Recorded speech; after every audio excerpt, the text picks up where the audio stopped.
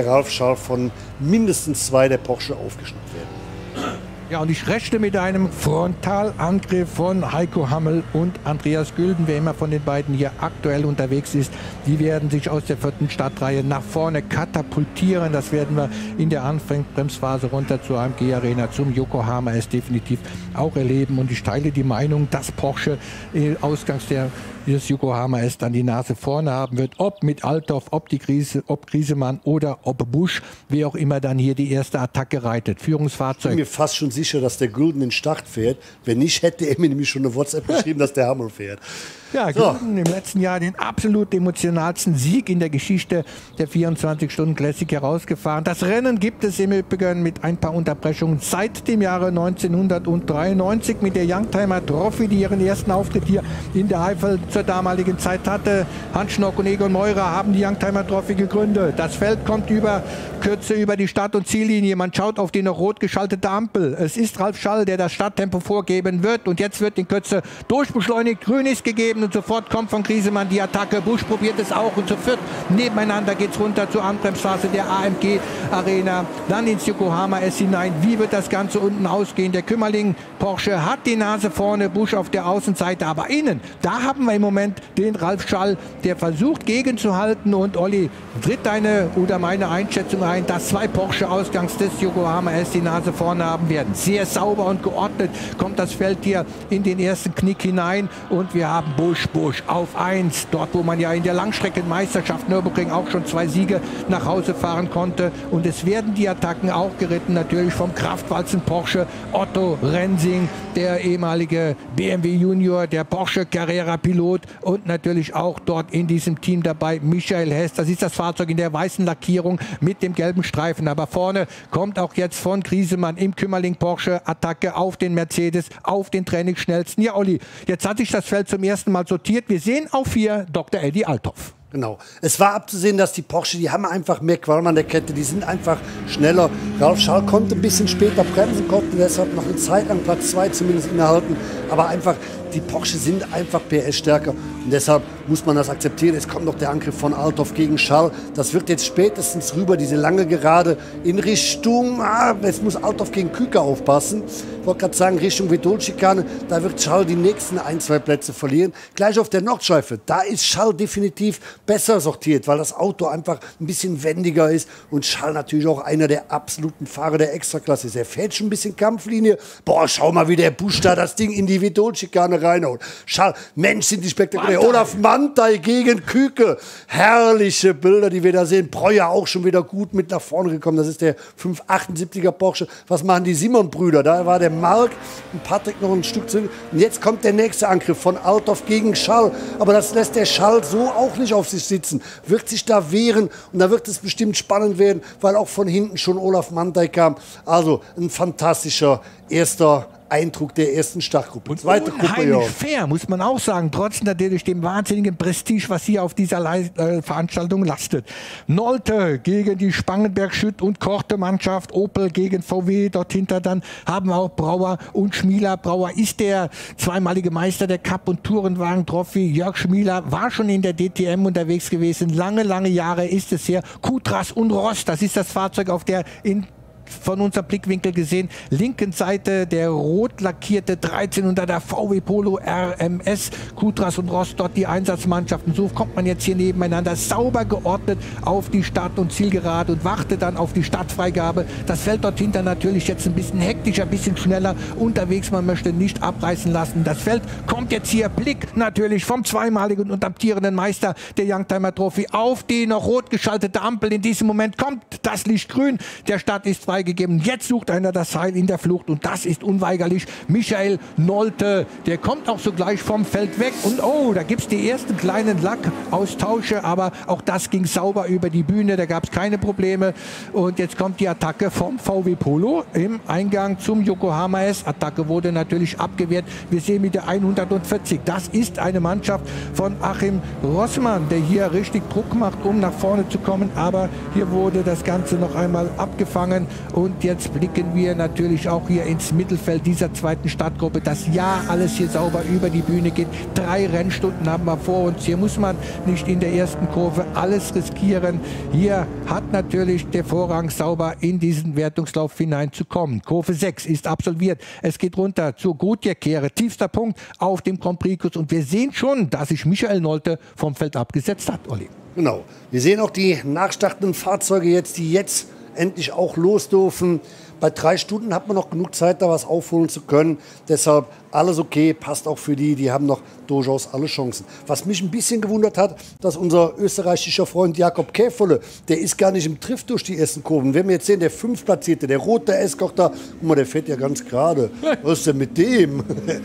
Werden wir mit Sicherheit nachher noch den einen oder anderen wilden Trift sehen, auch von ihm. Wunderbar, diese Bilder. Kadett E, Scirocco, der R5 Turbo, der Renault 5 Turbo, Opel Manta, Ascona, ja, der E3er BMW. Das ist Sebastian Schemann im rapsgelb lackierten VW VW Polo. Und das ist so einer, der hat in seiner Kindheit immer an der Nordschleife gestanden, hat davon geträumt, einmal hier an den Start zu gehen. Und dann ist er seit vielen, vielen Jahren mit dabei, ist auch ein toller Rallye-Pilot. Und wir sehen jetzt aktuell, wie weit sich Michael Nolte schon absetzt. Aber guck mal dahinter, Plätze 3, 4, 5, da waren wir zu dritt nebeneinander durch den Hatzenbachbogen. Das ist zum einen ist es Jakob Käfer, dann ist es Remmele und wir schauen aber mal nach vorne in die ja, erste Startgruppe, die jetzt im Bereich Quillbacher Höhe unterwegs sind. Da die Kuppe und dann die Doppelrechtskurve zum Flugplatz rüber. Auch so eine ja, Vollgas-Mutpassage, wo man wirklich dann, ja, ich sag's jetzt mal, im Namen meines Namensvetters Oliver Kahn, da brauchst du wirklich Eier. Punkt. Kolb Austin Sanchez Porsche, Wittke Porsche, das ist mal die Auflistung der ersten drei Startpositionen. Dort neben der Nistrat Alpha.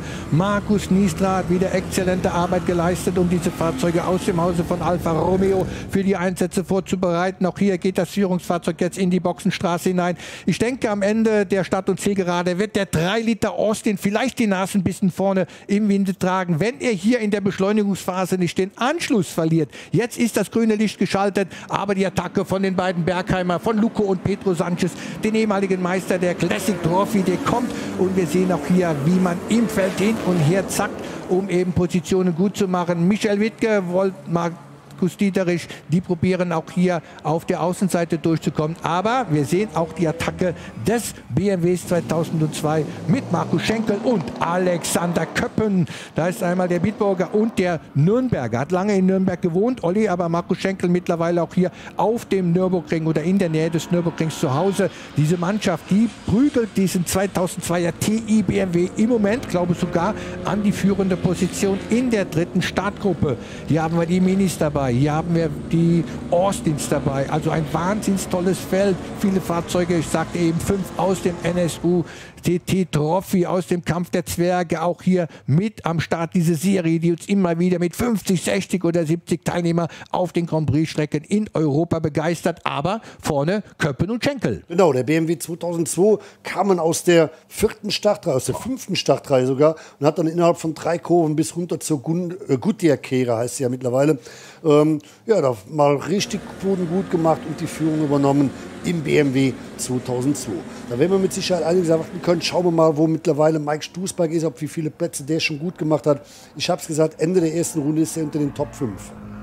Ja, der taucht in Kürze auch am Horizont auf unseren Bildschirmen auf. Noch ist es nicht der Fall, aber hier ist natürlich genauso Attacke angesagt, aber auch so gen genauso ein unheimlicher fairer Umgang untereinander. Wir sehen die Colt-Mannschaft im Austin Healy ein bisschen zurückgefallen. Man geht ja mit zwei Fahrzeugen an den Start. Einmal der Mark I, einmal der Mark II. Das sind drei Liter Fahrzeuge des britischen Kompaktsportlers. Aber vorne an der Spitze, das überrascht mich doch. Schenkel und äh, Alexander Köppen, letztgenannter, hat ja in der Nähe von Bitburg oder in Bitburg eine Karosseriebaufirma, hat sich vor Jahren selbstständig gemacht, hat ein totales Faible für Alpha. Aber hier mit Markus Schenkel im BMW 2002 Ti unterwegs. Tolle Bilder, die uns hier von der Regie eingespielt werden. 24 Stunden Classic. Jetzt haben wir hier die zweite Stadtgruppe im Bild. Genau, zweite Stadtgruppe jetzt auch im Bereich Flugplatz unterwegs, über diese Kuppe da. Wunderschöne Bilder. Oh, da hinten kommt der Zweikampf. Kadett E gegen den Hundeknochen. Escort mit Zackspeed-Aufkleber natürlich noch drauf. Zackspeed war ja in den 70er Jahren die Marke schlechthin für den Ford Escort, später dann auch Ford Capri.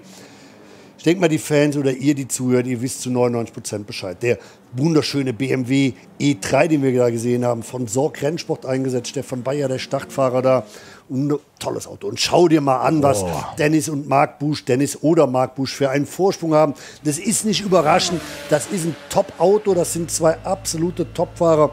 Aber der Vorsprung schon sensationell. Platz 2 Krisemann. Und schau mal, Schall hat Platz 3, Mantai 4 und dann erst die nächsten Porsche mit Althoff, mit Küke und mit Gülden. Oh, ich hätte doch. Jetzt kommen Olaf Mantai gegen Ralf Schall. Die haben sich in den oh, 90er Jahren dermaßen oft da duelliert und jetzt schon wieder. Dann hier, wunderbar diese Bilder zu sehen, diese Bodenwellen zwischen der Touristeneinfahrt und der Brücke der Antonisbuche. Mandai vorbei an Schall. Klar, der 635er, der hat schon deutlich mehr Qualm an der Kette als der 190er Mercedes. Der ist halt leichter, der kann später bremsen. Küke gegen Althoff, die kennen sich auch schon seit Jahren. Dahinter Andy Gülden, der natürlich auch versucht, jetzt Platz gut zu machen. Der Vorsprung von Busch auf den Zweitplatzierten, auf Krisemann. Das sind elf Sekunden, hat er dem in der ersten Runde eingeschenkt. Sensationell. Olaf Mantei dritter, Ralf Schall vier, dann Althoff Küke und dann ist es Andi Gülden auf Platz sieben. Ja, beim Saisonauftakt auf dem Hockenheim gab es im Busch Porsche noch ein paar kleinere Probleme. Wir hoffen natürlich, dass man hier schadlos über die dreistündige Renndistanz kommt. Es wundert mich so ein bisschen, dass man im O'Grady Porsche, das ist der dunkelgrün-gelb lackierte, hier in der dritten Position dieser Kampfgruppe noch nicht die Attacke angesetzt hat gegen Dr. Edgar Althoff. Aber jetzt kommen wir wieder rüber und das ist die dritte Startgruppe im Bereich vom Flugplatz unterwegs. Wir haben gerade auch im Bild gehabt äh, das Fahrzeug von Luco und Pedro Sanchez und mit der 720, da war das Fahrzeug von Georg Gotha und Martin Schlüter, der 911er S-Porsche. Bunt gemischt das Feld hier. Und da qualmt es ein bisschen und das hatte, glaube ich, nichts mit dem Verbremser zu tun, oder? Da doch. Da ist alles im grünen Bereich. Und das ist der 730 von Dr. Afshim Fatemi, das sehr selten gebaute Fahrzeug des schöner Chirurgens, dem Deutschen. Aus Düsseldorf oder in Düsseldorf hat er dort in bester Lage seine Schönheitschirurgie-Klinik, wenn ich das mal so sagen darf. Der 904er 1964 und 65. 2 Liter GT-Wertung gewonnen in der Markenweltmeisterschaft. Aber Vedol-Schikane, Olli, da schauen wir wieder zu den beiden Buschs. Ja, mit einem, wie gesagt, oh. riesen Vorsprung.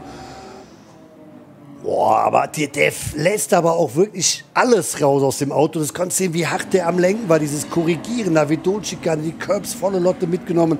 Also, das ist keine Spazierfahrt. Der, der gibt richtig Gas.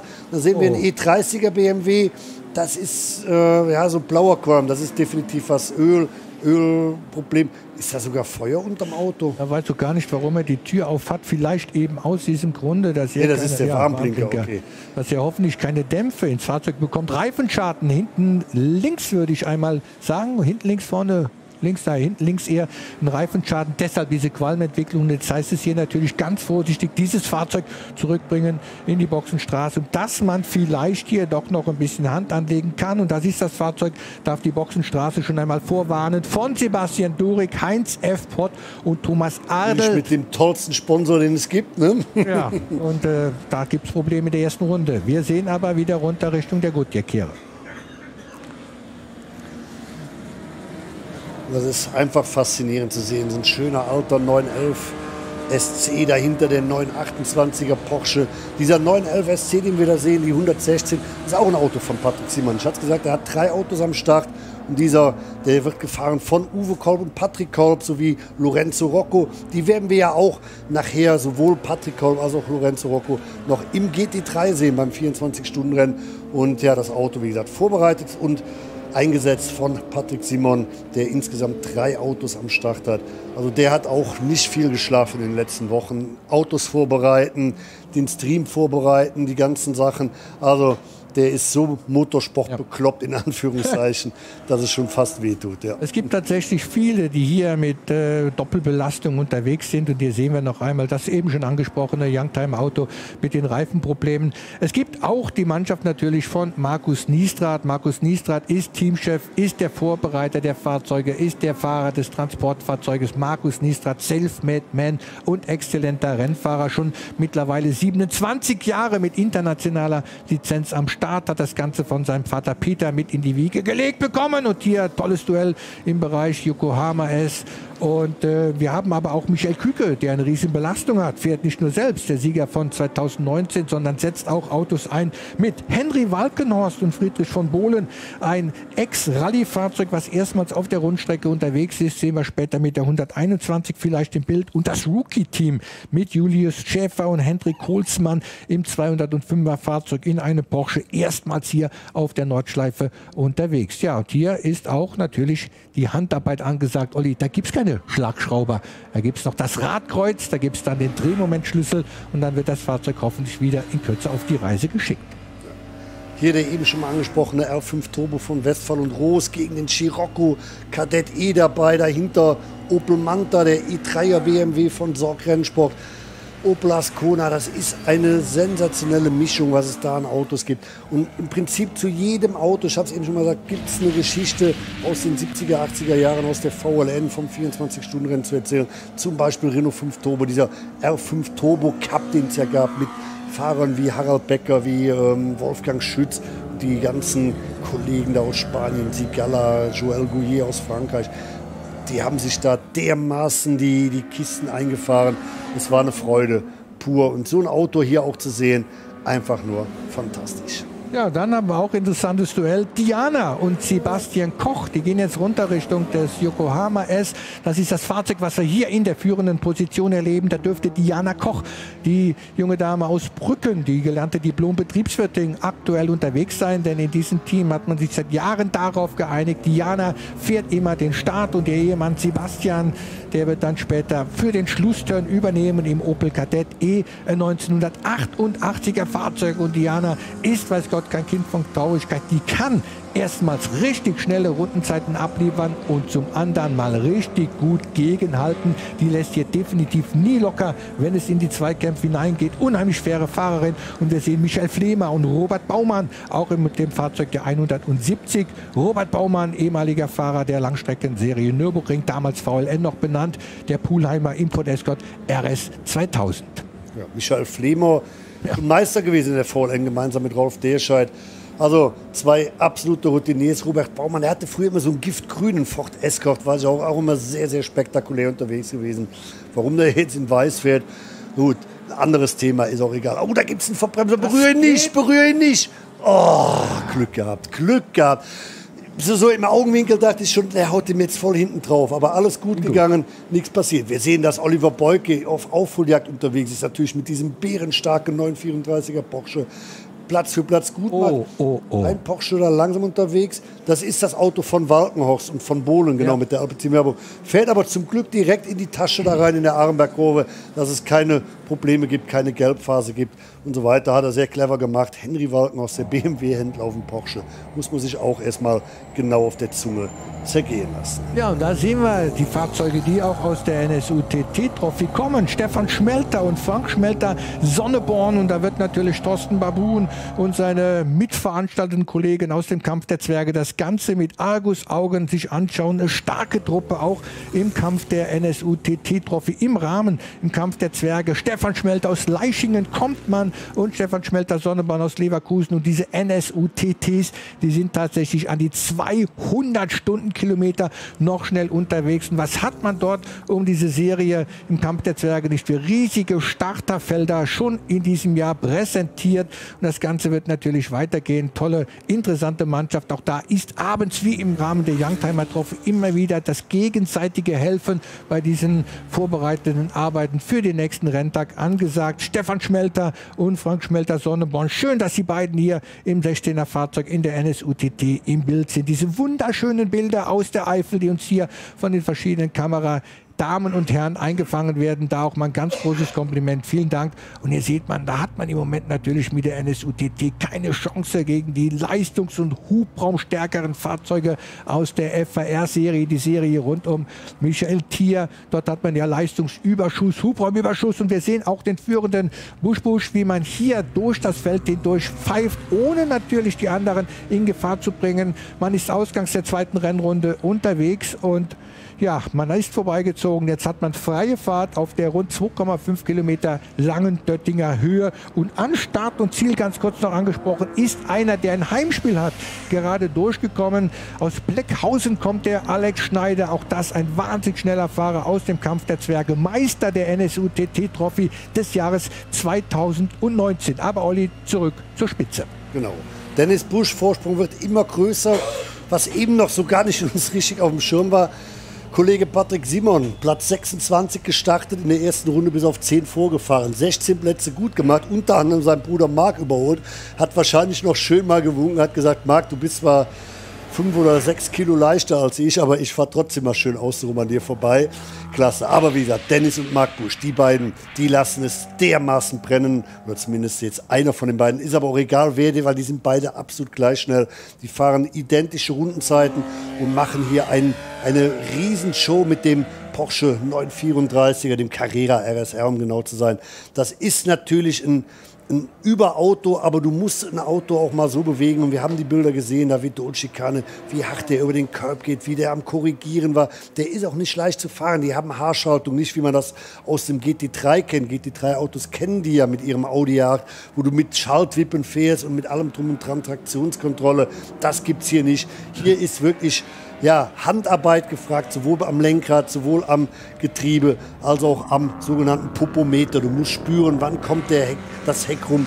Und was ja jeder Porsche hat und gerade einer mit so einer riesen Flügel, äh, mit so einem riesen Flügel hinten drauf, Porsche sind vorne immer sehr leicht, die neigen zum Untersteuern, weil er natürlich durch den Heckmotor äh, und den Flügel fast alles hinten drauf hat. Und die sind so schwer zu fahren. Also, das ist sensationell. Vorsprung 15 Sekunden und Platz 2 mittlerweile Olaf Mantai. Ja, aber noch ganz kurz einmal. Nee, doch ja, nicht. Ja, Hier anstatt Ziel war er noch Zweiter. Ja, ist dann wahrscheinlich aus dem Windschatten heraus überholt worden von Griesemann mit der 500 und 2, die neun Zweitplatzierten. Und bei Griesemann merkt man auch die Attacke, die gefahren wird. Sie waren hier im ersten Sektor, jetzt im Übrigen aktuell drei Sekunden schneller unterwegs gewesen auf diesem Kunstensektor auf dem Grand Prix wie die führende Mannschaft Busch. Aber Busch, diese Truppe, ist noch gar nicht allzu lange im Sport der Youngtimer Trophy dabei. Sascha Korte, der ist den Weg gegangen. Erst Youngtimer Trophy, dann in die Langstreckenserie Nürburgring. Bei Busch, dort war man erst in der VLN, in der Langstreckenserie Nürburgring am Start und ist dann erst vor, glaube ich, zwei Jahren gewechselt in die Youngtimer Trophy. Nein, haben noch keinen Sieg hier bei den 24 Stunden Classic herausgefahren. Die Sieger, die hier am Start sind, wenn man mal die letzten zwölf Jahre Revue passieren lässt, ist zweimal Dr. Eddie Althoff in den Jahren 2013, 14, Michael Küke vor zwei Jahren und im letzten Jahr Andreas Gülden. Aber vorne, dieses Team bestimmt im Moment alles und Olaf Mantei sehen wir, der lässt definitiv nicht locker, probiert hier natürlich den Anschluss zu halten, denn von hinten droht natürlich auch Ungemach in Form des 2019er Siegers Michael Küke. Paddy O'Grady hat wieder einmal ein exzellentes Fahrzeug vorbereitet für Heiko Hammel und Andreas Gülden sind aktuell auf der fünften Position unterwegs und jetzt switchen wir wieder zu deinem Langstreckenserien Kommentatorkollegen. Ja, Patrick Simon, der hat natürlich jetzt richtig Spaß. Jetzt braucht er mal, Entschuldigung, braucht jetzt mal nicht ins Mikro zu babbeln, sondern kann jetzt einfach mal das machen, wo er eigentlich ja, den größten Spaß dran hat am Rennenfahren. Er war ja jahrzehntelang ein richtig guter Rennfahrer. Und dass er es immer noch kann, beweist er nicht zuletzt heute auch wieder im Cup Porsche, im 964er Cup Porsche. Selber vorbereitet, selber angesetzt. Und guck mal, der hat sogar schon den Georg Berlandi im 635er überholt. Und das ist ja nur auch alles andere als ein Nasenbohrer. Georg Berlandi, der war deutscher Rallye-Meister, aber auch auf der Rundstrecke immer wieder bärenstark unterwegs. War ja auch mal beim Johannes Scheid auf dem Eifelblitz mit am Start gewesen, auf den, damals auf dem dicken E46er. Was wir auch erkennen können, die Aufholjagd von der Mannschaft der 511. Und das ist ja die Truppe Oliver Beuke und Ruben Zeltner. Oliver Beuke, so wurde mir kurz vor dem Start mitgeteilt, wird hier den Startern fahren. Man ging aus der, glaube 38. Position in diesen Wertungslauf hinein. Momentan auf Platz 16 angekommen. Eben vorbeigezogen am 492er Fahrzeug am Porsche 964 Cup von Achim Leinost und Marc Simon. Denn die stehen aktuell auf der 17 Gesamtposition auf 18 dann Chris Rotthoff. Das ist der zweite Niederländer hier im Starterfeld. Einmal haben wir Patrick Peters auf einem Ford Escort und einmal eben Chris Rotthoff, zu dem es später noch etwas zu sagen gibt, startet hier eine ganz tolle Aktion für einen Freund. Und äh, die beiden Niederländer, das ist wirklich toll, dass die immer wieder in der Youngtimer Trophy mit von der Partie sind. Patrick Peters, das darf man ganz kurz auch mal erwähnen, ist ja hier unterwegs im Fahrzeug der Startnummer 41, niederländischer Youngtimer Meister von 2016. Obwohl er nicht im Bild ist, ich möchte es unbedingt einmal ansprechen. War vor ein paar Jahren auch hier bei den 24 Stunden Classic am Start und ist ausgerollt mit Spritmangel in der letzten Runde. Und jetzt kommt das Kuriose, der hat zu Hause eine riesen Tankstelle, dort stehen Tanks mit 40, 50.000 Liter Sprit. Und dann sagt er, ja, da habe ich mich doch so ein bisschen verkalkuliert, aber das ist auch so ein überaus netter Mann, der die Geselligkeit im Fahrerlager liebt. Wir sehen aber Patrick Simon hier im Moment hier. Ja, ja, es ging ja da an einige zu überrundenden Fahrer, denn es ist auch so, du kennst es von der Langstreckenserie Nürburgring, man läuft ganz schnell auf das Ende der dritten Startgruppe auf. Auch so ein 964er Porsche, auch nicht so einfach zu fahren. Typische Porsche-Problem, vorne leicht, untersteuern und dann mit Haarschaltung. Den, den musst du erstmal so schnell hier um die Strecke prügeln. Äh, er kennt das, er ist ja auch jahrelang Porsche Supercup gefahren, war ja im Porsche Supercup oh. knapp nicht Meister geworden. Also der weiß, was man macht. Ausrutscher müsste Pflanzgarten sein, die 208. Kann das sein? 208? Mir auch nicht ganz sicher. Wir schauen jetzt einmal Jetzt haben wir die, oh, das ist die Stadtnummer 200. Ich habe es erst schon fast vermutet. Michael Wittke, Markus Dieterich und Stefan Aust.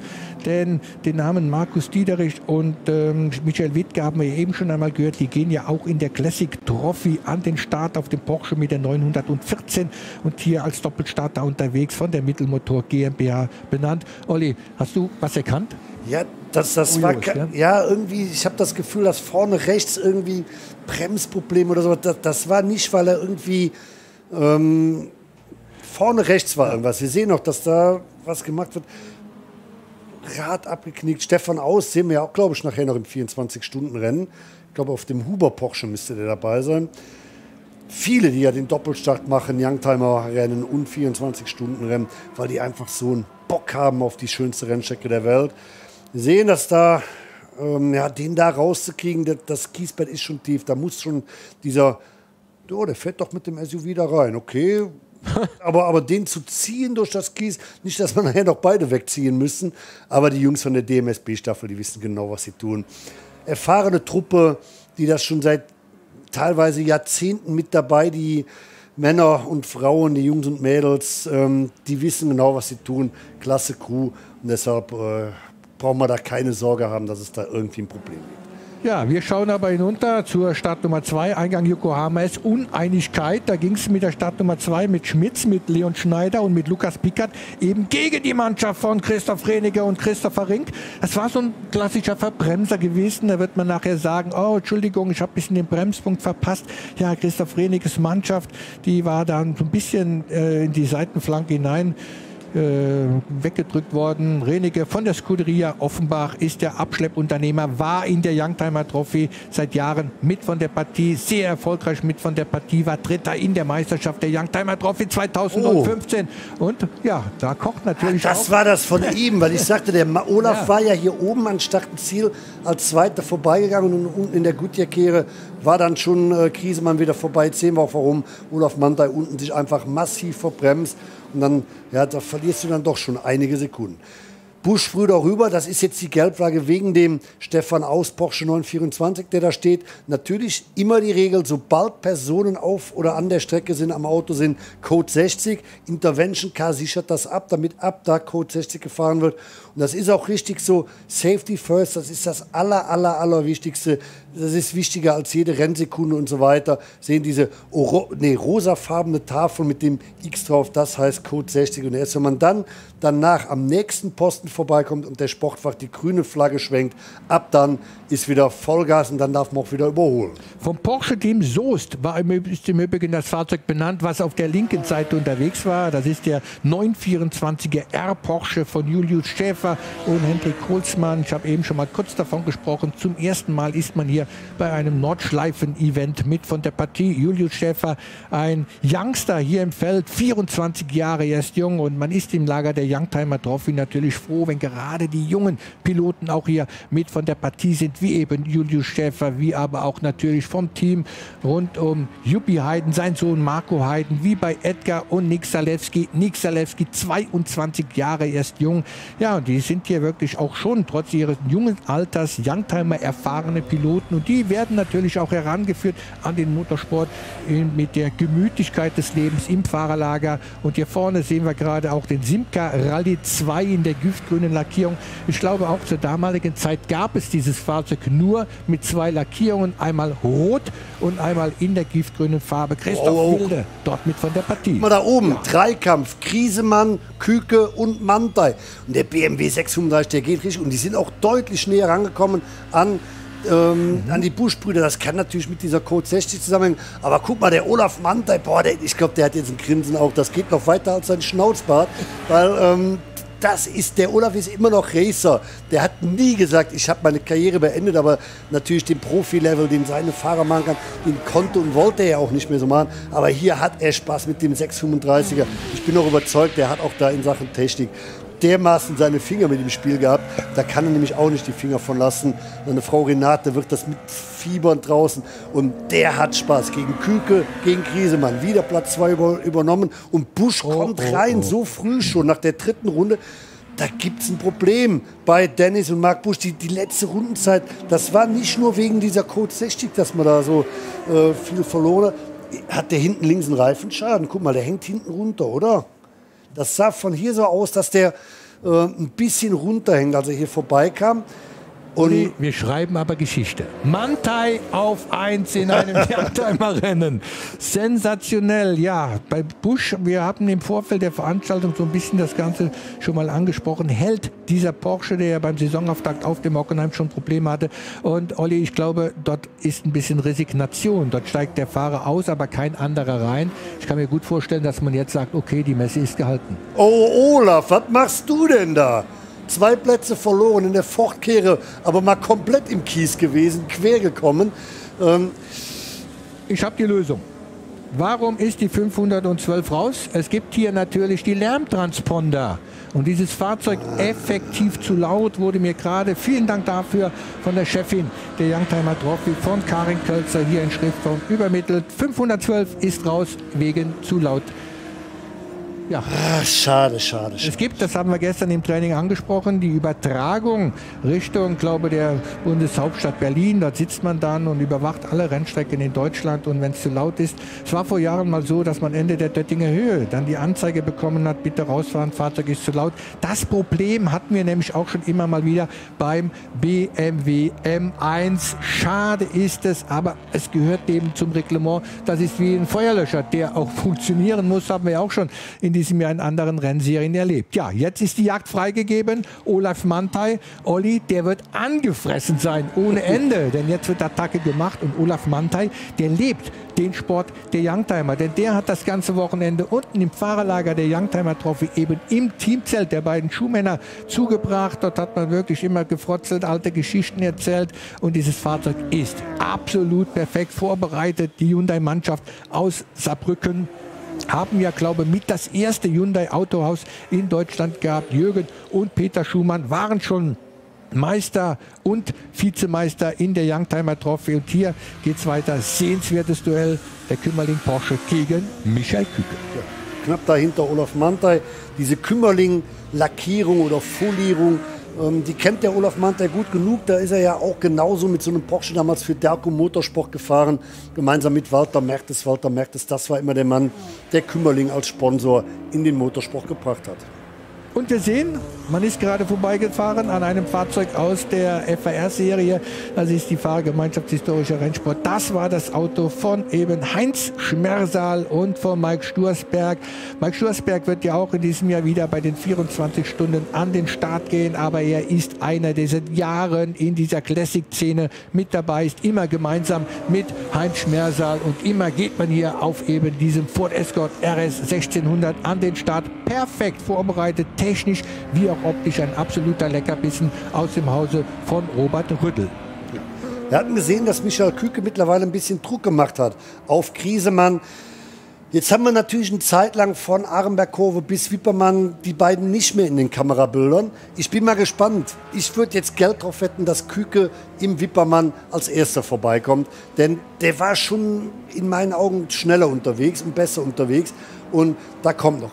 Ja, Zwischenzeitig aber bei uns in den Bildern leider der frühe Boxenstopp von den 496 Jürgen Rudolf. Der wohnt in Stuttgart, ist ein riesengroßer Porsche-Fan, wohnt auch in der Nähe der Porsche-Villa, hat hier 964er Cup Porsche, ein 3,6 Liter Fahrzeug von 1991 und das Reglement in dieser Klasse sagt Porsche 964 Cup Reglement von 1994. Danach müssen die Fahrzeuge hier aufgestellt sein und hier sehen wir eben, ja, Resignation. Fahrzeug absolut perfekt, nur eben vielleicht diese ein, zwei oder drei Zehntel zu laut. Aber hier, Olli, das treibt uns ein bisschen die Tränen in die Augen, diese Kaltverformung dieses tollen, tollen Fahrzeuges von Strähle Motorsport. Ja, ich glaube, das ist aber durch den Reifenschaden. Dann, dann haut dieser umschlagende Gummi, wir sehen richtig die, die Stahlfäden aus dem Gummi rauskommen, die Karkasse und, die haut dir da diesen Kohlefaser, äh, Kotflügel dermaßen kaputt. Ähm, ja, schade drum. Aber ich, ich glaube, die, die geben noch nicht auf. Die haben ja auch, der weiß jetzt, gewinnen wird er heute nichts mehr. Pokal fährt, holt er kein mit nach Hause. Aber den Spaß zu haben. Das Auto habe ich gestern schon mal erwähnt. Christoph Esser gemeinsam mit Nico Verdonk unterwegs in dieser ja, Lackierung, im Branding, wie er damals auch in den 80er Jahren auch gefahren ist, mit Pioneer-Werbung im Kadett C-Coupé, damals Gruppe 2 gefahren.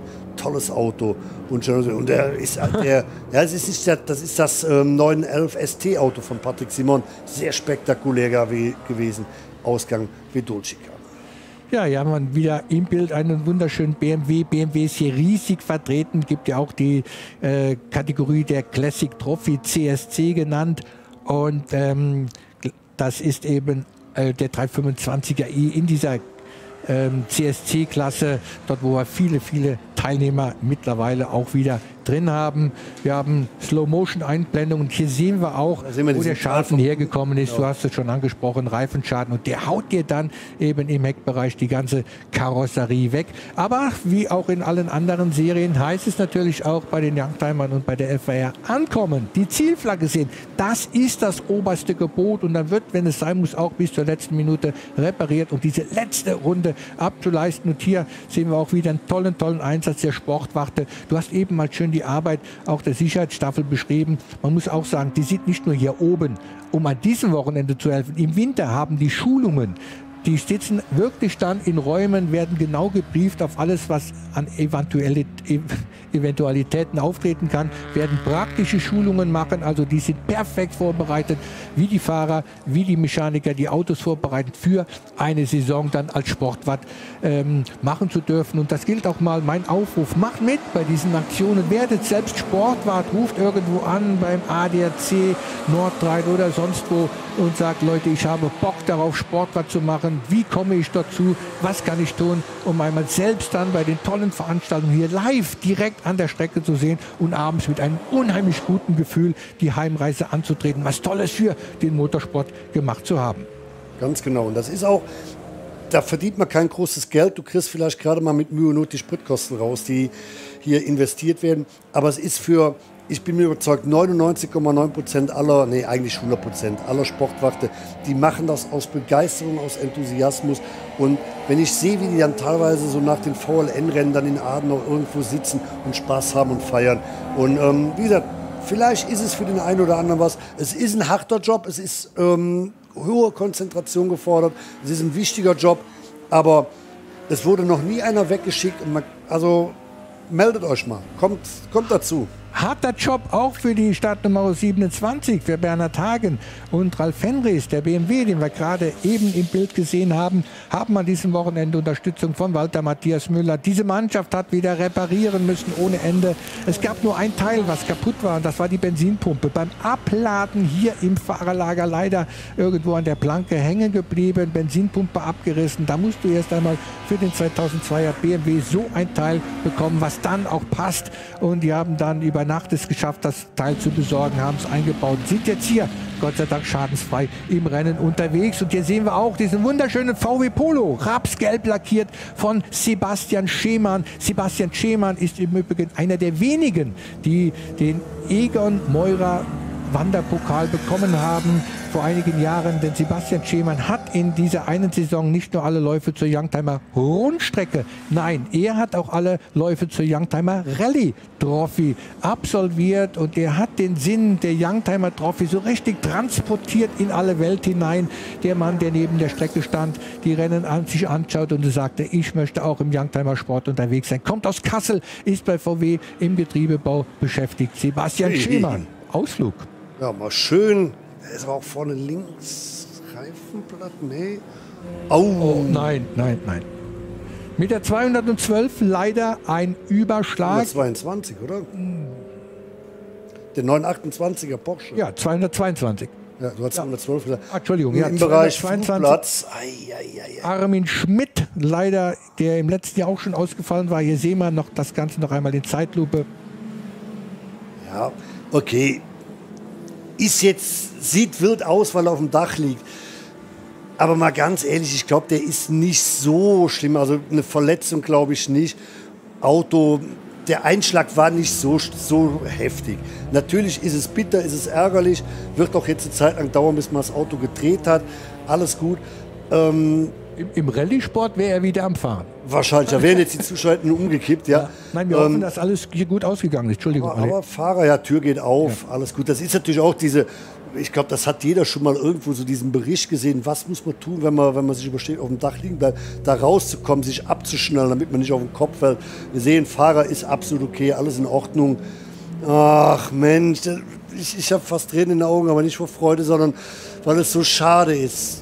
Ach Mensch, ey einen 928er aufs Dach zu legen.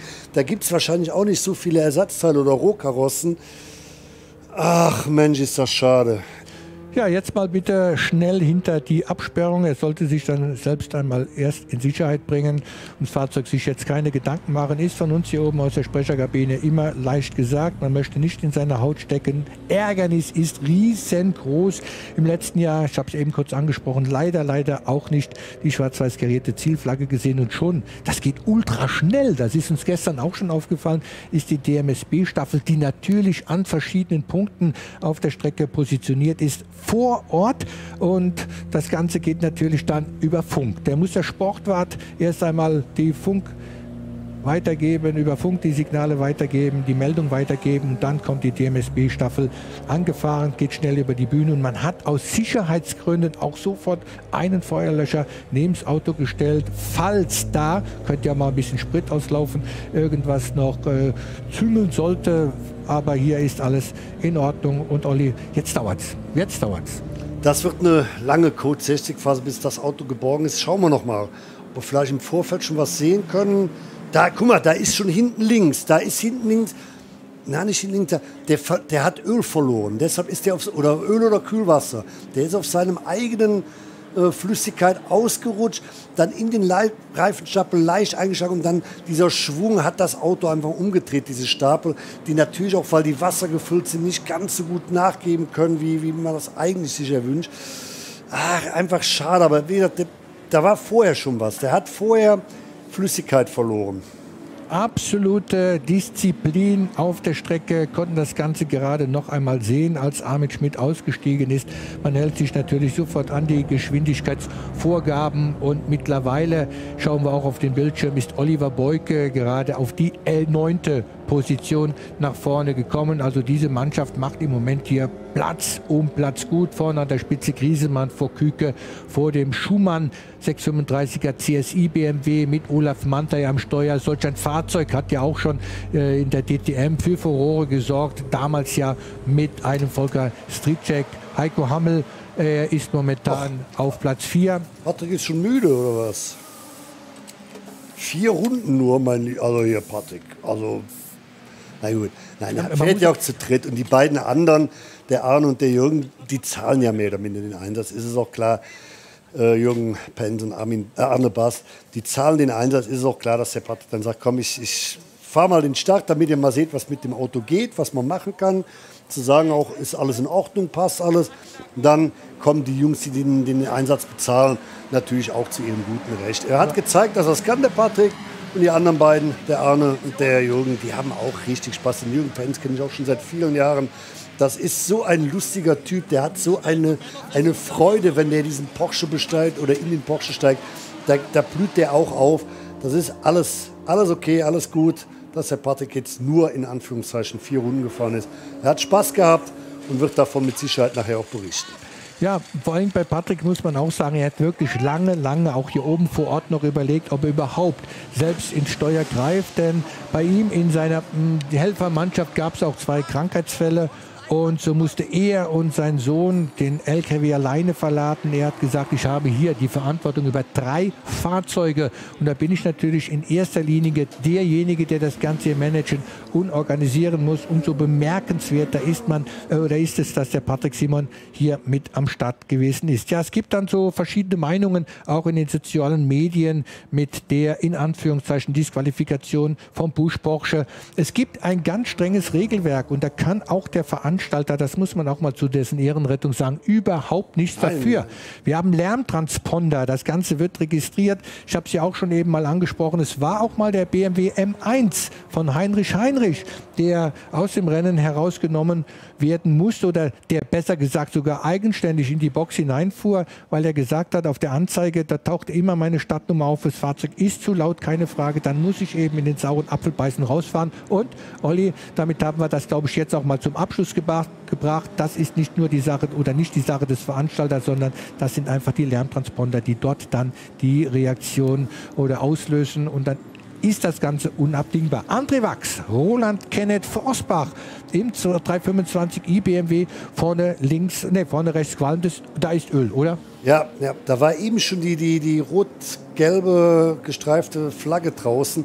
Das heißt Öl oder, oder Kühlflüssigkeit, kann ja auch irgendwie sowas sein. Das ist ja auch fast wie Öl.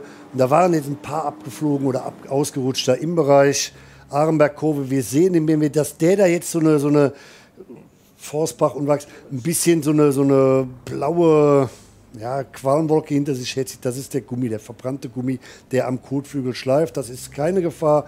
Aber da im Bereich Arenbergkurve, da war definitiv Öl. Ich sehe es auch noch auf einer der Streckenüberwachungskameras. Da ist definitiv die rot-gelbe Flagge draußen. Da ist irgendwas auf der Strecke. Und, und das ist natürlich ja, für einen Fahrer auch schwer Du siehst diese Flagge, denkst, ach komm, ich sehe ja nichts, so schlimm wird es schon nicht sein.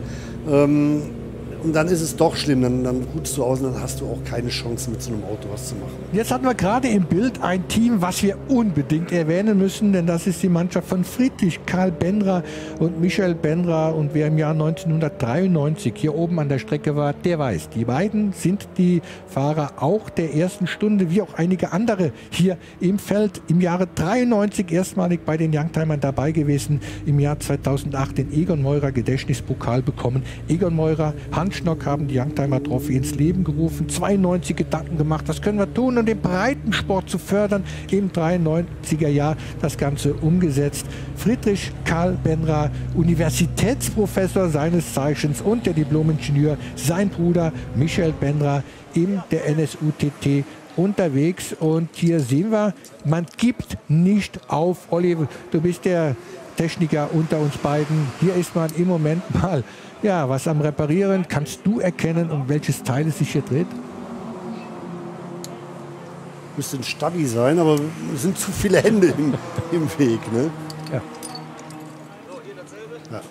Ja, und hier ist man wirklich mit aller Macht am Versuchen, das Fahrzeug doch noch irgendwo wieder hinzubekommen, um eben das rumzubringen, was ich ansprach, das Überfahren der Linie am Ende des Wertungslaufes und dann mit der schwarz-weiß karierten Zielflagge auch am Ende der Reise damit belohnt zu werden, dass man hier die Trainingssession und die drei Stunden der 24 Stunden Classic angegangen ist. Der Kümmerling Porsche Bild, das ist das Fahrzeug mit der 502. Das ist Björn und sein Bruder Georg Griesemann. Das Fahrzeug wird von der Mannschaft rund um BSM Edgar Salewski vorbereitet. Er selbst, Edgar Salewski, verzichtet an diesem Wochenende auf einem Einsatz. Es war geplant, dass er und sein Sohn Nick im Fahrzeug der 500 an den Start gehen. Aber dann hat man kurzfristig umgeswitcht, weil eben Edgar Salewski mit seiner Mannschaft BSM ähm, viele Fahrzeuge für diesen Renneinsatz hier vorbereitet. Aber sein Sohn, der Nick, der ist eben der zweite Mann bei Dr. Edgar Althoff und die Mannschaft rund um Eddie Althoff ist ja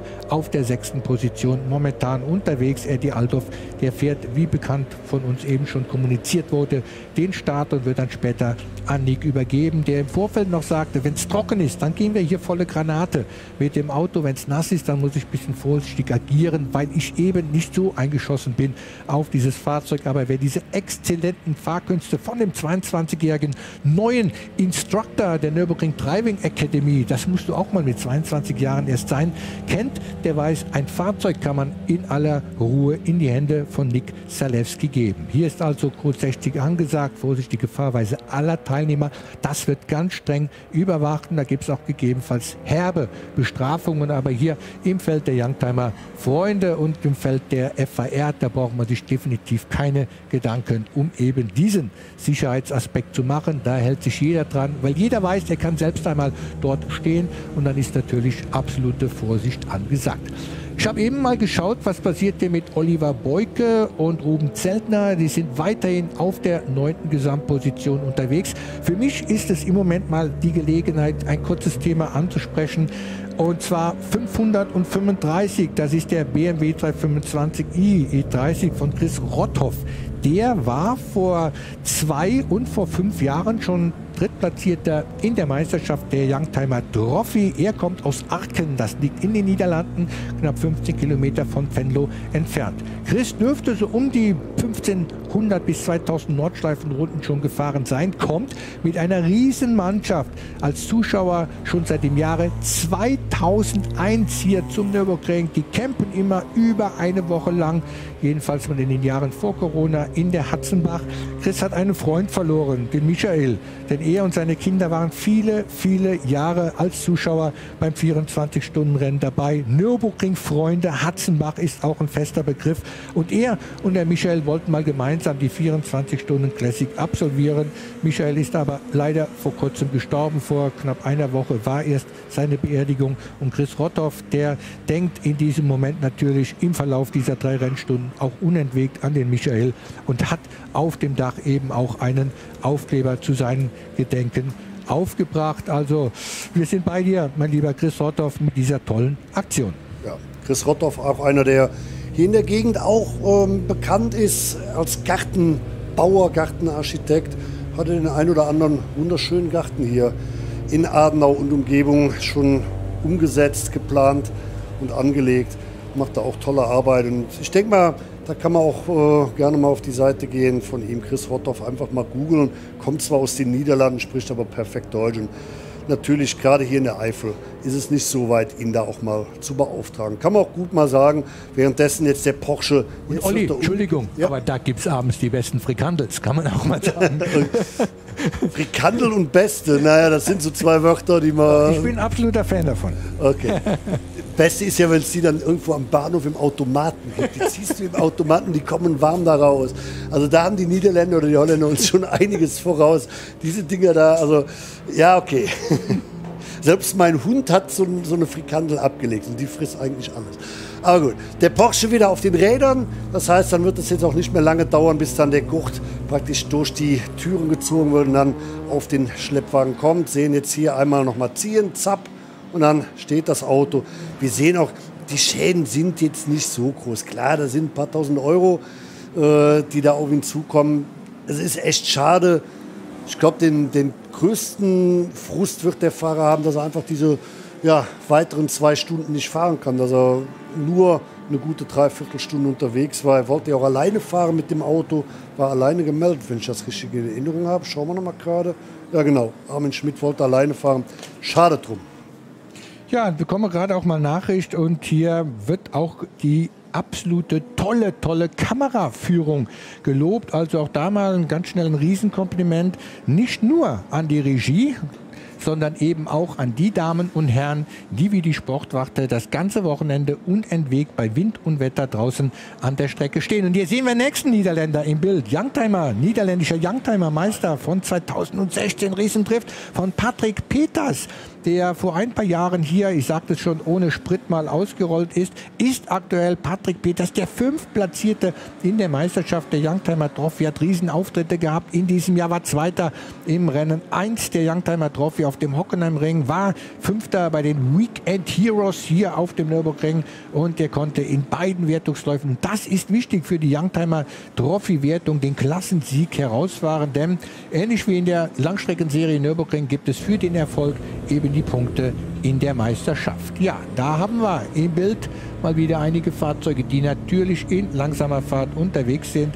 Ralf Schall sehen wir gerade den Dornstädter im 190er Mercedes, dem E-Mercedes und wir haben es ja heute auch schon mal angesprochen, Youngtimer Trophy ursprünglich 66 bis 88, die Homologationsjahre der Fahrzeuge, dann die Ausweitung bis 91. Marco Bürger und sein Kollege waren ja auch schon ganz, ganz vorne in der Meisterschaft, in der Wertung der Fahrzeuge bis 91. Marco Bürger und sein Kollege Marcel Müller, die mussten auch viel arbeiten. Das waren die Meister des letzten Jahres aus der Gruppe der A91er Fahrzeuge, achte im Gesamtklassement. Die mussten arbeiten ohne Ende.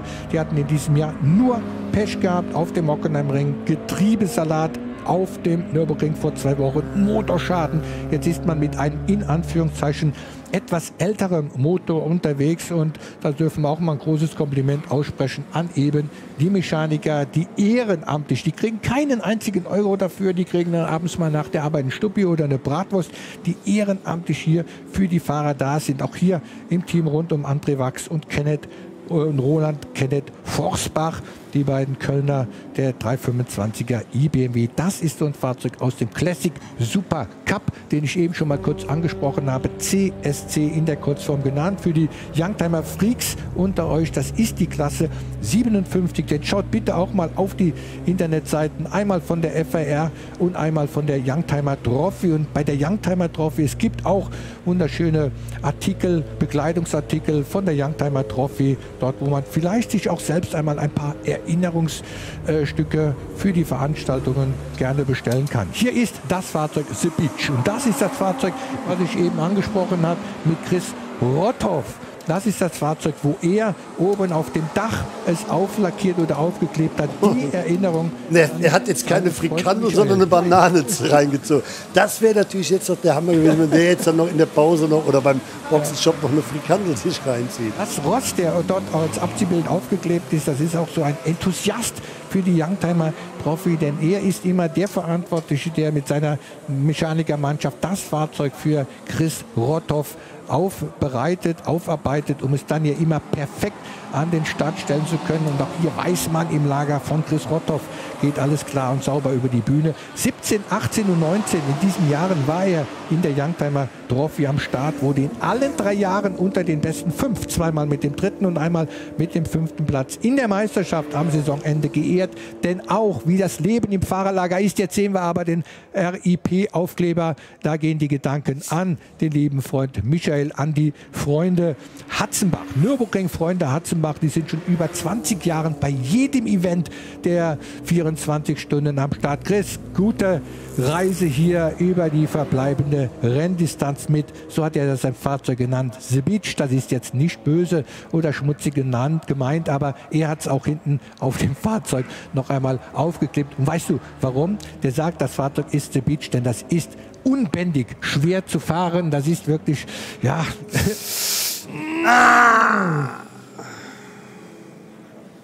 Kolb.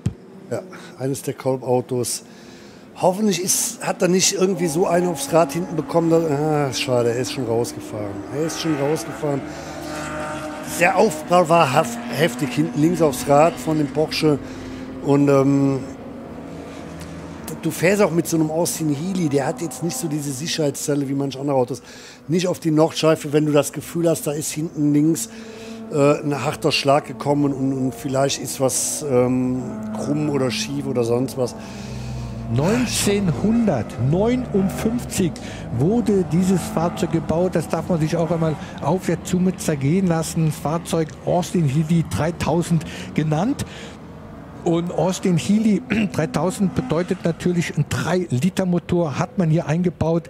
Donald Mitchell Healey hat ja diese Fahrzeuge gebaut von den Jahren 1959 bis 1967. Und das Besondere an diesen Fahrzeugen, acht Produktionsjahre und es gab in diesen acht Jahren drei verschiedene Modellvarianten. Das Fahrzeug hier ist technisch top ausgestattet, hat vorne Scheibenbremsen, aber hinten, da wo es eins draufgegeben hat, da sind eben links und rechts die Trommelbremsen, die für die nötige Verzögerung sorgen. Und da diese Fahrzeuge auch ähm, den großen Drehmoment, starke Motor hatten mit ähm, leichten Karosserie, hat man diese Fahrzeuge dann auch nicht nur im Rennen, sondern auch im Rallye-Sport zum Einsatz gebracht. Pat Moss darf da mal kurz erinnern an die Schwester von Sterling Moss, fuhr in einem Austin, ja auch im Rallye-Sport, ein Unternehmen, bisschen in die Geschichte kurz noch einmal reinblicken, was im Jahre 1945 gegründet wurde. Zurück zu dir, Olli, zurück ja, zum Duell an der Spitze. Zum absolut fantastischen Zweikampf zwischen Krisemann und Küke.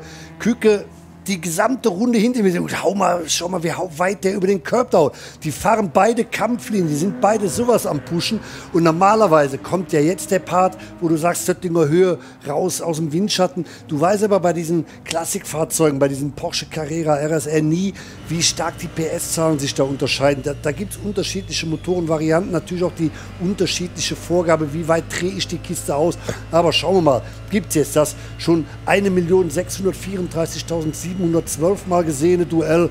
Windschatten ansaugen, ranziehen, ranziehen, ranziehen. Komm, Küke, zieh ran an den Krisemann. Aber der Krisemann, der hat auch genug Qualen an der Kette. Die sind beide bärenstarke Porsche, jede Menge PS. Und dann ziehen sie sich ja jetzt gegenseitig die Döttinger Höhe. Küke geht daneben.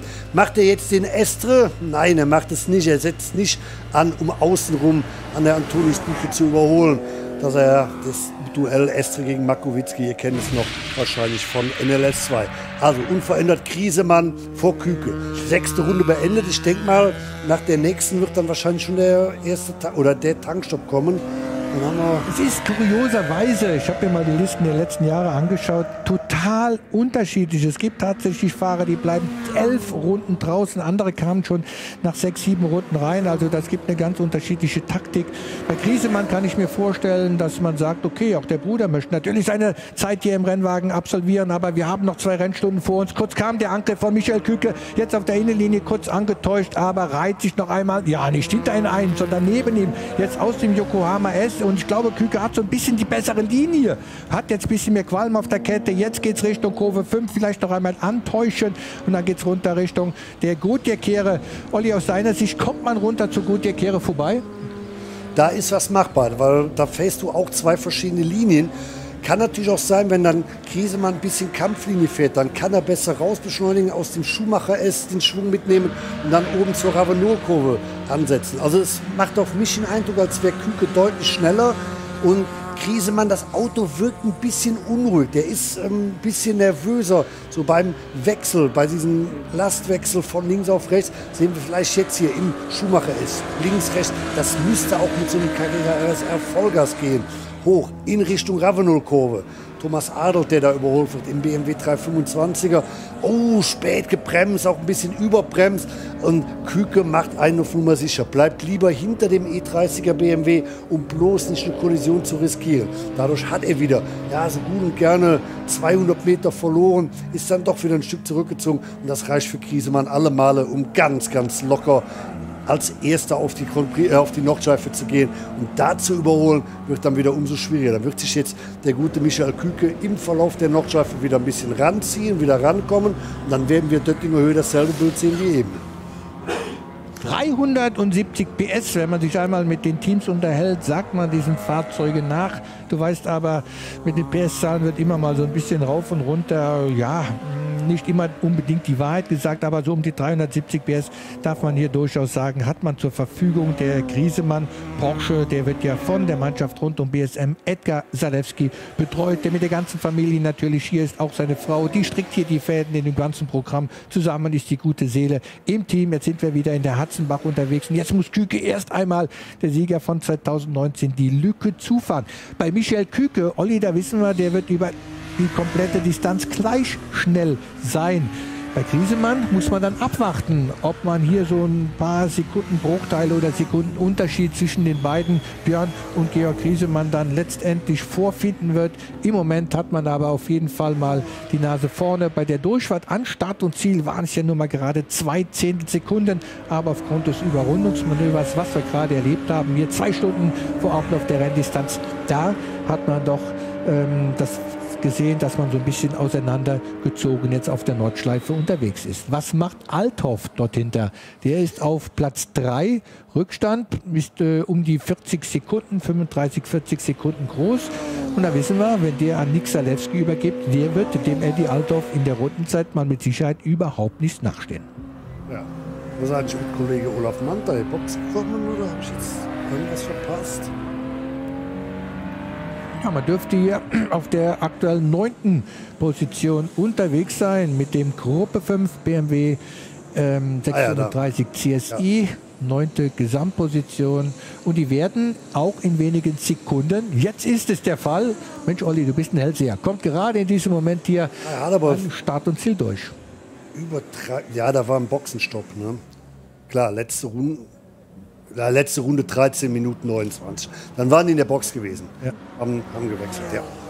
Ja, es war ja auch in den vergangenen Jahren so, um das vielleicht mit Olaf Mantei noch mal kurz anzusprechen, so nach fünf sechs Runden ist er immer reingekommen, hat ja in den letzten Jahren, seitdem er für dieses Team ja bei den 24 Stunden Classic unterwegs ist, auch immer den Start dann gefahren, hat das Fahrzeug, den 635er CSI BMW, immer in den Positionen nach vorne gebracht und sensationell im vergangenen Jahr natürlich der vierte Platz im Gesamtklassement nach Ablauf der schwierigen drei Rennstunden, wo wir Regen, wo wir Sonne, wir hatten das ganze Programm an Wetterverhältnissen gehabt und da muss man wirklich einen Respekt aussprechen. Olaf Mantei war in diesem Jahr im Übrigen auch schon mal in diesem Fahrzeug unterwegs entgegen der letzten Jahre, wo er immer nur einmal an den Start gegangen ist, haben wir ihn in diesem Jahr mit Peter Schumann, dem zweifachen Youngtimer Vizemeister der Jahre 2010 und 11 auf dem Hockenheimring erleben dürfen. Dort auch hier mit diesem Fahrzeug der Gruppe 5 am Start gewesen. Fünfte im Gesamtklassement, fünfte in der Klassenwertung.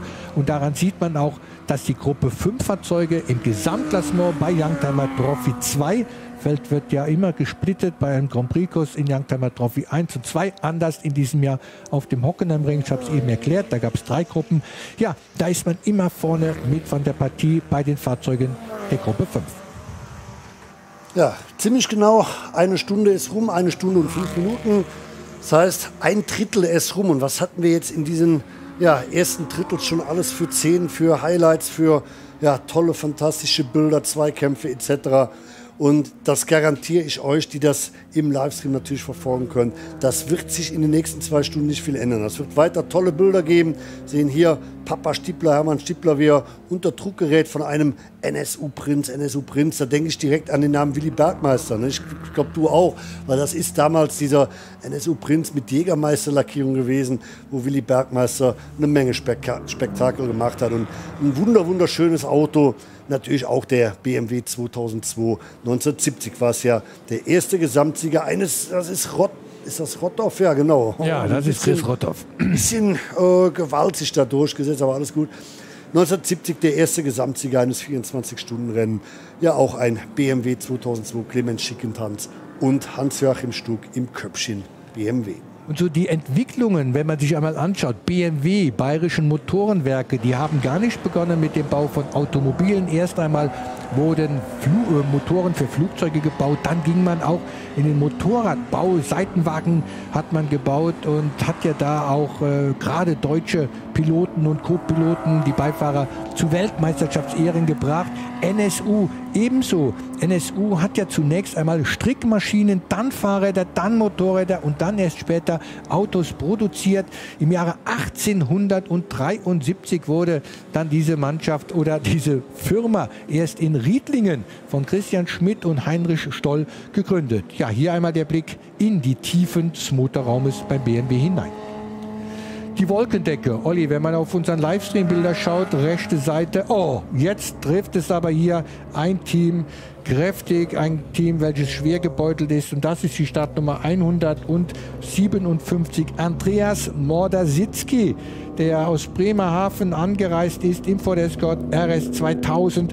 Das ist ein Fahrzeug mit dem 2-Liter-Motor, sagt die Bezeichnung 2000 schon aus. Im Jahre 1976 wurde dieses Fahrzeug gebaut und in der Ravenolkurve. Er hatte Glück gehabt, dass er direkt hier über die asphaltierte, riesig asphaltierte Auslauffläche rüberfahren konnte, dass wir hoffentlich kein Öl hier auf der Strecke vorfinden. Andreas Modersitzki, 58 Jahre jung, im letzten Jahr gar nicht hier am Start gewesen bei den 24 Stunden Classic. Jetzt leider der Ausfall für den Mann aus Bremerhaven.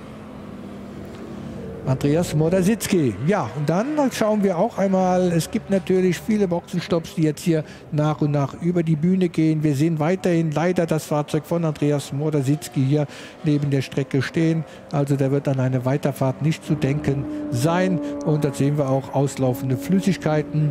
Riesemann ist vorne an der Spitze vor Michel Küke unterwegs. Althoff auf zwei, Hammel mittlerweile auf vier der Schumann BMW auf der sechsten. Die Mannschaft rund um die Truppe von Ingo Pütz und Christoph Breuer auf der sechsten Position. Ingo Pütz kommt ja aus Mechernich, hat Automobilkaufmann und Betriebswirt bei Saab und Toyota ja, dort im Einsatz gebracht, äh, gelernt und ist aber dann in den Familienbetrieb rüber gewechselt. Pütz Motorsport, er ist der Chef von Pütz Motorsport und bereitet unter anderem ja auch Fahrzeuge für beispielsweise Markus Dünkelmann vor und für viele andere. Ingo Pütz und der hat gesagt, diese Fahrzeuge, die 911er RSR-Fahrzeuge, die dürften mit rund 370 PS hier unterwegs sein. Und Christoph Breuer, Leiter der Entwicklungsabteilung für Straßenfahrzeuge bei Mantai Racing, ist hier der zweite Mann in diesem Team. Breuer im letzten Jahr ja auch an gleicher Stelle dabei gewesen. Achter Platz hat er im vergangenen Jahr abliefern können. Immer noch diese rot-gelbe Flagge, die heißt, wir nennen sie immer gerne die Ölflagge, das heißt einfach Verschmutzung, Kühlmittel oder was auch immer auf der Bahn. Auf jeden Fall nicht optimaler Fahrbahnzustand, um es mal dezent auszudrücken. Wir hatten ja viele Ausrutscher gesehen, da auch im Bereich Arenbergkurve, Schwedenkreuz. Es gibt die Möglichkeit mit diesen sogenannten E-Unit-Fahrzeugen, das ist die Truppe rund um Heinz du Magalla, die können da mit so einem Pickup kommen, machen die Klappe auf und dann wird Ölbindemittel oder dieses Fina pur gestreut und das kann das praktisch direkt aufsaugen. Die Frage ist einfach, ähm, was ist es genau, wie weit ist die Spur, lohnt es sich das überhaupt während dem Rennen oder verflüchtigt es sich vielleicht sogar. Fakt ist, die Flagge ist draußen, für die Fahrer ein bisschen mehr vorsichtig, Vorsicht und dann, oder guck mal, da war der Scheiben. Ja, ich habe es jetzt bei drei Fahrzeugen gesehen, wollte dich aber nicht unterbrechen, aber du hast auch gesehen, Scheibenwischer an. Bei uns an Start und Ziel ist definitiv noch absolute Trockenheit. Wir haben immer die Möglichkeit, auf den Rennleitungsturm, auf das Dach zu schauen. Dort gibt es eine kleine Pfütze, aber die ist hier nur so ein bisschen kleine Wellenbewegung aufgrund des Windes, aber keine Perlen, die dort auftauchen aufgrund niederkommenden Regens. Also hier oben an Start und Ziel definitiv noch alles trocken. Und jetzt sehen wir wieder eine schöne NSUTT hier im Bild. Das regnet, guck mal, aber richtig heftig sogar. Ich habe gerade gedacht, da ist ja. doch so eine, so eine Spur. Ah, jetzt sind die mit Slicks. Eieieiei, das ist nicht ohne. Das ist oft, dass man den, den ersten Regen, der erste Regen kommt immer Arenbergkurve, Schwedenkreuz, weil das ist der am westlichst gelegenste Punkt. Und ihr wisst genau, Wetter kommt im Regelfall aus dem Westen. Da ist es patschenass jetzt, Anfahrt Schwedenkreuz. Hier sieht man es jetzt deutlich. Also extremste Vorsicht, Vorsicht ist angesagt und bitte Jungs, lasst die Kisten heilen. Ja, einfach mal deutlich Schwung rausnehmen, bringt die Fahrzeuge hier hoch in die Boxenstraße. Bei der FAR spielt das nicht so die entscheidende Rolle. Die Fahrzeuge, die nach vier Anhang K aufgebaut sind, müssen eh mit profilierten Reifen unterwegs sein. Aber dann gibt es in dieser Kategorie eben auch Fahrzeuge, die dürfen sogar slickbereift an den Start gebracht werden. Und jetzt wird man mit Sicherheit hier den ein oder anderen Boxenstopp vorziehen. Es sei denn, das ist ein Spiel auf Messerschneide. Olli, du kennst den Nürburgring sehr, sehr gut. Ähm, es regnet. Wir würden mal sagen, im Moment nur in diesem einen Streckenabschnitt, was wir gerade so ins Bild bekommen haben. Das ist auch, solange das Wasser noch nicht steht, geht das alles noch. Dann die Reifen, die haben so eine hohe Temperatur, die, die haben dennoch genug Haftung. Das ist noch händelbar. Schlimm wird es, wenn Wasser steht, wenn das Wasser richtig auf der Bahn steht. Ja, hier sind die äh, Corvette ein bisschen weit nach außen kommen. Der macht jetzt auch ein bisschen vorsichtiger darüber, Flugplatz vorbei. Alles, alles okay. Machst du dir jetzt die Regenreifen drauf und hast den Regen aber nur an dieser Stelle Schwedenkreuz Flugplatz, die fährst du dir dann auf dem nächsten Stück kaputt. Und wir sehen auch, da kommt doch schon wieder die Sonne raus. Siehst du am Schatten, ganz klar. Sonne kommt auch wieder raus. Das heißt, es ist ein wirklich ein ganz kurzer Schauer, der macht dir, der macht dich mehr nervös, als es äh, alles andere ist. Aber Dr. Ovid Vasut, hier in der im Bild eingeblendeten Chevrolet Corvette C2 Stingray, der macht an und für sich alles richtig, geht hier mit dem 6,5 Liter Fahrzeug mal ganz, ganz ruhig um diesen schwierig zu fahrenden Streckenabschnitt, der im Moment langsam aber sicher sehr, sehr nass wird. Der Mann aus Rösrath, Zahnarzt von Beruf und Corvette eine Mal. Oh nein, die 502, Olli. Haben ein Bild. Riesemann. Hohenrheinschikane, oder? Ja. ja. Direkt hier vor Startenziel. Ist es denn hier auch am Regnen? Ne, hier oben ist eigentlich nichts, ne? Nein. Ah, schade, schade, schade. So ein Riesenrennen gehabt. Sieben, ja, fast acht Runden lang hier. Ne, sieben Runden waren es. Eine Riesenshow geliefert. Ach, ist das ärgerlich. Was da passiert ist, können wir im Moment noch nicht sagen. Einfach nur schade. Wir sehen die Spur da unten. Könnte von ihm sein. Große Beschädigung kann ich so nicht erkennen, oder? Nein, im Moment haben wir nur das, den Einblick aus Fahrzeug von oben und müssen mal abwarten. Ach, da sitzt er. Ja. Ich glaube, das ist mehr so die der Frust. Frust, Traurigkeit über den womöglich verlorenen Sieg, weil ah, ja komm, trink mal aus der. Da steht der nächste Porsche-Anfahrt Richtung Pflanzgarten. Genau am Sprunghügel steht die 201, müsste es sein. Ja. Fleper Motorsport. Fleper kennt man eigentlich früher nur vom Suzuki Swift oder Honda Accord, Honda Civic. Ist auch mit einem Porsche und viel Oh, da ist aber auch irgendwie was hinten links kaputt gegangen. Irgendwie, das ist auch ein technisches Problem. Ja, das ist die 201, gerade noch einmal in der Zeitlupe im Replay. Vielen Dank dafür. Paul Singer. Ja, und Peter Oberndorfer ja. sehe ich gerade. Ist Peter Oberndorfer, Gesamtsieger 24-Stunden-Rennen äh, 1984, gemeinsam mit Axel Felder damals. Äh, gibt wieder mal sein Comeback, war ja auch jahrelang in der DTM für Opel im Einsatz, für BMW im Einsatz. Und hier, das sind schon ein paar Regentropfen mehr jetzt, Anfahrt Schwedenkreuz. Also, oh, also, da möchte ich jetzt nicht entscheiden, was machst du dir für Reifen drauf. Weil jetzt steht auch das Wasser, jetzt siehst du auch die Pfützen, jetzt bist du mit Slicks. Aber wirklich ein Riesenproblem. Der nächste, der raus ist. Die Remmele-Mannschaft. Ja, eben gesehen, da darf ich auch mal ganz kurz darauf eingehen, der Austin Mini Cooper S. Und hier sehen wir wirklich, wie die Fahrzeuge in Schwierigkeiten geraten. Austin Mini Cooper S, Detlef Bethke hier alleine an diesem Wochenende unterwegs in dem 1300er Fahrzeug, in dem britischen Kompaktsportler. Und mit der 146 haben wir jetzt hier Remmele, Remmele. Das ist die 17. Gesamtposition, die man bis dato eingenommen hat. Und der nächste Ausflug. Also im Moment ist man hier doch für meine Begriffe hier und da deutlich zu schnell unterwegs. Man, ja, du bist halt im Rennen am Fahren und hier betrifft es gerade den Meisterschatz 5 Platzierten. Das ist Tim Verhöfen und sein Kollege, erstmalig in unterwegs, Norbert Peters. Oh, Hammel! Hammel Gülden. Der das ist Andi Gülden vom ja. Helm her, ja. Das ist ein heftiger Abflug. Flugplatz oben, ne? Ja, damit schon einmal der Hinweis äh, an die Arenberg, also jetzt überall ein Abflug nach dem anderen, wegen dem Wetter natürlich, brauchen wir nicht ja. drüber reden. Wir sehen, dass es da richtig schüttet jetzt und wenn du da mit, mit Slicks oben ankommst, da hast du, hast du keine Chance. Also Olli. Andi Gülden raus, der, die beiden E-Kadett raus, Ja, das war einmal der Meisterschaftsfünfte. Und hier der Weise Martin Jagon, der Mann aus Burscheid, der in Assen vor einem Jahr mit dem Opel Kadett sein erstes Rennen fuhr. Also nicht er, sondern mit dem Auto.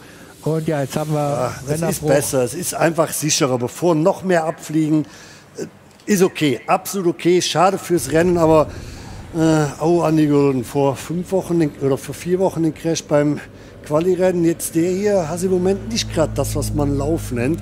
Wobei hier natürlich bei dem Wetter, da kannst du nichts für. Das ist auch Auto da im Bereich Armerkurve. Jetzt ist die rote Flagge draußen, das sehen die auch alle. Rote Flagge heißt dann, äh, was ist es, Tempo 80 darf man, glaube ich, dann zurückfahren. Aber da, da, ist es jetzt egal, da fährst du langsam. Ah, das ist so schade, so ein tolles Auto. Das, das, hoffentlich kriegst du die Teile dafür noch. Und, und ähm, der Gulden kann auch selber mit dran schrauben. Das ist doch das kleinste Problem.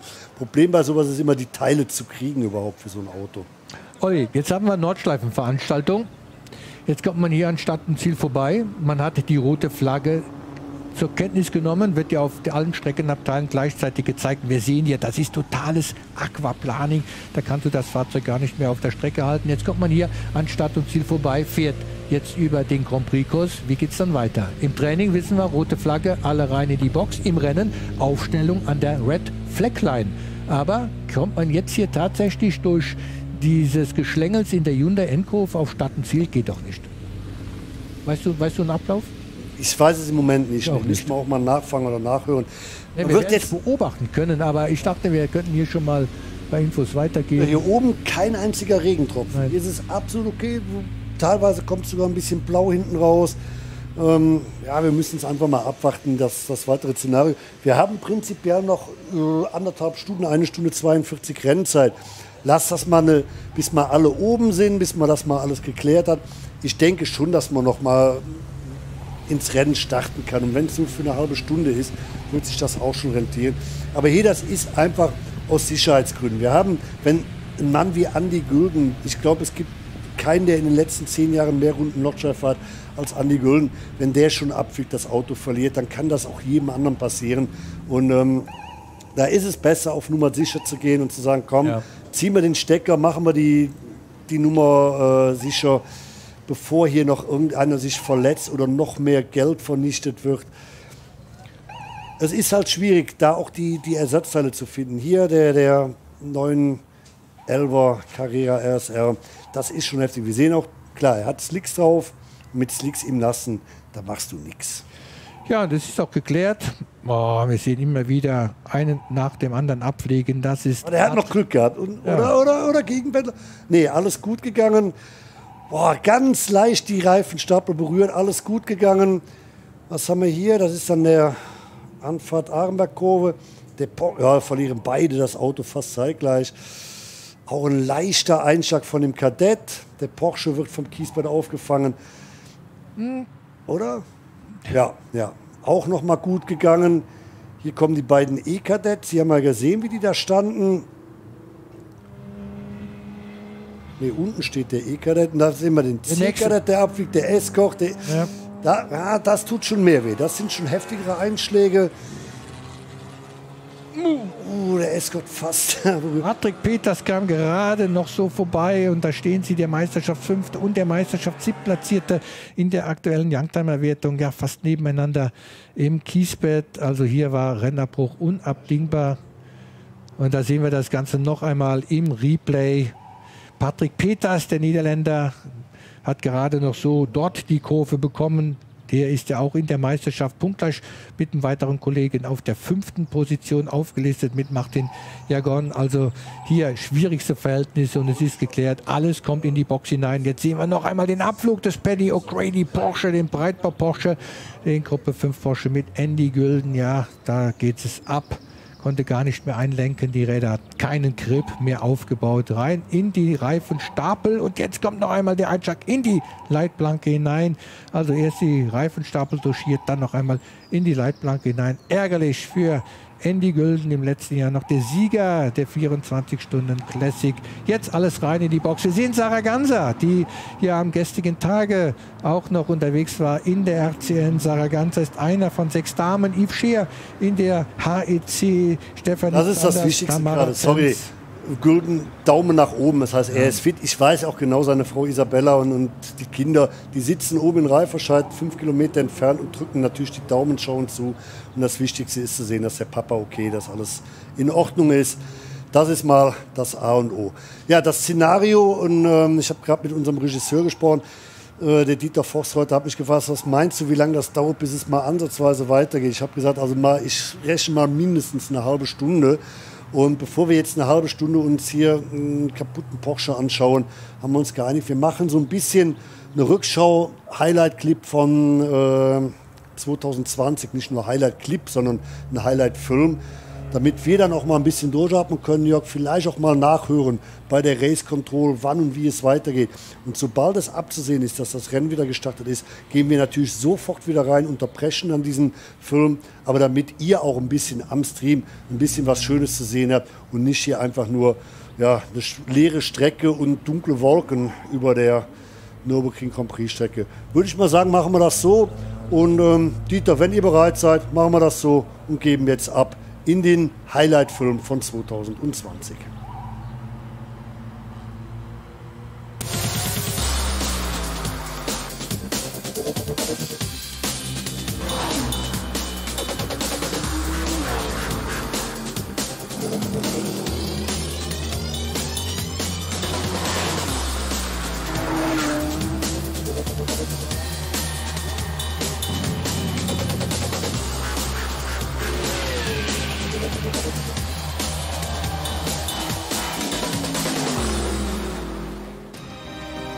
Es ist das größte Autorennen der Welt. Es sind die 24 Stunden auf der legendären Nürburgring-Nordschleife. Jackie Stewart taufte sie einst Grüne Hölle und seit 1970 gibt es dieses legendäre, dieses berühmte, dieses prestigeträchtige Langstreckenrennen auf der vielleicht schwierigsten Rennstrecke der Welt, die im Nassen, wir sehen es hier in der Vorstartphase, natürlich umso schwieriger ist. Das ist ganz klar.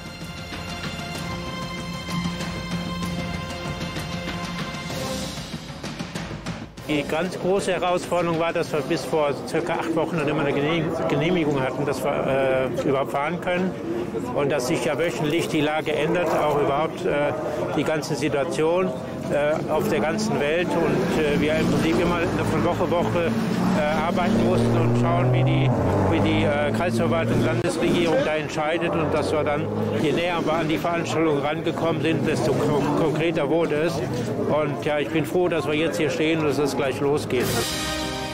Renndirektor Walter Hornung spricht aus, was viele denken, ja, endlich hat's geklappt, die 24 Stunden, sie können doch stattfinden. Ursprünglich geplant im Mai 2020, ausgetragen schließlich im September.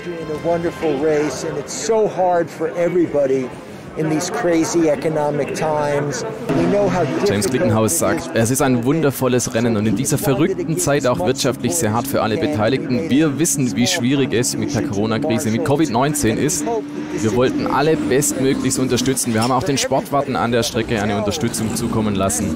Hotels, Restaurants, alle sind hier beteiligt, alle leiden unter der Corona-Krise und deswegen sind wir hier, sagt James Glickenhaus. Wir wollen, dass das alles hier weitergeht. Und weiter geht's in Kürze. Und zwar schon mit den ersten Metern auf der Nürburgring-Nordschleife. Wir sehen hier die finalen Startvorbereitungen. Es ist Nieselregen angesagt, es ist Regen vorhergesagt. Das Rennen, es wird schwierig. Und das ist der Pokal, den später alle in den Händen haben wollen. Uh, Maro Engel hat diesen Pokal, er steht auf der Pole Position und er sagt, es ist eine große Ehre, hier auf der Pole zu stehen. Uh, Unglaubliche Strecke, unglaublicher Ort, immer etwas Besonderes, hier auf der Pole zu sein. Aber 24 Stunden, da beginnt jeder bei Null und das ist richtig schwierig.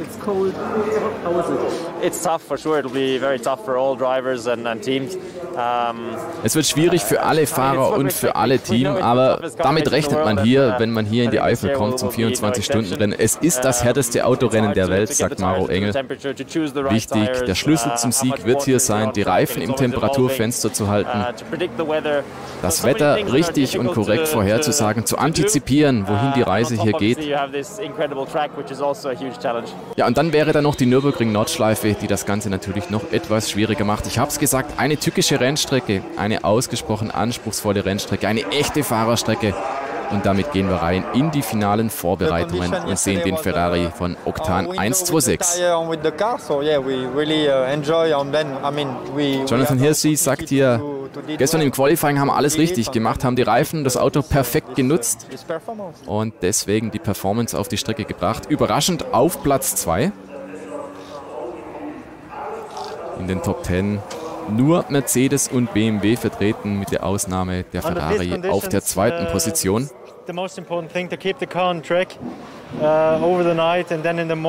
Markus Winkelhock sagt hier, uh, bei so einem Wetter ist es das Wichtigste, das Auto einfach nur in der Nacht auf der Strecke zu halten. Am Sonntag soll es trocken werden.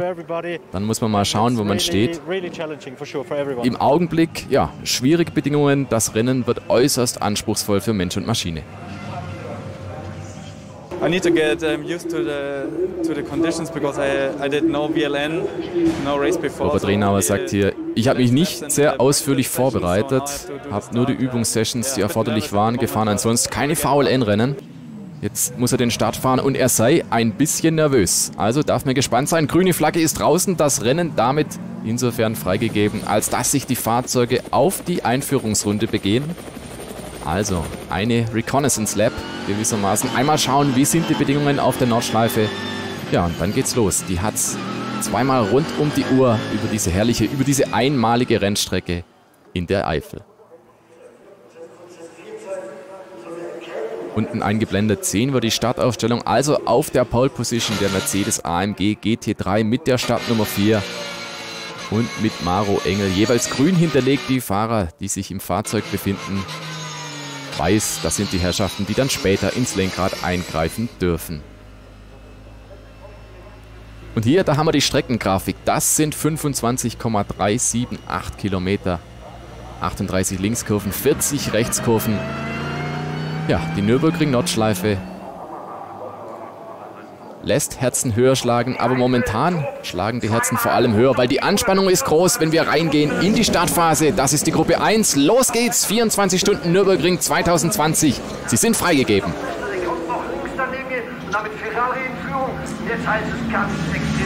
Da haben wir auf den ersten Metern schon die erste kleine Sensation, denn der Ferrari von P2 kommend übernimmt hier die Führung. Hirschi schnappt sich hier noch vor der ersten Kurve die erste Position. Dahinter geht das Feld irgendwie durch dieses Nadelöhr. Scheint erstmal alles gut gegangen zu sein. Der Ferrari also überraschend an der Spitze des Feldes. Der erste kleine Finger zeigt die erste kleine Überraschung in diesem so langen, in diesem so anspruchsvollen Rennen. Wir befinden uns natürlich immer noch auf der Grand Prix-Strecke und da wird schon gekämpft um die Spitzenposition. Es sind natürlich die besten Überholstellen jetzt noch da, das ist ganz klar. Denn sobald es auf die nasse Nordschleife rausgeht, da wird es richtig knifflig. Und da will natürlich jeder möglichst Clean Air haben, möglichst freie Sicht nach vorne. Und die gibt es nur in dieser Startphase, wenn du auf der ersten Position bist. Der Ferrari von Hirschi also massiv unter Druck hier von der Nummer 9. Raffaele Marciello, der will vorbei im gelben Mercedes. Aber noch hat der Ferrari hier die Spitze kontrolliert. Der zweite Mercedes mit der Nummer 4, das ist Maro Engel, das ist der Paulmann. Ganz erfahrener Mann hier auf der Nürburgring-Nordschleife. Auch der wird natürlich nicht locker lassen. Auch der will natürlich vorbei. Aber erstmal muss er sich hier zufrieden geben mit P3. Feld fliegt jetzt an zum ersten Mal auf die Schikane. Da wird es drauf ankommen, den Bremspunkt richtig zu treffen. Und dann wühlt sich das Feld zum ersten Mal rein in die Nordschleifeneinfahrt. Und dann geht es hier richtig rund.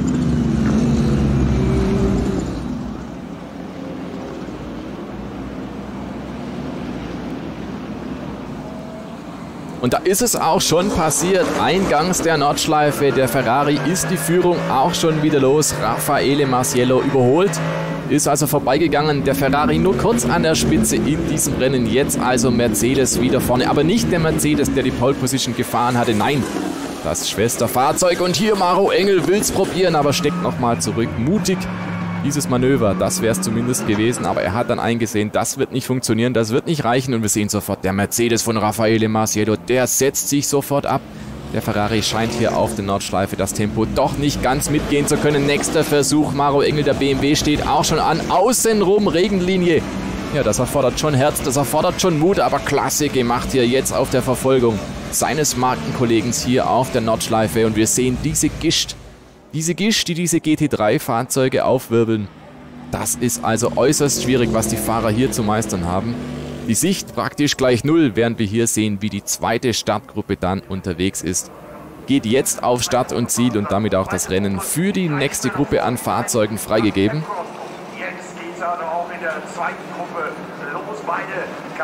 Während also die Spitze sich schon auf der Nordschleife befindet, biegt jetzt hier die zweite Gruppe gerade ein für ihren Start ins Rennen auf den Grand Prix Kurs. Erste Schikane. Da fädelt sich das Feld ebenfalls gut ein. Tückische Bedingungen hier in der ersten Kurve. Manchmal hat man hier stehendes Wasser. Manchmal rutscht es dann doch ein bisschen mehr, als man sich vorher gedacht hat. Aber auch hier alles gut. Jeder ist hier vernünftig, weiß ganz genau. Ein 24-Stunden-Rennen, das wird eben nicht in der ersten Kurve entschieden sondern dann über die Distanz. Vorhin haben wir es ja schon gehört, erstmal durch die Nacht kommen, das ist hier die Priorität. In der Vergangenheit waren die 24-Stunden-Rennen am Nürburgring oft eine Sprintveranstaltung, sofern die Strecke trocken war. Aber hier kommt es jetzt natürlich vor allem auf Ausdauer an und darauf Keep it on the black stuff. Also auf dem Schwarzen halten, auf dem Asphalt halten, unter jeden Umständen auf der Strecke bleiben und durchkommen. Und da sind wir schon bei der Spitze auf der Döttinger Höhe, auf der langen, langen Geraden, die einfach nicht enden will. Wir sehen die ersten beiden, Raffaele Masiello, Maro Engel, haben aus der Nordschleife kommen schon einen gewaltigen Vorsprung auf ihre Verfolger. Setzen sich also sofort ab. Der BMW auf der dritten Position, deutlich distanziert. Ja, und wir sehen das Feld, das zieht sich auseinander schon auf den ersten 25 Kilometern gibt es hier also doch gewaltige Abstände und der Ferrari, der ist auch schon deutlich zurückgefallen.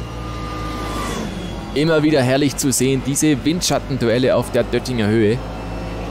Werden Geschwindigkeiten von jenseits von 250 km/h erreicht, auch im Regen.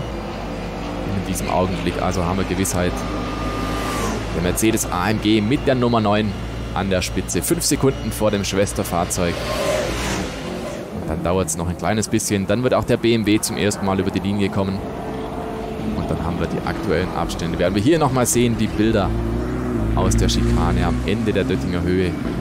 Also innerhalb von 20 Sekunden die Top 3 in diesem Rennen. Aber die Duelle, die Zweikämpfe, die reißen natürlich hier nicht ab. Das ist ganz klar. Jetzt bei diesen Wetterbedingungen, da versucht jeder irgendwie Boden gut zu machen. Da versucht jeder irgendwas zu schaffen. Das ist ganz klar. Denn das Wetter ist schlechter vorhergesagt. In der Nacht soll es weiter regnen.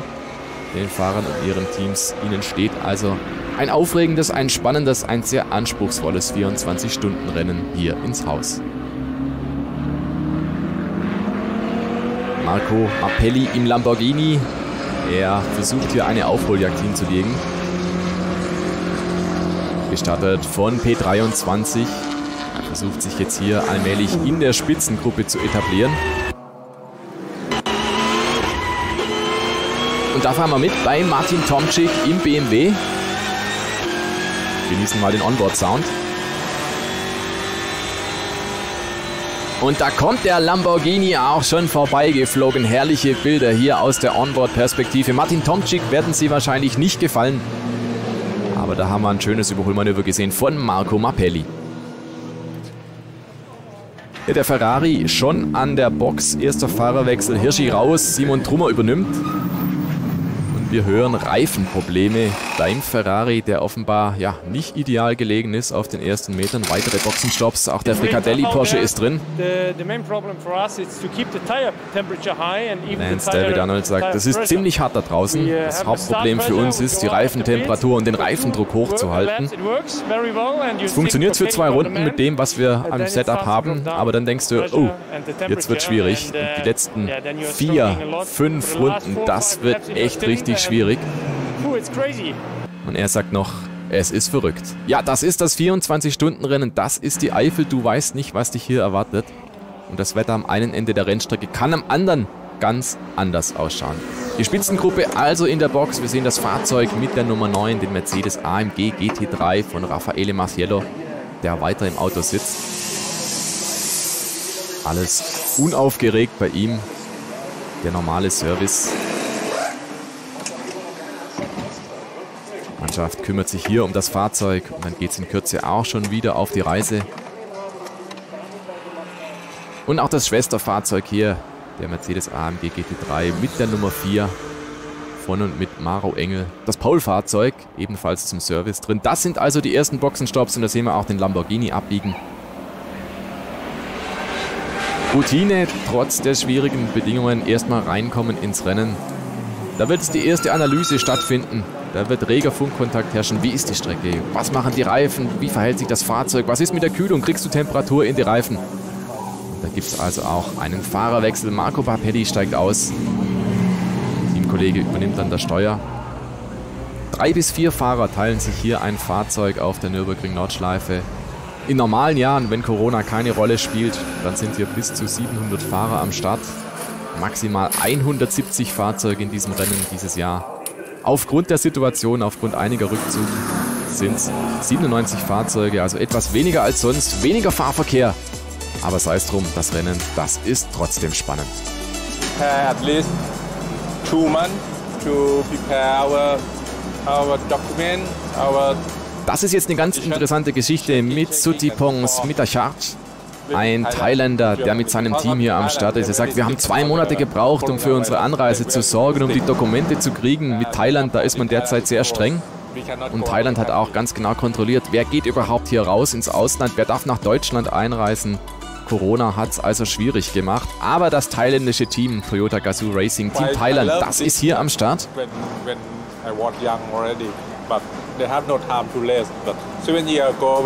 Hab die Nordschleife schon geliebt, seit ich ein kleiner Junge war. 2014, dann waren wir zum ersten Mal hier, war sofort begeistert.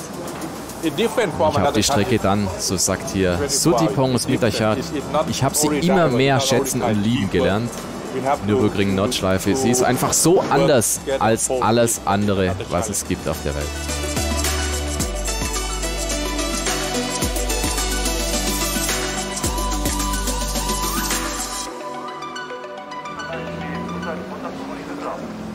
Ja, und damit zurück im Renngeschehen nach diesem kleinen Ausflug ins Starterfeld. Wir sind mit den Kameras auf der 704 von der Scuderia Glickenhaus und da sehen wir den Chef James Glickenhaus, den Visionär, den Boss des Rennstalls, der applaudiert und ist zufrieden mit seiner Mannschaft, während wir hier wieder sind.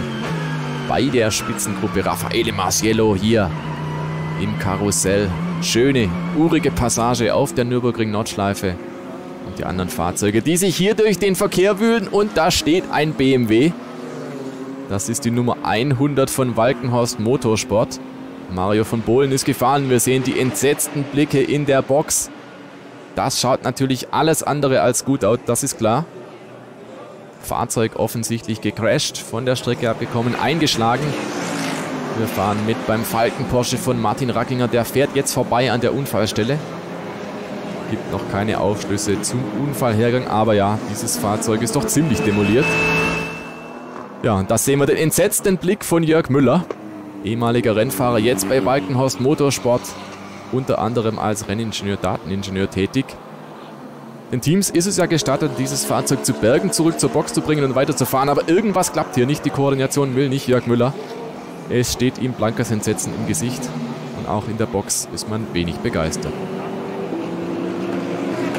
Das ist der Blick von Mirko Bortolotti und ich habe da den Lamborghini stehen ja, wir sehen. noch nichts Genaues, weil die Telemetrie hat alles äh, im grünen Bereich angezeigt und plötzlich hat der Fahrer dann gesagt, äh, I, I losing fuel, I losing fuel. Dann sagt er, I losing oil. Äh, und dann hat er gesagt, er hat weißen Rauch vorne am Kühler. Das hat man dann auch am Fernsehen gesehen. Und äh, wir können also nichts sagen, was passiert ist. Ob da ein Wasserschlauch gegangen ist, äh, was vielleicht möglich sein könnte, und wir kommen da jetzt nicht hin. Die bringen jetzt das Auto hier zurück. Tja, das war's mit der Aufholjagd des Lamborghini Huracan GT3 Evo von Konrad Motorsport. Wir haben Teamchef Konrad gerade im Interview gehabt. Also Feierabend für die Mannschaft. Der Lamborghini muss abgesteppt werden. Vielleicht geht er nochmal ins Rennen. Aber die Chance auf eine Top-Platzierung, die ist natürlich dahin. Splitscreen und die aktuelle Zwischenstände unten eingeblendet und im Laufband. Also Mercedes mit Doppelführung vor Audi, während wir hier mitfliegen. Bei einem BMW und bei einem Porsche einmal über die Nordschleife.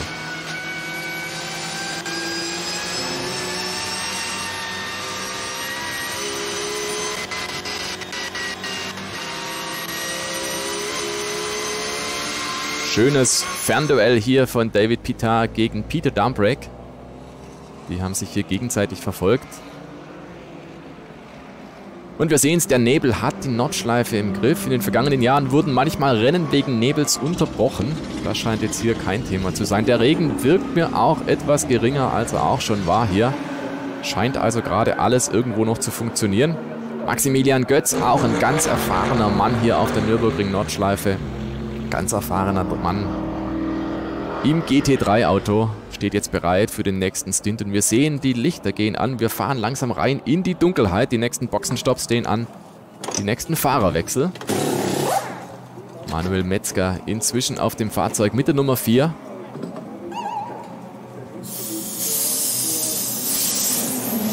Damit also mit dem Boxenstopp des Mercedes mit der Nummer 4. Die 9 zwischenzeitlich in Führung. Die 9, das ist das Fahrzeug hier, auf das Maximilian Götz wartet, aber es kommt noch nicht. Da gibt es ein bisschen Fingergestik. Ist er doch durchgefahren oder was passiert hier? Maximilian Götz. Da haben wir die 9, da haben wir das Fahrzeug. Onboard auf der Grand Prix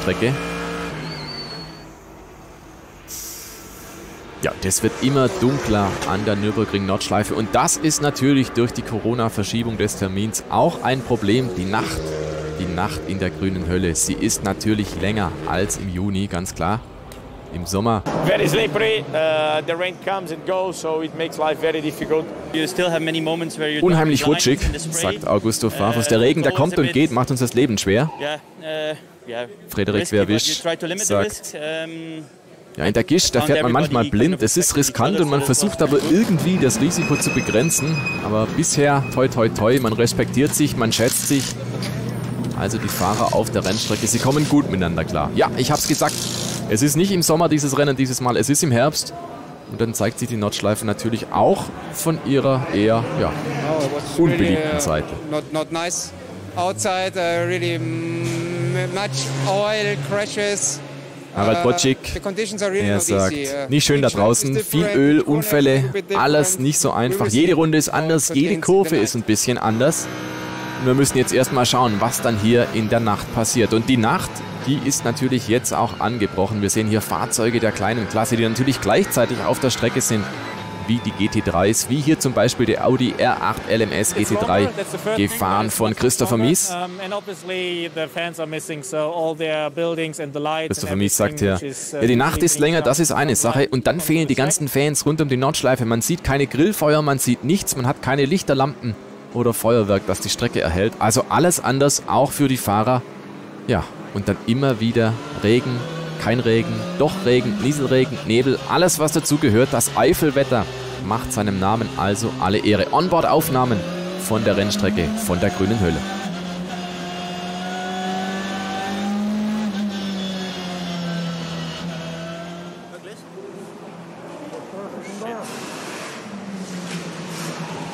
Der nächste bittere Moment in diesem Fall für Lukas Stolz und Maro Engel die Nummer 4 von Manuel Metzger mit Dreher Ausgangsschwalbenschwanz. Einer der Mitfavoriten auf den Sieg. Das ist die Camp, das ist passiert. Crasht hier. Das war's dann erstmal.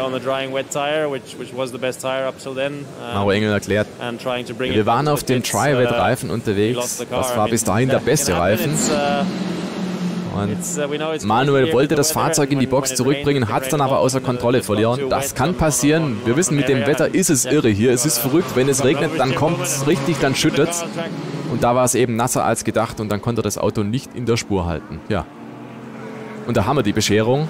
Der Mercedes mit der Nummer 4 doch arg gebeutelt, doch arg beschädigt. Und wir sehen weitere Zwischenfälle. Hier das Fahrzeug mit der Nummer 25, Patrick Kolb, im Porsche rodelt von der Strecke Eingangsturn 1. Das ist wohl bemerkt auf der Grand Prix Strecke rein ins Kiesbett. Also wer selbst hier den Abtrieb verliert, wer selbst hier runterrutscht, das kann nur bedeuten, die Bedingungen sind äußerst schwierig. Ja, kalt ist es am Nürburgring, das ist ganz klar. Die Nacht, sie wird lang und sie wird anstrengend. Ein Kaffee, ein warmer Kaffee oder Tee, der kann da ein bisschen Abhilfe schaffen bei dem Sportwart in der Boxengasse. Wir sehen weitere Szenen aus der Nacht. Onboard von Maximilian Götz und es kommt zur Kollision hier. Und wir sehen, wie das andere Fahrzeug, der Porsche, einfach stiften geht, fliegen geht, rutscht. Da gibt es kein Halten mehr. Und das gilt es natürlich in so einem 24-Stunden-Rennen unbedingt zu vermeiden. Diese Berührungen, diese kleinen Feindkontakte. Weil jeder kleine Feindkontakt, jeder kleine Unfall, der kann schon das Ende bedeuten. Maximilian Götz bringt das Fahrzeug also an die Box. Und ich glaube, Raffaele Masiello macht sich da bereit zum Fahrerwechsel. Da gibt es nochmal ein paar Instruktionen. Ein Fahrer darf maximal drei Stunden am Stück fahren, dann braucht er mindestens zwei Stunden Zwangspause. Erst dann darf es wieder weitergehen. Raffaele Masiello also zurück am Lenkrad. Da sind wir auch schon mit ihm unterwegs und er ist der Nächste, der sich dreht. Das ist der Streckenbereich Kallenhardt und das setzt er den Mercedes in die Leitplanke. Die Sternmarke also bei der Dunkelheit mächtig gebeutelt. Schon zwei Top-Autos damit in Schwierigkeiten geraten. Aber scheint noch okay zu sein für Raffaele Marciello. Und da rutscht er nochmal runter. Ich glaub's nicht. Der zweite Fehler. Zum zweiten Mal er von der Strecke abgekommen. Und dieses Mal ist er eingeschlagen. Dieses Mal hat es definitiv was abgekriegt, das Auto. Fährt aber noch, aber nicht mehr sehr schnell. Also, bittere Momente hier für das Team Gatsby rund um Raffaele Marciello. Ja, und das ist die Enttäuschung im Cockpit. Das ist ganz klar. Der Italiener, der hat es in der Hand gehabt. Buchstäblich. Sein Statement. Also Alle haben sich gedreht. In der Kurve, in der ich mich gedreht habe, da hat sich auch Dries Fanto gedreht. Irgendjede, irgendwann ist jeder in die Leitplanke gerutscht. Das war eigentlich noch okay, aber dann später, als ich den Crash hatte, keine Ahnung, was da genau passiert ist. Vielleicht war es ein ABS-Fehler. Otto hat auf jeden Fall direkt gerade ausgelenkt. Wir müssen erst noch schauen, was da genau los war. Tut mir natürlich leid für mein Team und meine Teamkollegen. Es ist natürlich bitter, aber es ist jetzt so. Onboard bei Christopher Hase, dem aktuellen Zweiten im Audi R8 LMS. Und wir sehen die Sicht, sie ist sehr, sehr schlecht. Die Gischt des Vordermanns, der glatte Asphalt, die Randsteine. Und da dreht er sich. Ausgangs der Kurve.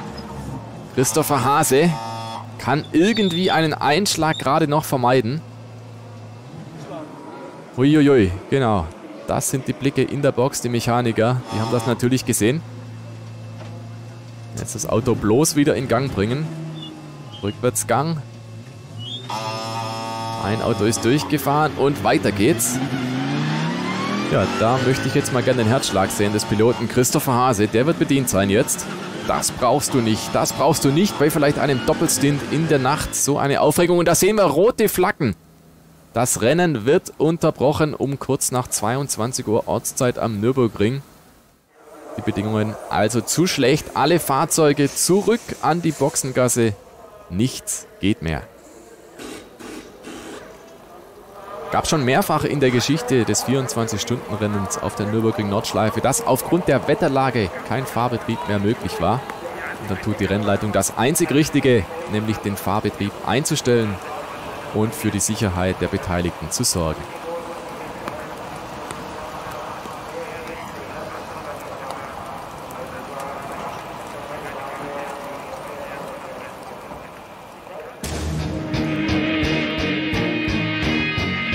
Der Nürburgring, er hat über die Jahrzehnte viele unterschiedliche Wetterlagen gesehen. Das Schlimmste, was man sich nur vorstellen kann.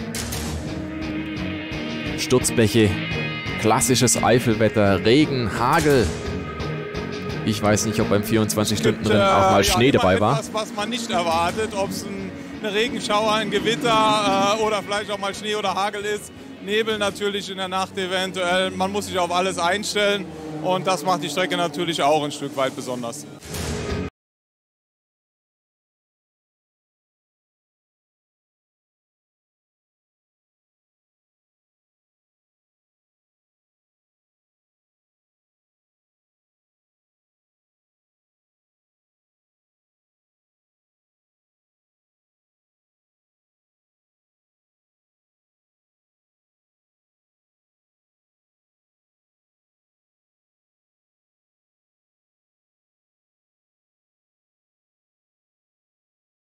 Regen, dass äh, selbst die Heavy äh, Wets, die wir hatten, ähm, zu Aquaplaning geführt haben.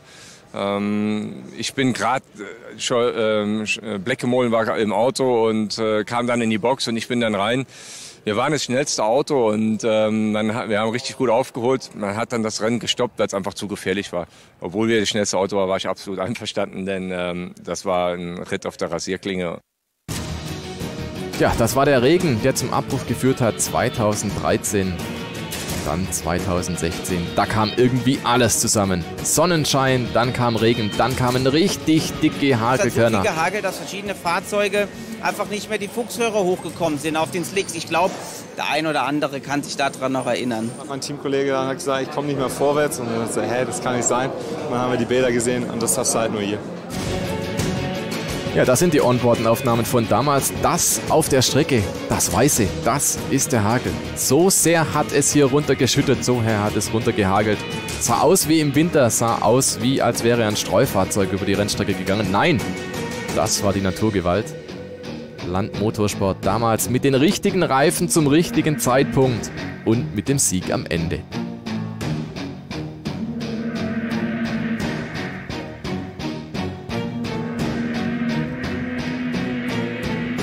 Ja, und immer und immer wieder die Nürburgring-Nordschleife. Es ist einfach kein gewöhnliches Terrain.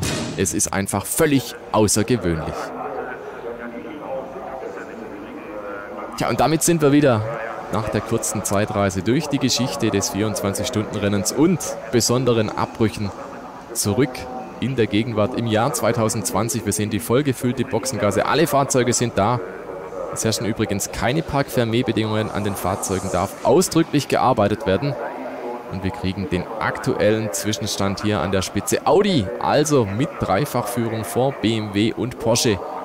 Mercedes, was am Anfang so deutlich vorne war, nur noch gerade so in den Top 10 auf Position 8.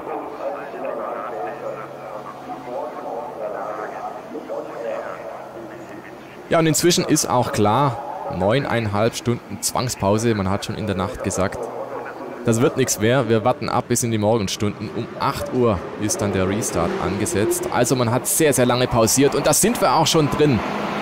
Beim Neustart. Rennen wieder freigegeben. Die 24 Stunden am Nürburgring. Sie laufen wieder.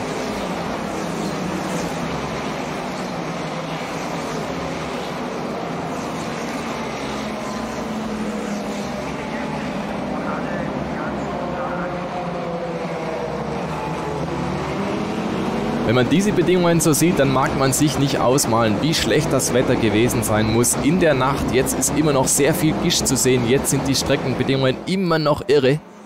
Aber in der Nacht, da war es noch viel schlimmer. Also nur die richtige Entscheidung hier, die zweite Startgruppe, dieses Rennen zu unterbrechen und dann mit Verzögerung neu zu starten. Die Distanz, die neuneinhalb Stunden, die nicht gefahren wurden, die werden natürlich nicht hinten dran gehängt. Diese Zeit ist einfach nicht gefahren. Das Rennen endet trotzdem nach 24 Stunden ganz normal.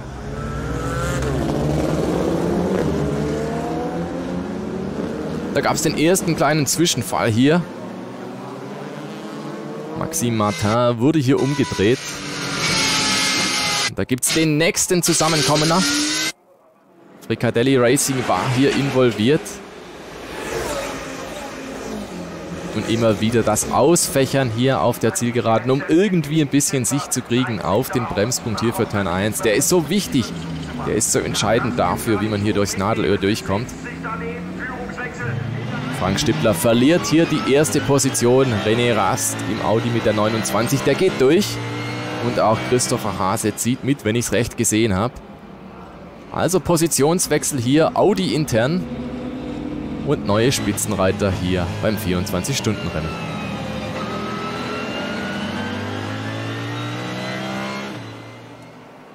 Immer, immer wieder sehen wir Überholmanöver auf der Grand Prix-Strecke und das ist auch kein Wunder, das ist noch ein bisschen kontrollierbar für die Fahrer. Viele davon natürlich auch bei einschlägigen GT- und Sportwagen-Serien unterwegs hier auf dem normalen Nürburgring, auf dem normalen Grand Prix-Kurs. Den kennt man aus dem FF, die Nordschleife natürlich auch, aber da sind ein paar Unwägbarkeiten drin, da sind ein paar Faktoren drin, die kannst nicht einschätzen. Da gibt es auch nicht viel Platz, da gibt es nicht viel Auslauf. Deswegen, wenn du dein Überholmanöver auf dem Grand Prix-Kurs machen kannst, umso besser. René Rast kommt an die Box. Ja, das ist eine Strafe für die Fahrer in der Startnummer 29 wegen der Missachtung von Flaggensignalen. René Rast also hier zur Stop-and-Go-Strafe gebeten. 32 Sekunden lang. Das ist natürlich schon herb, das kann dich auch aus dem Wettbewerb werfen. Sollte man also ebenfalls tunlichst vermeiden. Und diese 32 Sekunden hier, die sind natürlich extrem bitter, weil in der Zeit fährt die Konkurrenz, macht die Konkurrenz Meter und du musst hilflos zuschauen. Kannst natürlich auch nichts erledigen am Fahrzeug. Fahrzeug drin sitzt, ist ja seit dem Jahr 2015 AMG-Fahrer Frankhausen von Mercedes. Und da ist René Rast wieder unterwegs mit seinem Fahrzeug. Wie gesagt, eine halbe Minute hat er verloren. Das ist schon ziemlich viel. Das ist eine Welt hier auf der Nürburgring Nordschleife. Vor allem dann, wenn man sich Chancen auf den Gesamtsieg ausrechnet. Währenddessen sehen wir hier Christopher Mies wird überholt vom BMW mit der Startnummer 99. Der BMW auf dem Vormarsch hier schön reingebremst. In der Schikane klasse Manöver, sauber ausgeführt, wie aus dem Lehrbuch. Das auf nasser Strecke. BMW also kommt in Fahrt. Das scheinen jetzt Bedingungen zu sein, die dem BMW hier taugen auf jeden Fall Christopher Mies hier um eine Position erleichtert. Und meine Güte, da sehen wir Szenen hier von der Nordschleife. Wenn die großen Fahrzeuge an den kleinen vorbeibrettern. Hier aus der Sicht von Martin Tomczyk, der hinter Mirko Bortolotti herfährt. Und Mirko Bortolotti vor sich hertreibt. Das ist schon beinharter Motorsport und das Risiko wurde vorhin mehrfach angesprochen von den Fahrern. Das fährt hier auf jedem Meter mit. Hier sehen wir den BMW, den Schnitzer BMW von außen. Ja, ebenfalls eine Strafe und zwar wegen Unterschreitung der Mindeststandzeit beim Boxenstopp. Also es gibt eine Zeit, die ist genau vorgegeben, die muss man einhalten. Die wurde nicht eingehalten, Strafe und hier ist ein fetter Unfall. Die 304 und die 90. Die sind hier definitiv verunfallt. Fahrzeuge sind natürlich angehalten, hier langsam zu machen und in der Unfallstelle wirklich vorsichtig zu sein. haben wir die 304, steht hier in der Leitplanke und qualmt. Was ist hier passiert? Wir kriegen Videobilder. Missverständnis. So schaut es für mich aus. Missverständnis zwischen der 304 und der 90. Da war man sich uneins, wo wird überrundet, wo wird überholt und das ist dann das Ergebnis. Ja, so schnell kann es gehen auf der Nürburgring Nordschleife. Was sehen wir hier? Ein Fahrzeug rollt aus. Michele Beretta im Pflanzgarten offensichtlich liegen geblieben. Ja, und das ist der Blick auf das Regenradar und alles, was blau ist, heißt Regen. Neuer Regen also angekündigt hier für die Nürburgring Nordschleife und wir sehen, was da passiert. Eieiei, Abflüge nacheinander hier. Rocco Di Torre Padula und Christopher Hase sind hier umgedreht. Christopher Hase, da haben wir ihn im Bild. Kommt hier ein bisschen zu weit raus, kommt hier über die Randsteine, kommt dann in den Kies, kann sich noch irgendwie zurück auf den Asphalt retten. Also das geht gerade noch mal gut für Christopher Hase. Aber eine Schrecksekunde, das war's mindestens. So, und jetzt ist natürlich die Frage, wir haben gerade gesehen, so eine bisschen trockene Spur, die gibt es allmählich auf dem Asphalt. Ist die da? Bleibt die da? Wie schaut es auf anderen Streckenteilen aus? Welche Reifen nehme ich jetzt wann mit? Frank Stippler fährt hier an die Box. Steigt auch aus. Fantor steht schon bereit, um das Fahrzeug zu übernehmen. Wir schauen mal auf die Reifen. Slicks, die waren drauf. Was wird wieder draufgeschnallt? Müssen wir noch warten, bis die Reifen gebracht werden. Auto wird natürlich gearbeitet. Hier bei BMW, da scheint man sich doch für profilierte Reifen zu entscheiden jetzt offensichtlich der Regen wieder stärker geworden. Es ist jetzt auch ein Reifenpoker. Bist du einmal mit den falschen Reifen draußen, hast du vielleicht deine Siegchance verspielt. Also jetzt kommt es darauf an, das Wetter zu lesen, zu antizipieren. Was passiert hier auf der Nürburgring Nordschleife? Wie geht das jetzt weiter? Kann man den Prognosen vertrauen oder nicht? Und auch in der Boxengasse geht es mitunter ganz schön eng zu.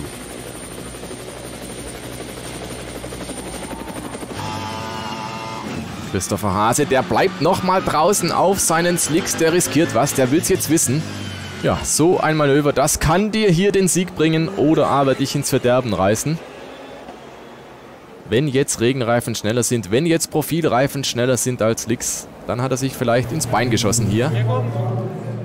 Da wird diskutiert an der Box. Markus Winkelhock und Mirko Bortolotti, die beraten sich jetzt natürlich, war das jetzt richtig, war das korrekt, was machen wir jetzt? Und Christopher Hase, nur eine Runde später bringt er seinen Audi an die Box. Also Satz mit X, sehr wahrscheinlich der Regen doch zu stark für Trockenreifen, für profillose Slicks. Jetzt also der Regenreifen, der wird jetzt draufkommen. Vielleicht eine Runde zu spät für die Audi-Mannschaft. Markus Winkelhock immer noch im Gespräch. Da wird wahrscheinlich die Strategie nochmal diskutiert, wird überlegt, was kann man machen, was kann man jetzt noch retten. Und da ist das Fahrzeug auch schon vor der Box. Ja, und das sind die Regenreifen. Jetzt sind sie parat, jetzt wird es Zeit und jetzt wird entsprechend umgebaut.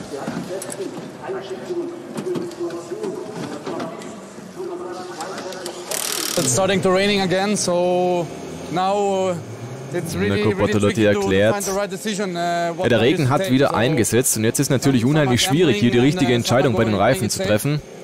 Einige pokern, andere gehen auf Nummer sicher.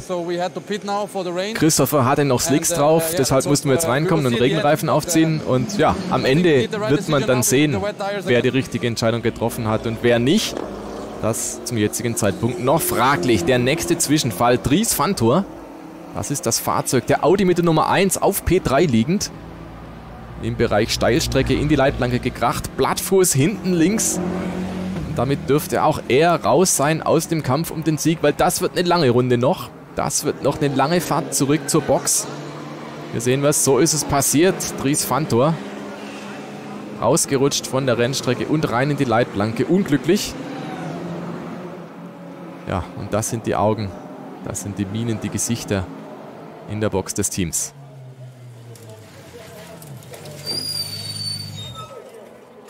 Da ist nicht nur der Reifenplatz, sondern auch die Schürze hinten links. Wir sehen es, einige Aeroteile, die werden jetzt abgerupft. Jetzt muss man natürlich erstmal schauen, was hat die Felge abgekriegt? Ist die Aufhängung noch in Ordnung? Was kann man an diesem Fahrzeug noch retten? Ja, und was ist dann noch für ein Ergebnis drin nach diesem Zwischenfall? DTM-Fahrer Nico Müller erklärt hier, man kann ihm eigentlich keine Schuld geben. Er hat halt Druck gemacht und so viel Druck wie möglich. Und bei solchen Bedingungen, da kann es halt schnell gehen. Und man ist dann mal über dem Limit. War nur ein kleiner Einschlag, aber dann gab es einen Reifenschaden. Und der reicht halt mitunter dann aus, um aus dem Kampf um den Sieg auszuscheiden. Tja, und davon profitiert auch die Nummer 99. Der BMW von Robi Racing hat sich über Nacht in den Morgenstunden in die Spitzengruppe vorgefahren und wird jetzt schon hier in den Top 3 notiert.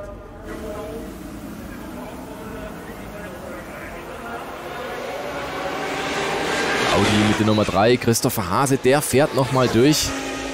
Wenn wir hier sehen, die BMW-Mannschaft von Rowe Reising, die absolviert ihren letzten planmäßigen Stopp bei noch 27 und ein paar Sekunden zu fahren auf der Nürburgring Nordschleife. Wir sind also in der Endphase in diesem Rennen. Jetzt kommen die sogenannten Money Stops. Jetzt muss alles passen. Jetzt bloß keinen Fehler mehr machen. Jetzt die richtigen Reifen nehmen. Jetzt alles richtig festzurren. Dem Fahrer das ideale Gefühl vermitteln. Und dann geht's raus. Nochmal auf die Nordschleife. Nochmal ein paar Kilometer durch die grüne Hülle. Und dann ist es getan. Dann ist es entschieden. Das 24-Stunden-Rennen 2020. Das ungewöhnliche, in vielerlei Hinsicht ungewöhnliche 24-Stunden-Rennen in diesem Jahr.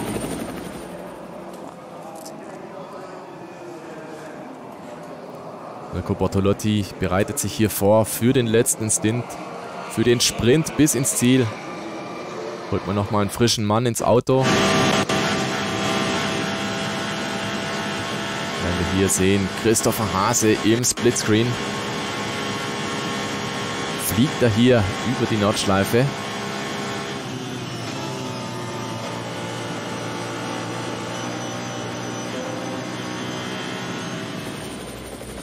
Und da verliert er richtig Zeit. Das ist eine Code 60 Zone. Da darf er nicht schneller fahren als 60 km/h. Und wir sehen es, das ist Schleichfahrt. Es sind Bergungsfahrzeuge links im Bild.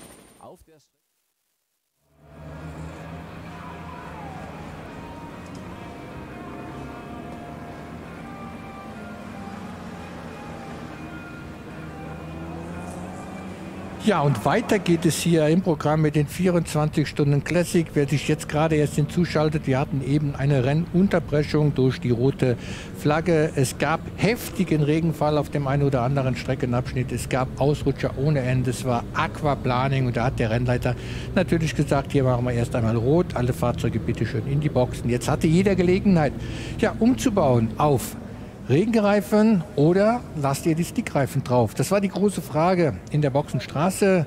Ich war eben mal kurz unten gewesen, bin durch so halbe bis dreiviertel Feld durchgegangen, habe gesehen, es gibt tatsächlich Fahrer, die sind auf Regen, wie auch dann andere auf Slickbereifung unterwegs. Natürlich nicht die Fahrer, sondern die Fahrzeuge. Und Olli, wir haben aber auch gerade mal die Mitteilung bekommen und es auf dem einen oder anderen Bild gesehen in Kesselchen regnet es ohne Ende. Ja, hier oben, ihr seht es auf dem Bild, knochentrockene Strecke, Sonne scheint, Anfahrt der Gutjahr-Kehre und dann die Meldung Heavy Rain Breitscheid, Heavy Rain Kesselchen. Mein Bruder Rudi hat mir gerade geschrieben, in Adenau schüttet es wie aus Eimern. Das heißt, auch der Bereich so äh, Kallenhardt, Wehrseife runter wird das genauso aussehen. Ähm, wenn ich mal blicke, so die Kameras Wippermann trocken, da sieht es gut aus, alles okay. Schwedenkreuz, es kommt die Sonne raus, die Strecke ist aber noch patschenass. Also da ist, das wird, wird, nicht, wird nicht einfach werden was man da entscheiden muss, welche Reifen man drauf macht, wie man, wie man da jetzt vorgeht. Ja, vorhin gab es auch hier oben immer Diskussionen in der Boxenstraße. Was ist mit meinem absolvierten Boxenstopp, den Pflichtboxenstopp, den ich ja vielleicht in der, Rote, in der Runde gemacht habe, wo Rotabbruch war? Denn es das heißt natürlich auch im Reglement Startaufstellung, die wird vollzogen nach dem Ergebnis eine Runde vor. Rennabbruch. Und so werden wir uns auch hier dann in Kürze ins Rennen hineinbegeben. Auf unserem Zeitenmonitor steht ganz oben noch die Startnummer 502. Das ist der Porsche von Griesemann. Griesemann, aber das haben wir auch dann mitbekommen, dass dieser Porsche sich leider, leider hier verabschiedet hat. Und ähm, so werden wir dann in Kürze das Feld sehen. Ja, in diesem Moment, wenn man hier durch die Vidol-Schikane hindurchkommt, vorne die Farbe weiß, das dürfte dann der Porsche des Leaders von Michel Küke sein. Natürlich kommen jetzt Fragen rein, wie ist das Szenario, wie lange wird gefahren, wie wird gewertet etc. Wir wissen es ehrlich gesagt selber im Moment noch nicht. Ähm, ich denke schon, die Zeit ist ja angesetzt, bis 13.05 Uhr war das Rennen angesetzt. Schau dir mal die dunklen Wolken an. Dunkle Wolken, boah, da kriegst du ja Angst, wenn du das Bild ja. da siehst. Ähm, ja, Angesetzt ist das Rennen ja grundsätzlich gewesen bis 13.05 Uhr. Wir haben auch im Zeitplan da nicht allzu viel Spielraum. Wir haben die WTCR direkt danach mit ihrem nächsten Training, mit dem äh, Qualifying.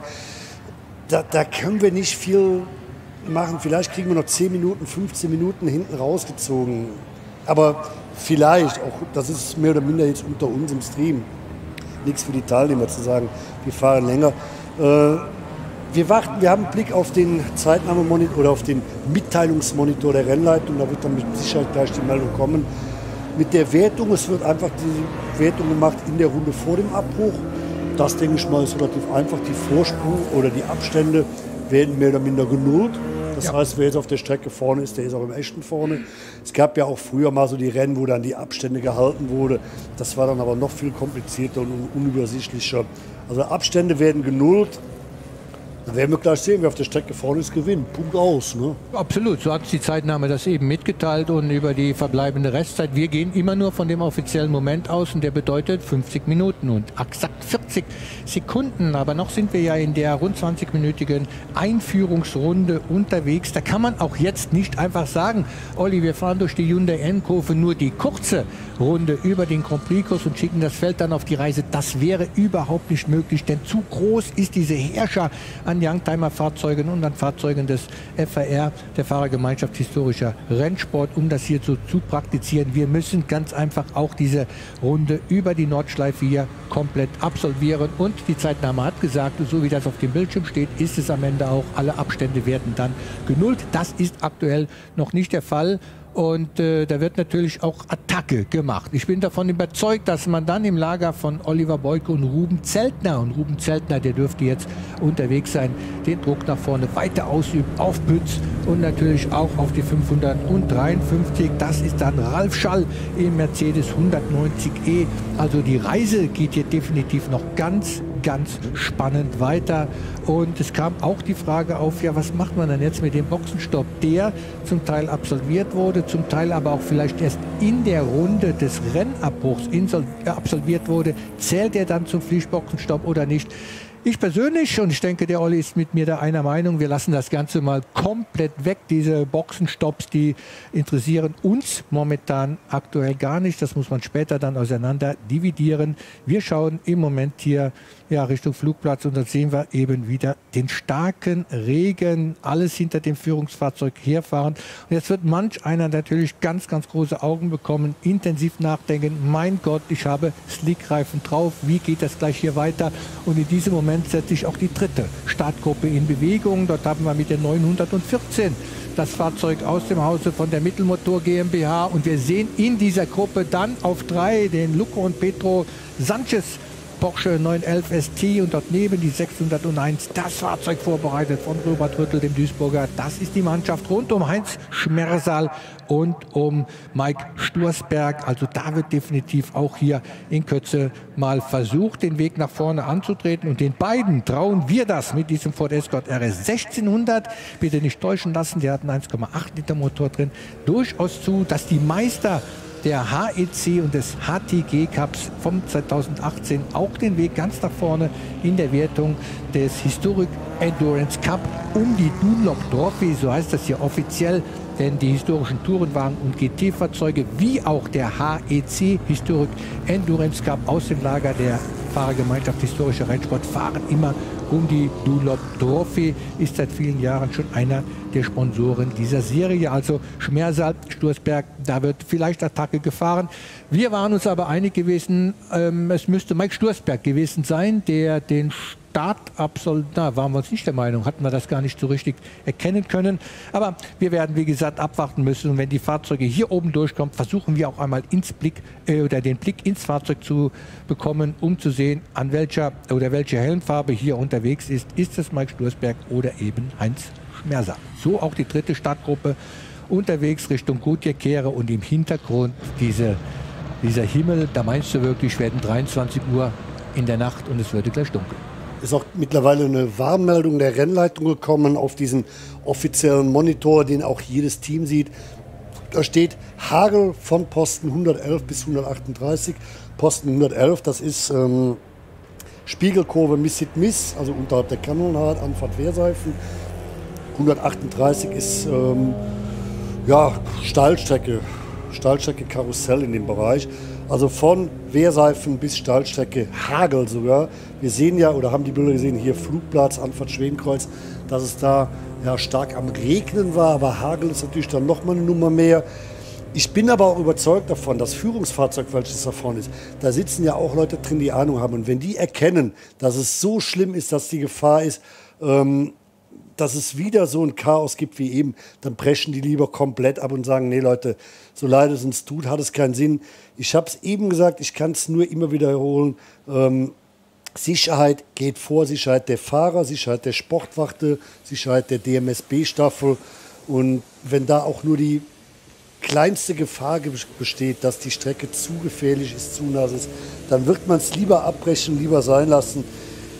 Ähm, so ärgerlich es für alle natürlich auch ist, brauchen wir nicht drüber reden. Es geht um die Gefahr gegen äh, der, der Fahrer und äh, wir möchten die Fahrer hier alle sicher über die Distanz bringen und da wird die Rennleitung und alle Fachkräfte hier natürlich alles Menschenmögliche tun, um hier nicht unnütz die Fahrer in Gefahr zu bringen. Rennsport, keine Frage, gefährlich genug, aber hier muss nicht unbedingt noch irgendwo etwas herbeigeführt werden, was wir alle nicht möchten. Und es geht natürlich auch um die Fahrzeuge. Wir sehen gerade hier den rapsgelben VW Polo von Schemann. Wir sehen dort hinter den 2002er BMW. Wir sehen den Renault. Das sind alles Schätzchen. Das sind Fahrzeuge mit einem ideellen, unschätzbaren Wert für die Teilnehmer. Da geht es nicht nur darum, dass ein Fahrzeug vielleicht, wenn man so ein Lotus Elan sonst auf der Rundstrecke sehen, 120.000 Euro noch kostet. Nein, da geht es auch darum, für den Fahrer oder die Fahrerin hat das Fahrzeug einen viel, viel höheren ideellen Wert kriegst ja teilweise keine Ersatzteile mehr für die Autos. Es gibt so, ich kenne mich im BMW-Umfeld halt relativ gut aus. Da gibt es so zwei, drei Händler, die im Prinzip überall alte Ersatzteile aufkaufen. Wir hatten da auch, als mein Vater den Betrieb verkauft hat, da auch zwei, drei Firmen gehabt. Die haben uns alles aufgekauft, das komplette Ersatzteillager. Und dann natürlich, weil die wissen, die haben mittlerweile so eine Klientel, so eine Connection und auch viel vor Ort, die können das natürlich dann zu Preisen verkaufen, die deutlich höher sind, als, als damals die Originalpreise waren. Äh, ist aber auch deren gutes Recht, um Gottes Willen. Das ist ein Business, Angebot und Nachfrage.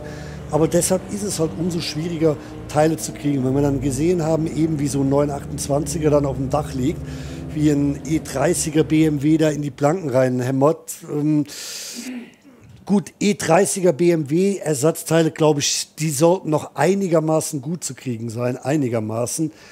Aber bei manchen Sachen, da bist du schon hart am Kämpfen. Ich weiß zum Beispiel beim 02er BMW, da musst du wirklich dann schon diese Firmen da, Wallert und Neschen, wie sie heißen, anrufen. Und das sind Apothekenpreise, muss man ganz klar sagen.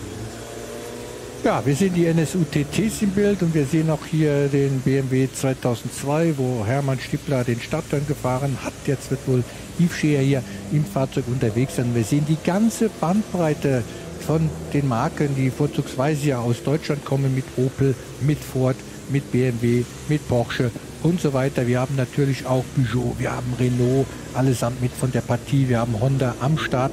Also hier haben wir wirklich die ganze Automobil- Markenvielfalt im Rennen der Youngtimer Trophy und der FAR. Viele Fahrzeuge aus Großbritannien, die dort gebaut worden sind, die dort vielleicht auch schon im Renneinsatz unterwegs waren, wurden dann hier nach Deutschland rübergeholt, werden hier im Historic Endurance Cup eingesetzt. Und es sind schon besondere Fahrzeuge, die immer wieder mit viel, viel Liebe zum Detail vorbereitet werden. Und wir müssen uns auch eins vor Augen führen. Das sind Fahrzeuge, wir haben eben mal vom Austin gesprochen, vom Austin Hilly 3000, der 650, 651.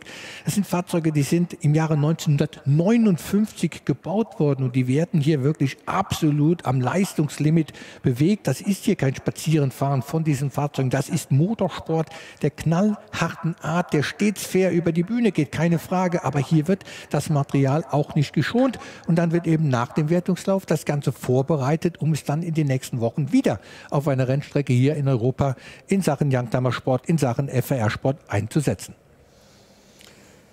Ja, die dunklen Wolken hängen immer noch über der Nürburg. Oh, guck mal da Richtung Müllenbach.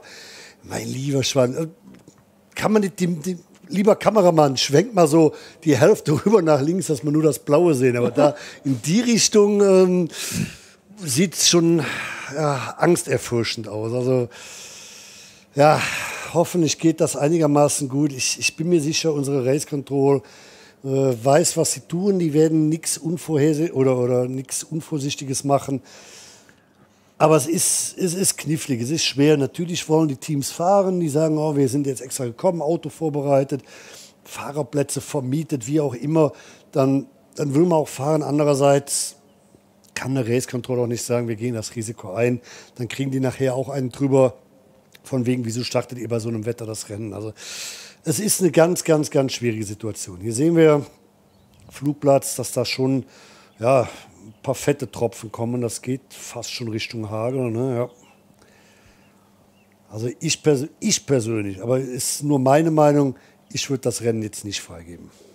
Ja, 41 Minuten stehen aktuell noch auf der Uhr. Und mit Sicherheit wird jetzt hier der Funkverkehr in Anspruch genommen zwischen den Führungsfahrzeugen der einzelnen Startgruppen und von Race Control. Dort haben wir ja auch unseren Alfred Schmitz, den Race-Direktor der FAR-Serien. Ein ganz, ganz erfahrener Mann, der ja auch der stellvertretende Rennleiter oder einer der stellvertretenden Rennleiter neben Walter Hornung beim Total 24-Stunden-Rennen ist. Da ist Erfahrung ohne Ende und der wird mit Sicherheit hier genau abwägen können, was hier noch den Teilnehmern zumutbar oder nicht zumutbar ist. Wir müssen hier oben einfach in der Sprecherkabine abwarten, ob wir noch irgendwelche Anzeigen auf unseren Monitor bekommen. Im Moment, wie gesagt, gab es die Meldung Hagel. Jetzt sehen wir andere Streckenabschnitte. Wir dürften hier im Bereich...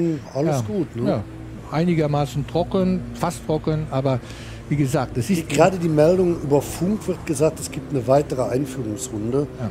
Also ich denke mal, dass das von der DMSB-Staffel und vorher kommt. Ähm, ja, ist, ist sinnvoll, muss man, muss man ehrlich sagen. Dann, dann, die Fahrer haben natürlich auch einen Blick dafür, die sehen, was los ist.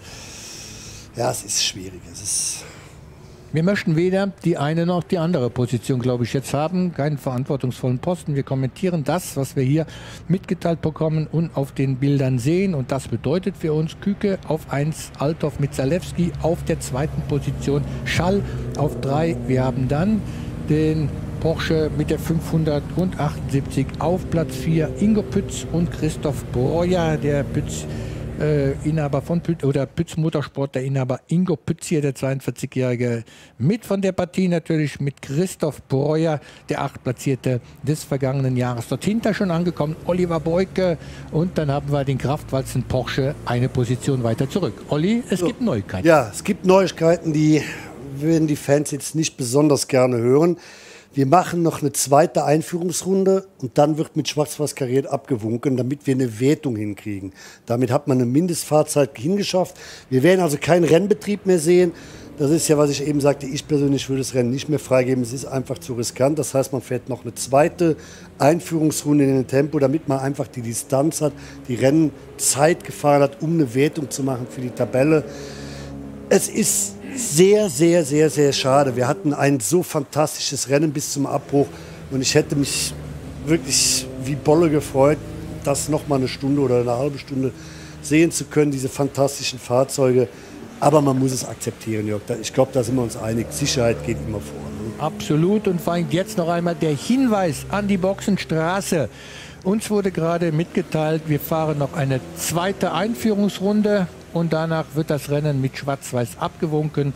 Die Gründe hat Olli Martini oder den Grund hat er eben schon einmal erklärt, denn es geht darum, dass wir auch auf Fahrzeiten kommen müssen, um eine volle Meisterschaftspunktvergabe überhaupt über die Bühne zu bringen. Es gibt äh, 75 Prozent Regelungen, um in Wertung zu kommen und so weiter. Und ähm, ja, jetzt werden wir das Ganze hier leider dann so zu Ende bringen. Und wir dürfen noch einmal die Fahrzeuge hier auf ihren Einführungsrunden begleiten. Wir sehen die Sportwachte. Ja, und das ist das Thema, was wir heute auch schon einmal hatten. Scheint die Sonne, kriegen den Sonnenbrand, regnet es ohne Ende, sind die Pitsche Patsche nass. Also das sind wirklich diejenigen, deren Dank von uns aus gar nicht groß genug ausgesprochen werden kann. Die sind immer für uns, für die Fahrer bereit. Hier sehen wir noch einmal das Feld dieser wunder, wunderschönen Fahrzeuge. Im letzten Jahr hatten wir auch ein Regenchaos, aber da ging das Ganze noch sehr klimpflich über die Bühne. Dort hatte man dann immer noch die Möglichkeit, die Fahrzeuge auch irgendwo auf der Straße zu halten. Aber wir hatten heute ja Aquaplaning, ähnliche Verhältnisse. Da gab es viele Ausrutscher und man möchte nicht Gefahr laufen, dass hier noch irgendetwas passiert. So sehen wir noch einmal die schönen Fahrzeuge aus dem Hause von Opel. Hatten ja einige hier mit von der Partie. Von einem, Olli, das können wir auch kurz ansprechen. Da hast du nähere Info. Michael Nolte, das Fahrzeug mit der 1 der Meister der letzten beiden Jahre. Da gab es von dir eben eine Äußerung, dass du ja, was mitgeteilt bekommen hast. Ja, der, der, Frank Tönnissen hat mir da was geschrieben. Auto steht im Klostertal. Ich finde aber die Meldung nicht mehr. Ich habe die aus Versehen, glaube ich, gelöscht. Äh, sorry dafür. Aber ich meine, er hatte geschrieben Antriebswelle. Frank, falls du mir zuhörst, schick mir bitte noch mal kurz die Meldung. Ich, irgendwie aus Versehen habe ich es gelöscht oder, oder finde es nicht mehr. Das heißt, auf jeden Fall, da war schon relativ früh das Ende des Autos stand da im Bereich Klostertalkow. Wir sehen das hier nochmal jetzt, das Bild noch unscharf wird jetzt fokussiert, wird dann scharf gezogen, dass die Fahrzeuge da im Bereich Döttinger Höhe unterwegs sind und dann, ja, wie gesagt, nochmal so eine zweite langsame Einführungsrunde machen oder eine Safety-Car-Runde, wie auch immer man das nennt. Und dann leider keinen Rennbetrieb mehr machen. Wir sehen nochmal so in die, in die Platzierung, wie es da ist. Das ist ja praktisch die, der Renneinlauf ähm, Krisemann Porsche stand noch auf 1, ist aber weg, hat man gesehen, Unfall Hohenrheinschikane. Dadurch Küke vorne, dann wird Küke auch der Sieger sein. Guck mal, da herrlich blauer Himmel. Ne? Ach, die Eifel. Ich liebe meine Heimat, aber ähm, der Wettergott hier oben ist aber ein, ein, Idiot, echt. Entschuldigung, dass ich das so sage. Also Küke vorne mit der 503, dann die 501 Eddie Althoff, Ralf Schall, der dritte, Christoph Breuer, der vierte. Es gibt Start jetzt, keine weitere Einführungsrunde. Wurde ganz neu auf. Jetzt wird, wir, kannst du, wir starten jetzt. Okay, ja. Ja, okay, sorry. Ist alles gut. Ist alles gut.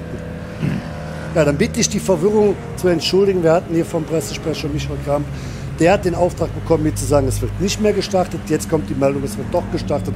Also Entschuldigung von meiner Seite, äh, konnte ich jetzt auch nichts für. Wird also jetzt doch ganz regulär gestartet. Schön, ich freue mich. Entschuldigung für die Verwirrung, aber ja, 35 Minuten Party, Wir jawohl. Konnten, wir konnten nichts dafür. Das Ganze wurde auch von Michael Kramp gerade noch einmal hier bei uns in die Sprecherkabine übermittelt, sagte selbst, tut mir leid für diese Verwirrung, er konnte auch nichts dafür. Aber wir konzentrieren uns. Jetzt geht's zur Sache. Küke, Salewski auf der zweiten Position, denn der dürfte das Cockpit von Aldi Althoff übernommen haben. Ja, und dann werden wir gespannt sein, wie die Reise hier weitergeht, denn auch der Drittplatzierte im Moni auf dem Monitor, der oder Heiko Hammel auf vier, die sind ja raus aus dem Rennen. Und was passiert jetzt? Jetzt haben wir die komplette Verwirrung. Ja, die kommen natürlich rein Reifenwechsel. Die haben, Ja. egal ob jetzt links oder was, die falschen Oder- Reifen. Da fährt oder- die, oder, oder der Pflichtboxenstopp. Oder es kam über Funk die Meldung, was wir ja kundgetan haben. Es gibt ja Teams, die sind mit Funk ausgestattet, dass es Nee, ich denke mal, das ist Okay, jetzt. Reif, das ist Reifenwechsel. Weil die haben festgestellt, wir haben draußen, das ist so am Schütten an verschiedenen Stellen, da kannst du mit Sticks gar nichts mehr machen. Und die kommen dann halt jetzt rein, um die Reifen zu wechseln, um auf Nummer sicher zu gehen. Also, wir sehen hinten zum Beispiel beim Charles Mercedes geht direkt hoch die Reifen. Der E36er BMW, wo Christopher Ring fährt. Vorne beim Eddie Althoff, da dauert das alles was länger. Da muss man mit dem Wagenheber, bis der mal da ist. Also das ist ganz klar Thema Reifenwechsel, weil man festgestellt hat bei dieser Einführungsrunde, man hatte die falsche Wahl. Hier oben, ich habe es gesagt, knochentrocken, da fährst du mit Slicks los, dann kommst du oben Schwedenkreuz, Patsche, nass dann Hagel in, Brei in Breitscheid. Nee, das, das geht da nicht. Ne? Ne, stimmt schon. Das ist der absolute, ich sag's mal so, in dieser Runde geplante Reifenwechsel. Und wir sehen auch hier das Ganze bei Oliver Beukes. Porsche wird hier im Moment mit den Schlagschraubern natürlich auch umgewechselt von Slick auf die Regenreifen. Und es ist Ruben Zeltner, der im Cockpit sitzt, denn Oliver Beuke war gerade der Team Eigner und Fahrer in Personalunion mit dabei zu beobachten, dass er hier selbst mit Hand angelegt hat, um eben blitzschnell die Reifen zu wechseln. Wir sehen hier dann natürlich auch viele Fahrzeuge, auch hier mit der 534, den BMW 325i von Uwe Klapproth. Wir sehen den 523er, das ist vom MSC Adenau benannt. Ich glaube, da kannst du auch einiges zu sagen. Urs Bressan und Stefan Wölflik, der kommt ja hier aus Quiddelbach und das dürfte, ich glaube, bei dir als Eifelaner, als Adenauer Stefan Wölflik ein sehr gut bekannter von dir sein. Ja klar, den kennt man eigentlich mit Ford-Fahrzeugen. Der fährt so ein Ford AT, also alternative Treibstoffe. Ja, jetzt hat er gesagt, da fahren wir mal mit einem schönen BMW E30 325i. Ähm, das sind Dinge, die kannst du eigentlich auch kaum kaputt machen. ne? Die, die fahren sich schon gut. Der ähm, Uwe Legermann hat mir auch gerade noch geschrieben, ich habe ja gesagt, E30er Ersatzteile bekommst du noch einigermaßen gut. Da sagt er, ja, äh, aber bei M3 wird es schon schwieriger, gerade so im Bereich C-Säule und so weiter ist das nicht ganz so einfach. Aber gut, passt. Wir sehen große Probleme, überhaupt das Rad abzukriegen da beim Porsche von Oliver Beuke. Jetzt ist es runter. Da sehen wir auch ganz klar Regenreifen. Das ist eine Situation, hier scheint die Sonne Knochendreck und eine Strecke und du machst Regenreifen drauf, aber es- alles andere macht ja keinen Sinn. Hier sieht man es schon, Quillbacher Höhe, da ist es schon leicht nass. Michael Küke, der hat Rallye-Erfahrung, der weiß, was es heißt, so, so ein rutschendes Auto schnell zu bewegen, aber der weiß auch, vorausschauend zu fahren, sicher zu fahren. Also ich glaube, der Küke ist gar nicht böse über das Wetter. Ja, und die zweite Startgruppe kommt dann auch in diesem Moment hier oben an Start und Ziel durch. Und so sehen wir dann die Jagd runter. Eingang Yokohama S und 146 haben wir vorne Adrian und Jonas Remmele, die beiden Hettel-Leidelheimer, die Reinhard Felzer in dem 146er Fahrzeug, das ist der Opel Kadett C Coupé. Und wir sehen auch hier ganz vorsichtige Fahrweise von dem einen oder anderen. Hier in diesem Moment mit der 503 ist es Michael Küke Richtung Armberg, dann Richtung Fuchsröhre. Ja, Olli, deine Einschätzung, der hat nichts drauf, oder? Ja, es ist schon extrem vorsichtig. Also ah, ganz schwierig. Dahinter der Porsche, das müsste das Auto von Ivan Giacomo sein. Und Ivan Reg- Reggiani, der hat auch nicht ganz so breite Schlappen, da geht es noch. Dann die beiden Schumann BMW, einmal der Gruppe 5, einmal der Gruppe A BMW. Der Gruppe A hat jetzt eher die Vorteile, weil er schmalere Reifen hat. Schmalere Reifen im Nassen heißt, du hast mehr Druck, und hast nicht so viel Fläche, die aufschwimmen kann. Man hat es auch gestern gesehen bei dem einen oder anderen Porsche, der normalerweise hinten 345er Schlappen drauf hat, der dann aber mit ganz schmalen Reifen gefahren ist. Einfach um mehr Druck drauf zu kriegen. Und wie gesagt, je breiter der Reifen, desto größer die Gefahr, auf Aquaplaning oder auf einer Pfütze aufzuschwimmen. Also erstmal wirklich ganz vorsichtig unterwegs, auch im Lager der Scuderia Offenbach, Christoph Renicke und Christopher Rink. Und Christoph Renicke wollte ja, so was geplant, die ersten beiden Rennstunden absolvieren, dann für den letzten Turn an Christopher Rink übergeben, der ja zum ersten Mal bei den 24 Stunden Classic unterwegs ist. Und es wird allerdings Christopher Ring an dem 10. 24-Stunden-Rennen teilnehmen. Und wir sehen einen Mercedes, der hier auf Abwägen unterwegs war. Gott sei Dank nicht in die Leitplanken eingeschlagen ist. Die Gruppe der FAR-Fahrzeuge, die dritte Stadtgruppe, ist ja unterwegs. Auch hier einige Fahrzeuge der Youngtimer Trophy dabei. Gerade gesehen Christoph Wild. Auch für die Gruppe geht es jetzt hinunter Richtung der des Yokohama S und ja, die Mannschaft Hans Schmersal und Mike Schlossberg, die gehen im Moment als Zweiter ins Yokohama S hinein und ich denke, jetzt wird hier der Mike Schlossberg noch einmal richtig Druck machen, möchten natürlich den Wertungslauf der FHR des HECs für sich entscheiden. 601er Fahrzeug, eine überaus erfolgreiche Truppe, gehen ja bei vielen verschiedenen Rennserien an einem Wochenende an den Start oder in vielen verschiedenen Rennserien an einem Wochenende an den Start, sei es in der HTGT, sei es aber auch im Langstreckenrennen der HEC. Heinz Schmersal, der Wuppertaler, mittlerweile 75 Jahre alt und Mike Sturzberg, der hier, ich denke mal, den 1600er RS vor der Escort von Robert Rüttel pilotiert, ist jetzt im Bereich der Goodyear-Kehre angelangt und versucht sich jetzt abzusetzen, um das Ding dann am Ende sicher als Sieger nach Hause fahren zu können. Die Mannschaft, die auf dem Hockenheimring in diesem Jahr im einstündigen Rennen auf der zweiten Endposition über die Ziellinie gefahren sind. Tolles Fahr. Ja. Ja. Dich da so zu ja. drehen, ohne einzuschlagen, musst du auch erstmal hinkriegen. Ja. Also dann mit so einem schweren Daimler mit einem, mit einem Taxi, also mit einem, Entschuldigung, darf man ja nicht sagen, aber ähm, sich so zu drehen, ohne einzuschlagen, das ist alles, alles okay. Jürgen Penz hat übernommen das Patrick Simon Auto mit der 490. Er hatte ja gestern auch so eine Begegnung der dritten Art mit dem äh, 325er BMW, der da im Schwedenkreuz abgeflogen ist, ihn da hinten berührt hat, aber zum Glück der Schaden nicht allzu groß alles noch okay. Und das ist das, was du eben schon mal gesagt hast. Hier ist nicht Zentralverschluss und, und äh, Schlagschrauber, Radkreuz und jede Mutter einzeln muss gelöst werden, nachher mit dem Drehmomentschlüssel noch geknackt werden. Das ist halt ja, der Motorsport, wie er Anfang der 70er Jahre war, in dem Fall beim NSU Prinz. Patrick Peters kommt noch hier im grün-gelb lackierten Ford Escort noch einmal durch. Das ist das Fahrzeug mit der 41, der Rapsgelbe, das war Sebastian Schemann gewesen. Also hier läuft es momentan. Oh, hier wird doch attackiert und der geht nächstes der Oliver Beuke. Nein, Ruben Zeltner ist ja hier im Fahrzeug von Oliver Beuke unterwegs. Da wurde es auch bei den nachfolgenden Piloten, als man dort an dieser Stelle vorbeifuhr, sehr, sehr eng. Und der VW Golf, ja, der steht in der Blanke drin und der wird auch nicht mehr, glaube ich, aus eigener Kraft hier ins Renngeschehen zurückkehren können. Der schwarze Golf, der hatte da richtig Glück gehabt, da an einem, an einem E6, E30er BMW vorbeizukommen. Ähm, ja, der rote Golf, das ist schon heftiger. Der Beuke Porsche ist auch eingeschlagen. Sehen wir im Moment nicht. Da ist genau das Dixie-Häuschen davor. Ja, Fakt ist schade. Jeder Unfall ist schlimm, tut weh. Und, und was wir schon mehrfach gesagt haben, bei diesen Fahrzeugen ist es nicht so einfach, Ersatzteile zu bekommen. Schauen wir uns doch mal an. Ruben Zeltner müsste es sein. Ja, bin ich bei dir. Mr. Rally überhaupt. Fährt da noch relativ locker an dem ähm, R5 vorbei. Da ist der rote Golf vor ihm. Ein Golf 1 übrigens. Schall noch mit dabei. Kommt Schall da ohne Probleme durch? Ja, Schall fährt links vorbei. Okay, das passt. Jetzt schlägt er hinten links ein. Ja, ist. Oh, der schwarze Golf 2. Also das war mal eine Reaktion, wow. Und guck mal, wie schnell die Sportwachte reagieren. Ja. Der, der, der, war noch nicht eingestellt, da kommt schon die Flagge raus. Auch da, absolut klasse. Die, die Sportwachte, die machen hier mit den besten Job von allen. Also gibt es gar kein Vertun. Auch hier ist natürlich jetzt maximal 60 km angesagt.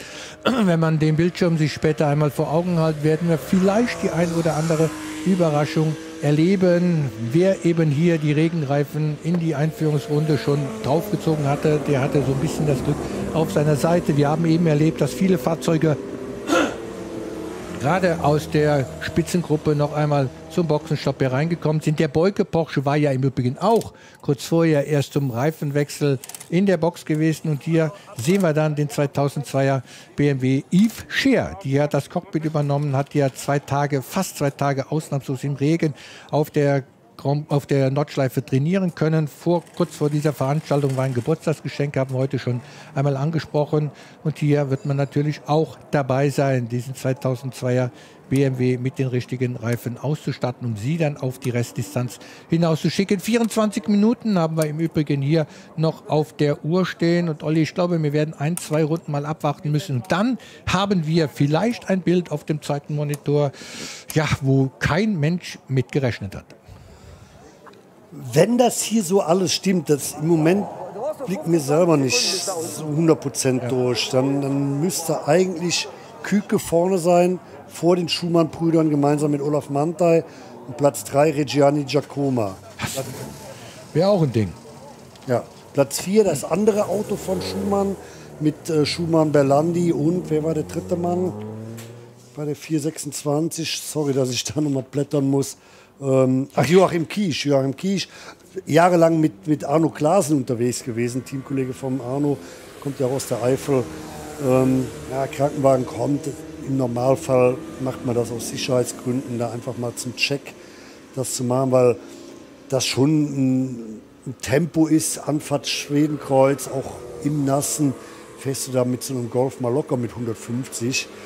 Und bei 150 ähm, so ein Aufbau, der kann schon wehtun. Und dann macht man lieber einen auf Nummer sicher und bringt den mal mit so einer Halskrause, Rücken stabilisieren, Richtung Check ins Medical Center.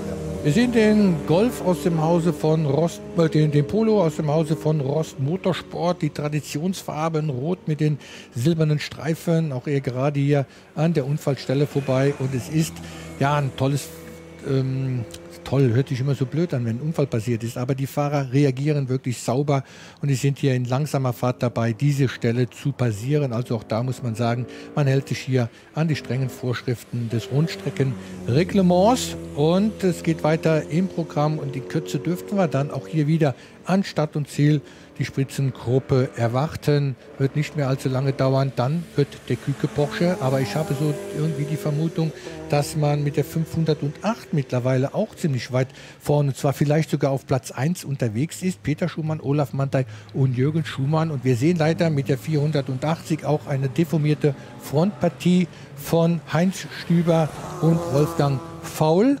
Und ja, jetzt kommt man in die Box hinein und zwar es war wirklich in Führung liegend der Schumann, Schumann, Mantai BMW. Und in der momentan führenden Position dürfen wir jetzt die Schweizer Mannschaft mit Ivan Ricciani und mit seinem Kollege Jakoma haben. Ja, auf der Strecke haben die das Zepter übernommen. Küke auch eher in die Box, also die Vermutung, dass er hier auch slickbereift unterwegs war, meinerseits von eben ist gar nicht so weit entfernt gewesen. Dann werden wir jetzt hier Boah, das gibt eine Schlussphase, Olli. Da werden wir hier wirklich, die, die Ereignisse werden sich überschlagen. Also ich muss sagen, ich blicke im Moment nicht mehr so richtig durch, aber gut, wir haben noch 20 Minuten. Wenn jetzt gleich dann jeder mal irgendwie ja, seinen Stopp hat, da sehen wir beide Schumann-Autos. Siehst auch, welcher ist der Gruppe 5 und welcher der Gruppe A. Gruppe 5 natürlich mit dem fetten Flügel vorne, fetter Flügel hinten, Kotflügelverbreiterungen.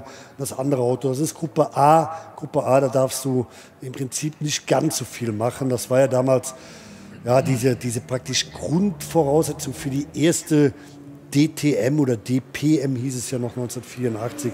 Da waren ja die BMW 635 so die dominierenden Fahrzeuge auch in der Tourenwagen-Europameisterschaft in der ersten DTM. Ja. Leute, hier ist ein Chris Rotthoff, mittlerweile auf der auf dem Zeitmonitor aufgeführten siebten Position unterwegs. Ich sage das mal ganz bewusst auf dem Zeitmonitor aufgeführt. Nein, auch er ist in die Box eingefahren, kam aber an siebter Position liegend eben in die Box hinein, weil wir doch viele haben, die aus der Spitzengruppe in die Box hineingefahren sind. Und dann werden wir in Kürze nach der spätestens übernächsten Runde, die kriegen wir auf jeden Fall noch zusammen, ein absolut bereinigtes Bild haben. Aber bis dahin ist das auch so ein bisschen Lesen aus der Glaskugel. Ja, wir müssen da wirklich mal die, die ganzen einzelnen Abstände miteinander vergleichen, wer wo wie steht. Alles nicht so einfach.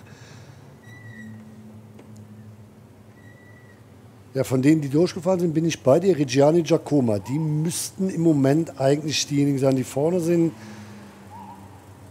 Auf dem Tableau stehen noch die beiden Schumann BMW auf 1 und 2, aber die waren, wie gesagt, beide in der Box gewesen. Das ist das führende Auto. Ivan Giacomo, ich habe es gestern schon mal angesprochen, das ist auch ein, ein, ein wahnsinnig verrückter Typ. Der will dieses Jahr noch einen 8000er besteigen, hat er irgendwo geschrieben. Ähm, 8000er muss ja schon irgendwo nach Nepal oder Pakistan oder wohin fliegen. Also das ist eine Sache. Ich habe es schon länger nicht mehr gemacht. Mein letzter 8000er ist jetzt schon ein paar Wochen her. Nein. Äh, so Nürburg hoch. Ja, nee, ich war mit, mit Karl Mauer in den Alpen gewesen mit dem Fahrrad. Das war, war so ähnlich. Auf jeden Fall, diese Schweizer Mannschaft haben ein wunderschön aufgebautes Fahrzeug. Das ist der 964er Carrera Cup Porsche, der ja aufgebaut ist nach dem Porsche 964er Cup Reglement von 1994. Und Ivan Reggiani, das ist ja, weiß Gott, kein Unbekannter. Olli, wird der nicht ein bisschen arg langsam? Ja, aber war, vorne war gelb. Ah, okay.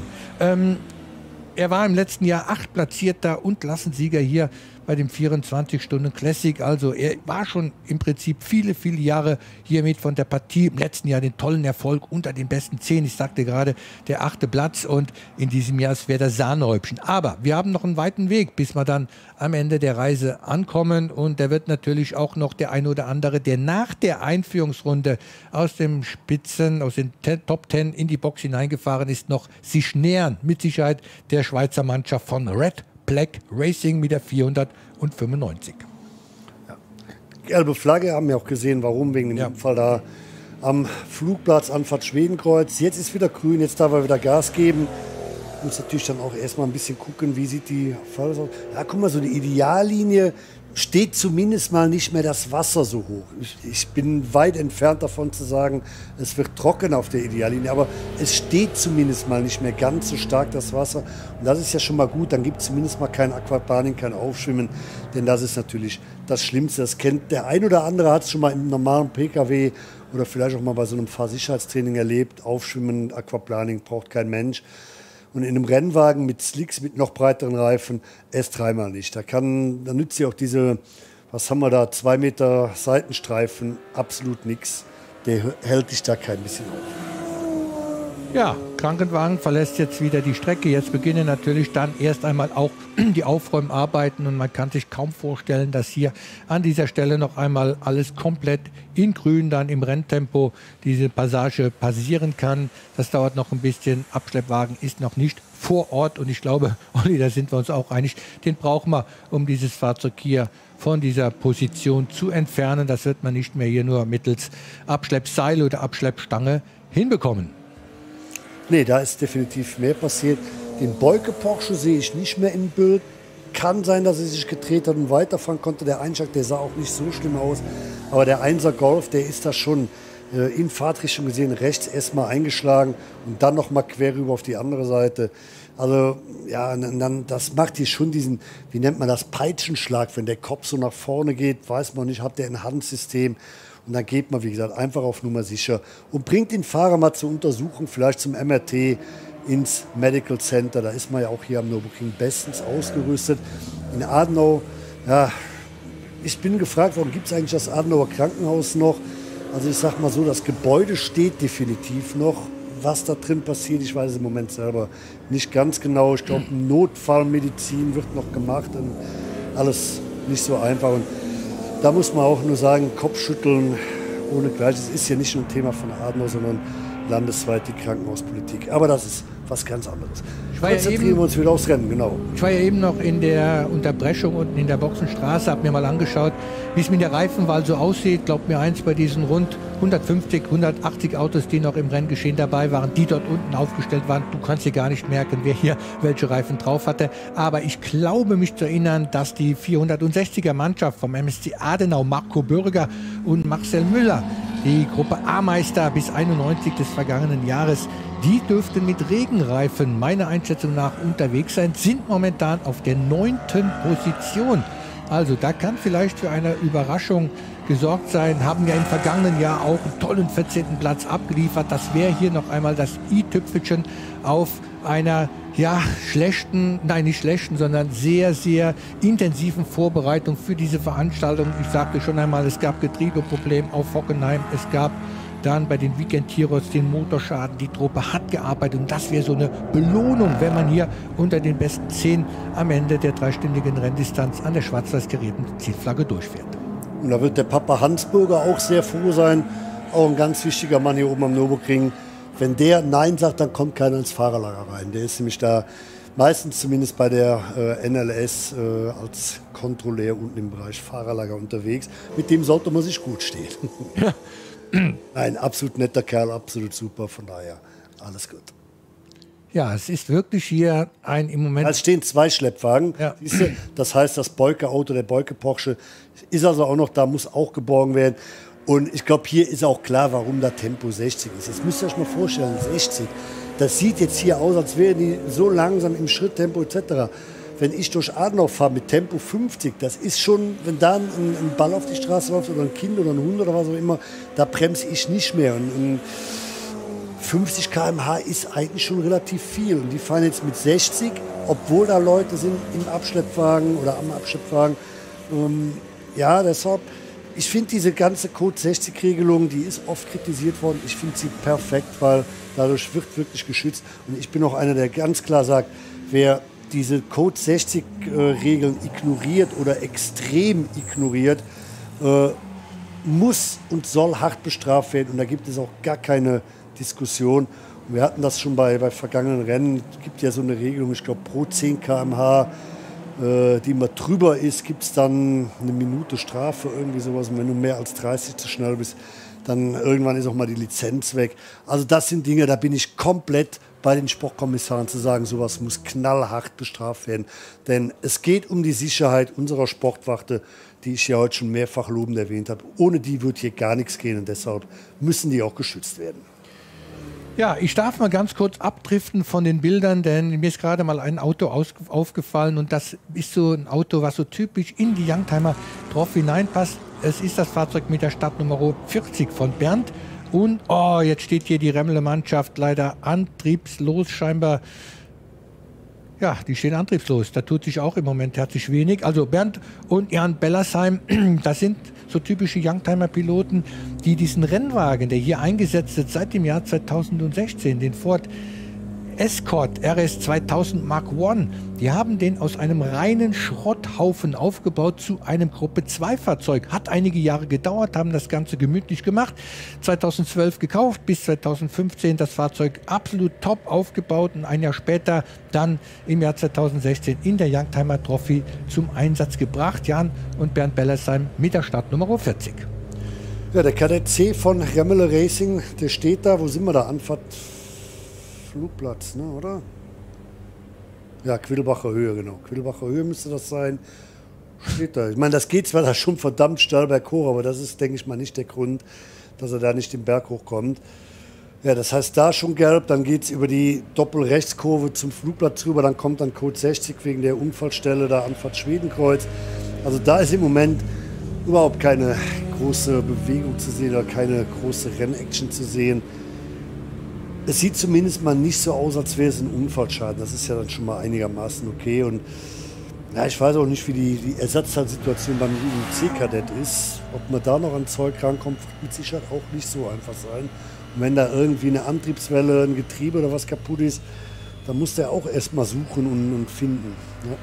BMW auf der Döttinger Höhe, der 2002er von Stippler und Yves Scheer zu sehen. Und dort hinter, da haben wir das 10er Fahrzeug erleben dürfen, die NSUTT von Friedrich Karl Benra, der jetzt auch schön ins Bild kommt, und Michael Benra, die beide sonst ja immer auf getrennten Fahrzeugen in der Youngtimer Trophy-Wertung an den Start gehen. Friedrich Karl Benra auf dem 10er Auto, was auch hier auf dem Nürburgring zum Einsatz gebracht wird. Sein Bruder Michael auf dem 11er Auto, das immer noch in der Original Clementine Lackierung auch nach so vielen Jahren immer noch an den Start gestellt wird. Diese Fahrzeuge waren im Übrigen reine Alltagsfahrzeuge gewesen und erst im Jahre 1993 hat man dann pünktlich zu Beginn der Youngtimer Trophy das Fahrzeug, was im Jahr 71 erstmals vom Band gelaufen ist, umgebaut zu einem reinrassigen Rennwagen. Der Vierzylinder 1300er Motor Friedrich Karl Benrath, Michael Benrath in der 10.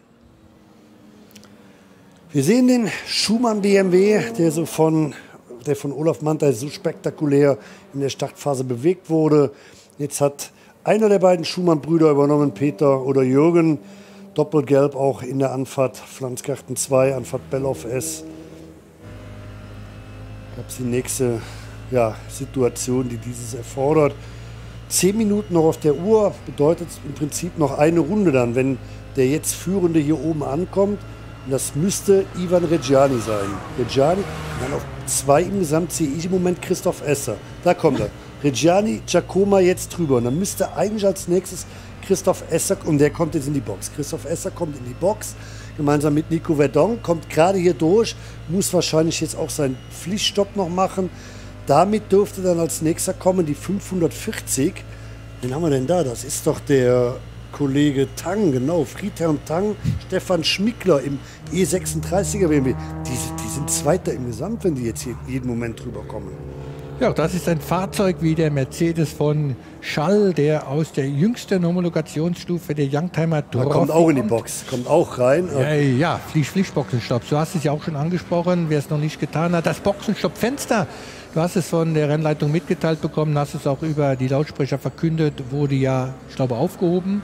Man kann also bis kurz vor Schluss den Pflichtboxenstopp absolvieren und wir sind im Bereich der Goodyear-Kehre unterwegs mit eben Red Black Racing, Ivan Ricciani und Ivan Jakoma aus der Schweiz kommt im 944er, äh, im 911er Fahrzeug hier unterwegs. Ein Ivan Jakoma, wie kam ich gerade auf die 944? Der pilotiert normalerweise eine 944er Turbo. Cup Porsche ist aber hier bei Ivan Ricciani an diesem Wochenende auf dem 911er Carrera, dem 964er unterwegs.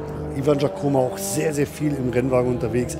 Fährt das 24-Stunden-Rennen gemeinsam mit Kai Riemer auf einem Cayman in der SP10. Fährt auch irgendwo fährt er eine GT3. Der fährt GT Open oder so GT3, ja. Leute, das wird jetzt hier eine Geschichte werden. Der nächste, der durchkommen dürfte, wäre, ja, das wäre der Schumann.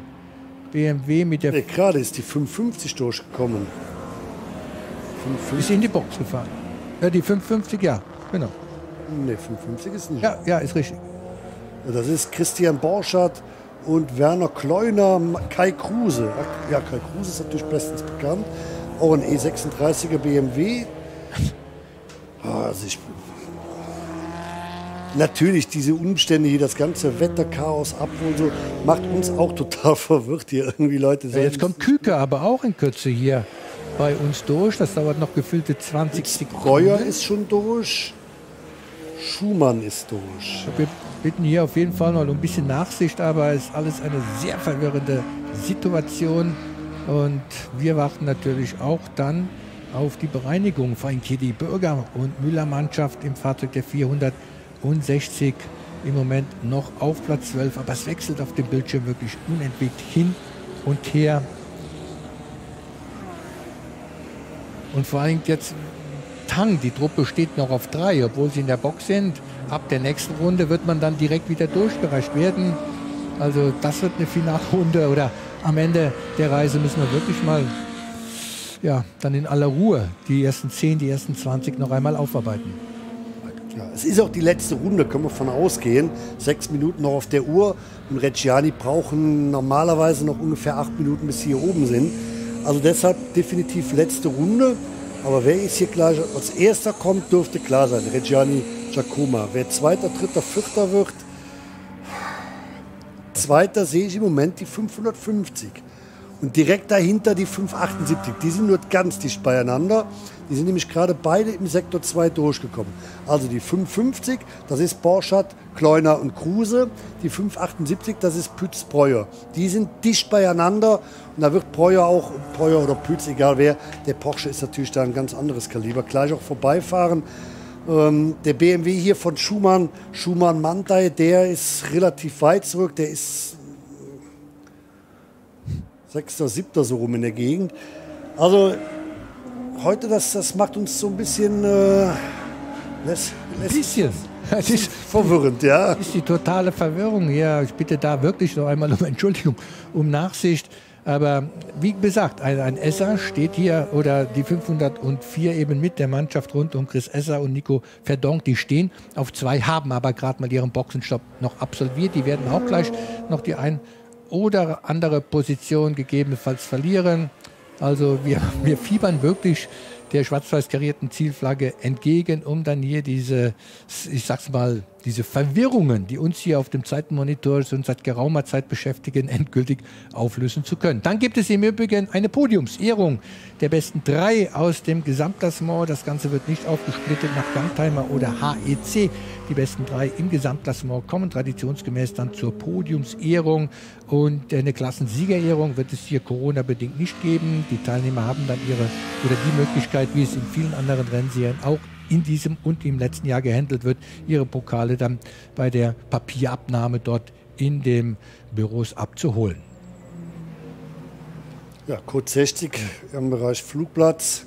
Deshalb halt diese langsame Fahrt des BMW 635 CSI. Nach Gruppe 5 Art aufgebaut. Jetzt muss man, um ganz genau zu sein, sagen, dass es den 635er eigentlich als Gruppe 5 so nicht gab. Das ist dann schon eine eine Eigenkonstruktion der, der Schuhmänner, dass man da sagt, wir gehen hin, haben den 635 und bauen den nach dem Reglement der Gruppe 5 auf. Gruppe 5, die gab es bis 1981 müsste es gewesen sein. Dann fing das nämlich an mit Gruppe A, B, C und so weiter. Gruppe 5, 81 gab es die noch. der 6er BMW, der ist auch so um die Zeit entstanden. Alles nicht so einfach, aber ähm, Fakt ist einfach, es ist ein mega spektakuläres Auto, es ist ein schnelles Auto. Und wenn dann so ein Olaf Manta da drauf sitzt, dann wird der auch noch sowas von dermaßen gut bewegt. Das ist eine pure Freude, das Auto zu sehen. Wir sehen Sonnenschein im Schwedenkreuz. Macht uns zumindest mal Hoffnung, dass wir für den Rest des Tages dann wenigstens gute Bedingungen haben. Wir haben ja noch einiges am Programm. Wir haben noch die Tourenwagen Legenden, wir haben noch WTCR Qualifying und natürlich heute Abend um halb sieben dann das große Top-Qualifying, den wir hier sehen. Ja, der Porsche von Oliver Beuke hinten links. Ja, es ist schon, schon gut kaputt, aber ja, geht noch. Hoffentlich nur Flügelwerk und nicht irgendwo noch an der Karosse oder an Aufhängungsteilen. Dort hinter dann der VW Golf, den es doch ein bisschen härter getroffen hat. Und wir sehen auch momentan hier auf der, unserem Zeitenmonitor auf der siebten Position Robert Keil, der den Opel Ascona 400 bewegt. Den hatten wir so an diesem Renntag heute noch gar nicht mit im Bilden, schon gar nicht mit, mit auf der Rechnung gehabt. Robert Keil aus Supertal kommen, ist selbstständiger Handwerker in Sachen Heizung und Sanitär und äh, er ist hier mit dem rund 300 PS starken Opel Ascona 400 mir nix, hier nix, immer ein paar Positionen weiter nach vorne gefahren, währenddessen wir deinen Freund sind, Thomas ja. Jakob Käferle, der ja. Österreicher. Trifft ja. natürlich, oder? Der trifft König, ja, definitiv. Und mein Freund, ich bin gestern durchs Fahrerlager gegangen, habe das Auto stehen sehen und habe direkt gesagt, wer von euch ist der Fahrer? Da hat er gezeigt, hier ich. Und dann habe ich einfach gesagt, und ähm, einfach mal ein fettes Dankeschön für die Show, die du abgezogen hast gestern im Qualifying. Das war mega und, er hat auch viel Feedback bekommen und er ist mehr als froh, dass er, dass er hier sein kann, aus Österreich angereist mit dem Auto, sein Papa mit dabei und in die Crew. Das war schon toll und ich hoffe, den werden wir noch öfter sehen, weil so muss ein Auto, so ein Escort bewegt werden, wie er das gemacht hat hier in den Tagen gestern und heute. Einfach nur klasse. Ja. Ja, wir haben beim Youngtimer Sport viele erlebt, die einmal reingeschnuppert haben und dann gesagt haben, Leute, hier Top-Organisation, Top-Veranstaltungen, absolute Highlights im Jahresprogramm, sei es mit Spa, sei es Hockenheim. Hier diese 24-Stunden-Classic. Ja, das gibt wieder was für die Geschichtsbücher in der Youngtimer Trophy, die es ja auch schon so viele, viele Jahre gibt. Wir gehen ja, oder wir sind in diesem Jahr in die 28. Saison in der Youngtimer Trophy hineingestartet und vor allen Dingen die Youngtimer Trophy. Der Bann ist ungebrochen, über 200 eingeschriebene Teilnehmer, auch in diesem Jahr wieder. trotz der Corona-Problematik. Und dann die große Frage, wie wird es im nächsten Jahr? Haben wir dann noch mehr als eingeschriebene Teilnehmer? Und viele, die auch hier an den Start gehen, hatten sich gar nicht für die komplette Saison eingeschrieben. Also hier haben wir wirklich den Boom, der ungebrochen ist. Und wir sehen die 529. Helmut Schäfer, Roman Schiemens und Rolf Ratz noch einmal im Bild auf dem BMW E30 325i. Ja, die Uhr läuft gleich runter, 33 Sekunden. Heißt auch für den führenden Ivan Reggiani, Ivan Giacomo jetzt noch ein letztes Mal durchs Brünnchen. War dann noch mal ein bisschen eng beim Überholen des Renault 5, aber alles gut gegangen. Ja, und ein 964er als Gesamtsieger. Vorsichtig, genau. Junge, du hast so viel Vorsprung. Du kannst, wenn du willst, kannst du im Pflanzgarten noch mal kurz anhalten und, und den Sportwachten Hallo sagen. So viel ist oder so groß ist der Vorsprung. Deshalb alles gut, alles vorsichtig, vorsichtig machen. Aber Jörg, du als Insider in Sachen Youngtimer, 964er Gesamtsieg gab es, glaube ich, noch nie. Ne? Nein, es war bis dato entweder der BMW M1 der beiden Heinrichs oder es waren eben die Porsche der Gruppe 5, die das Ganze in den letzten Jahren hier entweder im Gesamtklassement oder bei den Rennen, wo die Youngtimer Trophy in 1 und 2 aufgeteilt worden sind, für sich haben entscheiden können. Schwarz-Weiß Flagge ist draußen, weil wir gesagt haben, nach dem Ablauf der drei Rennstunden, wie das auch bei dem 24-Stunden-Rennen sein wird, wird die schwarz-weiß Flagge herausgehalten. Nicht derjenige, der zuerst abgewunken ist, hat das Ding ja für sich entschieden. Dann wird gerechnet natürlich nach den absolvierten Runden. Also wir warten auf Ricciani und Giacomo, um ihnen dann zum Gesamtsieg hier zu gratulieren. Und dann sind wir mal gespannt, wie es dahinter ausgeht, wenn ich so die Sektorzeiten, Zwischenzeiten mir anschaue. Pützbreuer müssten eigentlich auf zwei liegen. Da gehe ich relativ sicher von aus. Und dann geht es darum zwischen Esser im Opel Kadett, Schumann im BMW, war auch das Auto mit Kai Kremer, der BMW, der E36er. Die sind auch noch relativ gut dabei. Die sind alle nicht so weit auseinander. Warten wir mal ab, was passiert. Fakt ist, das sind die Gesamtsieger. Ivan Reggiani, Ivan Giacomo, die letzten Meter Döttinger Höhe nochmal hoch. Bei herrlichstem Sonnenschein, wenn man denkt, was hier vor einer Stunde los war, einfach nur verrückt, diese Wetterkapriolen. Das gehört zum 24-Stunden-Rennen leider mit dazu, aber es ist ja für alle gleich. Deshalb muss man das auch so mitnehmen, mit akzeptieren. Mal zum letzten Mal durch die Senke im Tiergarten. Das geht von da noch mal richtig steil hoch bis zu Startziel. Meint man eigentlich nicht, aber wenn man mit dem Fahrrad da lang gekommen ist, der wird sich wundern. Da quälst du dich ganz schön ab da hoch. Von der Tiergartensenke bis hoch zur T13 und dann rauf auf die Startenzielgerade. Der Blick geht raus auf die hohen Rheinschikanen und damit Gesamtsieg für Ivan Reggiani und Ivan Giacomo. Herzlichen Glückwunsch. Also, ganz ehrlich, damit hätte ich glaube, auch keiner mitgerechnet. Entschuldigung, hat er hier noch die Regie ein klein wenig auf dem Ohr. 495, das ist laut unserer Anzeige hier definitiv der Sieger Ivan Ricciani und Ivan Jakoma. Dort hinter machen wir noch ein kleines Fragezeichen. Wird es Chris Esser und Nico Verdonk sein? Kleines Fragezeichen noch hinter dem zweiten Platz der 504. Wir sehen auch hier eingangs Yokohama S werden die Fahrzeuge dann über die Rettungsstraße, so heißt das Teil, hineingeführt, zurück ins Fahrerlager. Und wir warten auf die Aktualisierung des Zeitnahmemonitors, sehen aber gerade auch noch mit der Startnummer 14 Klaus Frank über die Linie kommen, pilotiert auch einer der fünf NSU-TTs, die hier im Feld unterwegs sind, die 1300er Klasse. Das ist das ähm, ja, leicht grau lackierte Fahrzeug, was gerade im Bild gewesen ist. Ja, Pütz Breuer und Christoph Esser, Nico Verdonk, die sind mehr oder minder fast zeitgleich auf Döttinger Höhe gekommen. Ich hoffe, dass die Kamera umschwenkt. Ähm, Esser war im letzten Sektor deutlich schneller. Da haben wir ihn. Da vorne, da, der weiße Porsche, das ist ähm, Pütz und Breuer. Der Kadett hier, das ist Christoph Esser, Nico Verdonk. Die werden Dritter im Gesamt, weil mit einem Kadett fährst du auf Döttinger Höhe natürlich nicht an so einem Porsche vorbei. Aber auch das, mit einem Kadett C, mit einem 2-Liter-Auto, Dritter im Gesamt zu werden, wow. Und er hat nochmal richtig aufgeholt auf den letzten Meter. Der hat allein in dem letzten, in diesem langen Sektor sechs Sekunden gut gemacht gegen Pütz und Breuer. Hat aber nicht ganz gereicht. Und deshalb, jetzt kommt er aus der Schikane raus. Pütz Breuer im Porsche.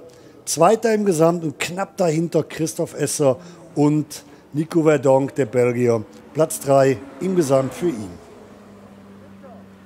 Tja, Olli. Ja, Moment mal, was haben wir denn jetzt? Was haben wir denn jetzt hier? Ach Leute, ich blick nicht mehr durch. Jetzt steht hier Pützbreuer auf 1 auf Gesamt, aber der ist doch. Esser auf 2. Ja, und Reggiani, die werden immer weiter durchgereicht jetzt. Wieso? Haben zehn Runden als erstes über Startziel gekommen. Och Leute. Ja, ich weiß nicht. Sorry. Ja, ich muss also, Sorry.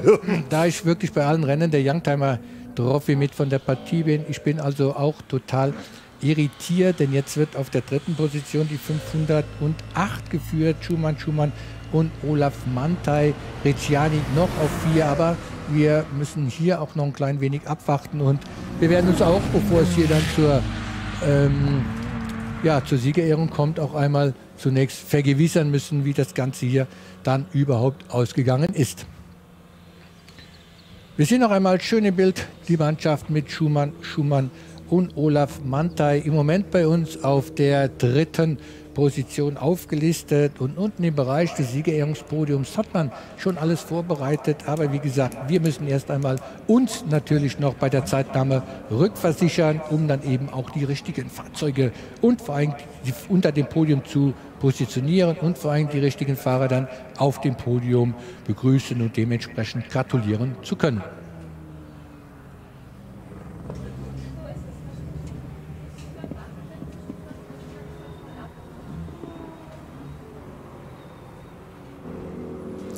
Okay, jetzt kommt die Meldung und danke dafür. Also Reggiani, Giacomo waren als erstes hier oben über Ziel gekommen, hatten aber eine zu kurze Mindeststandzeit gehabt.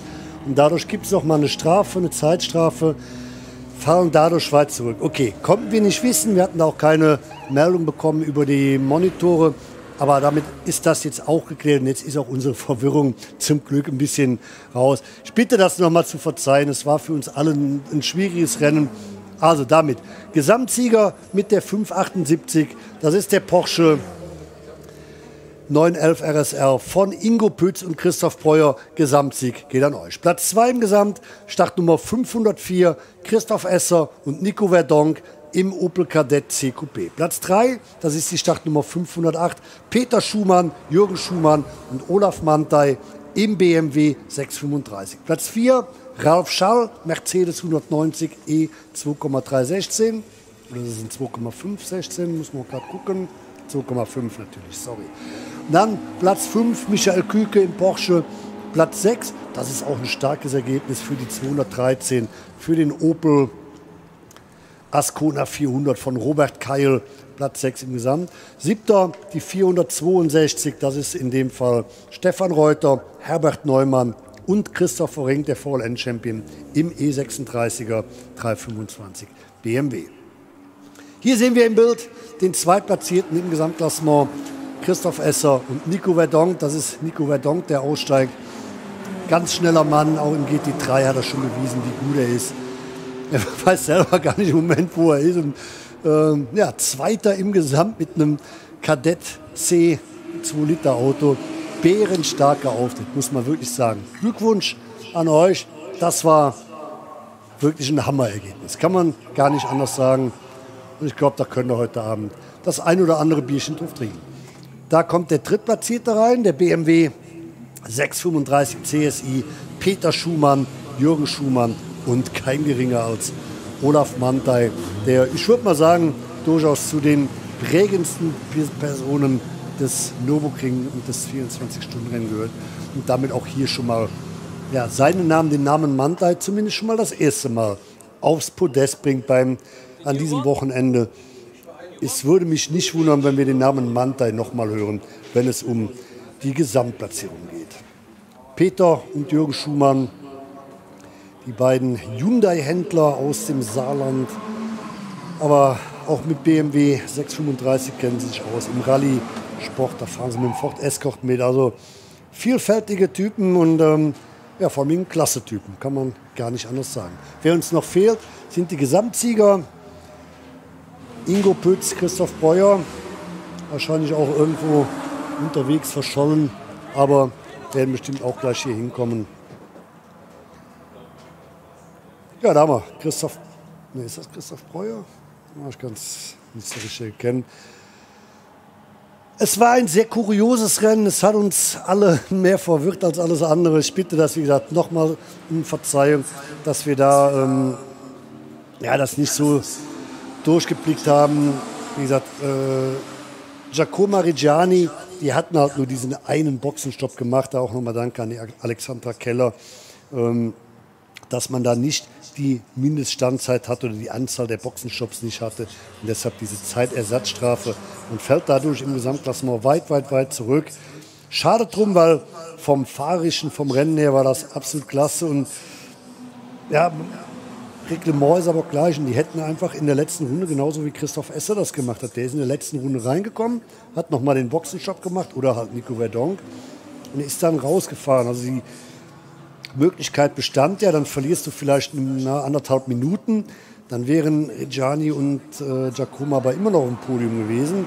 Da haben sie einfach nicht aufgepasst oder das irgendwie übersehen, was man da in Sachen Reglement beachten muss.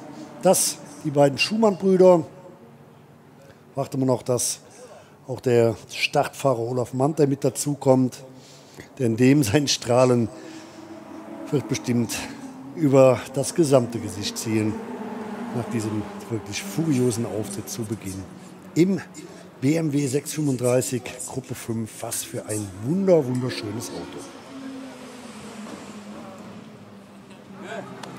Bravo, old man. Good, good. Well done, well done. Cool. Danke, danke.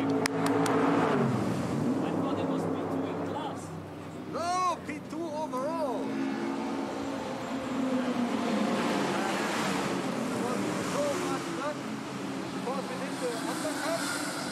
Ja, da sehen wir Christoph Esser auch gemeinsam mit Nico Verdonk. Christoph Esser sieht man so an der Haarfarbe und der Menge der Haare, dass er ja auch schon mh, seit einigen Jahren im Motorsport unterwegs ist. Fuhr ja Anfang der 80er, wie ich eben schon mal sagte, gemeinsam mit Wolfgang Offermann noch oft auf dem Ascona 400 mehrere Gesamtsieger ein. Und hier mit diesem Kadett, auch in diesem Branding mit Pionierwerbung, da ist er damals ja, 81, 82 sehr, sehr erfolgreich und sehr schnell unterwegs gewesen. Also, schön, dass er mit diesem Auto einfach mal wieder gezeigt hat, dass man vorne ja, reinfahren kann, auch mit einem 2 Liter Opel Kadett CSI. Also nochmal zur Wiederholung: Ingo Pütz, Christoph Breuer gewinnen, Platz 2 Christoph Esser und Nico Verdonk und Platz 3 Peter Schumann, Jürgen Schumann und Olaf Mantei. Es war ein verwirrendes Rennen, nichtsdestotrotz war es toll, es hat mir Spaß gemacht. Ich hoffe, euch hat es auch gefallen beim Zuhören. Gleich geht es weiter mit den nächsten Programmpunkten. WTCR, Tourenwagenlegenden, dann das dritte Qualifying fürs 24er und dann heute Abend natürlich das Top-Qualifying, das als Highlight und vorher noch um 18 Uhr, und da müsst ihr auch unbedingt einschalten und dabei bleiben. Dann dreht Johannes Scheid im Original Eifelblitz aus dem Jahr 1995 die Ehrenrunde für Sabine Schmitz und ich glaube, da ist die ein oder andere Träne definitiv fällig. Das soll es von hier gewesen sein. Jörg Kennig macht jetzt hier oben bei uns intern für uns die Siegerehrung. Im Stream geht es weiter mit dem ja, nächsten Ersatzprogramm, muss man sozusagen. Wir haben ein paar wirklich ganz, ganz tolle Einspieler, die von der Regie jetzt kommen. Und damit bedanke ich Olli Martini mich und natürlich auch Jörg Kennig, der an meiner Seite war, der aber jetzt schon rüber ist zur Siegerehrung. Vielen Dank, bis später.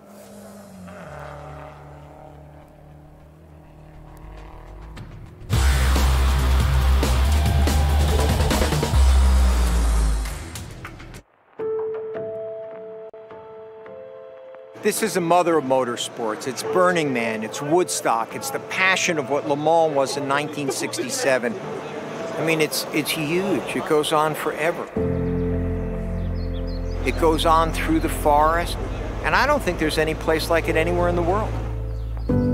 Ich glaube, es ist nicht nur für mich, sondern für jeden Rennfahrer ein absolutes Highlight. Die längste und, und schwierigste Rennstrecke der Welt. Also ich würde sagen, wenn man dieses Rennen hier gewinnen kann, ist schon was ganz Spezielles.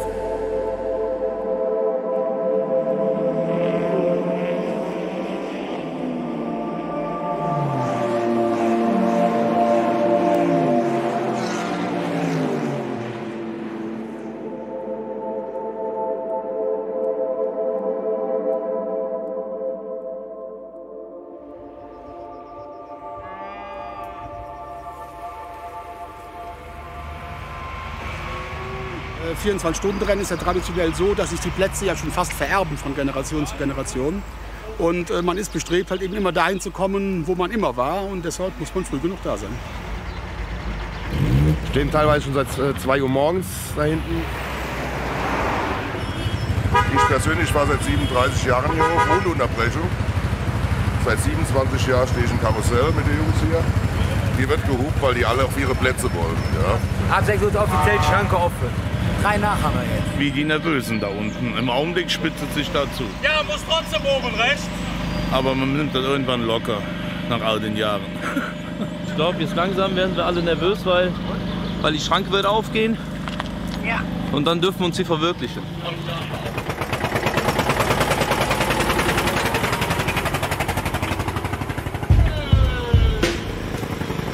Hier hast du so viele Leute, die bei dir sind. Es ist aber, es ist aber genau äh, so.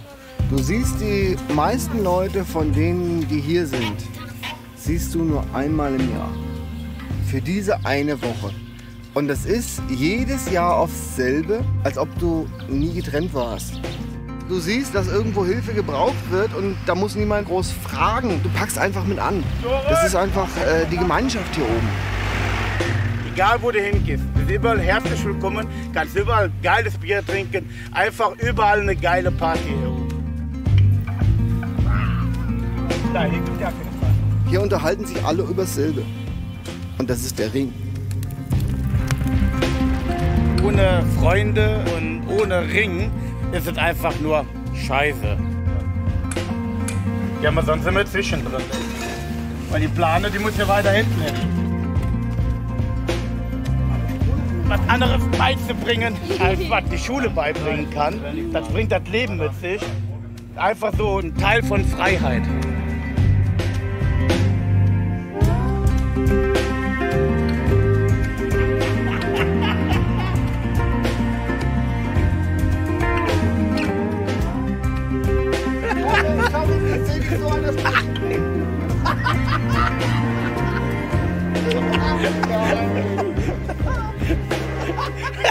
Und dann mit der Fahne, ne? Genau, Mäuschen. So, jetzt bauen wir weiter auf. Nix alles nichts. Sind wir denn mit der, äh, sollen wir denn äh, probieren rüber zu schieben?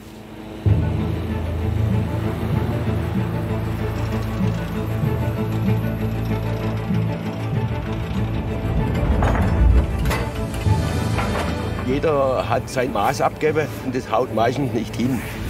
Morgens geht es eigentlich noch ein bisschen mit dem Aufbau, aber abends wird es dann voll das große Chaos geben. Dass hier am Dienstag schon so viel los ist, ist mir auch neu. Bisschen aufgeregt, alle so langsam freuen sich doch irgendwie drauf, aber es ist natürlich auch noch viel zu tun hier. Bei jedem Mal, wo wir uns wiedersehen, freuen wir uns. genau, dass wir noch gesund und munter sind. Genau. Der Transponder hält ja dann höchstens bis am Freitag. Ja, ist gut.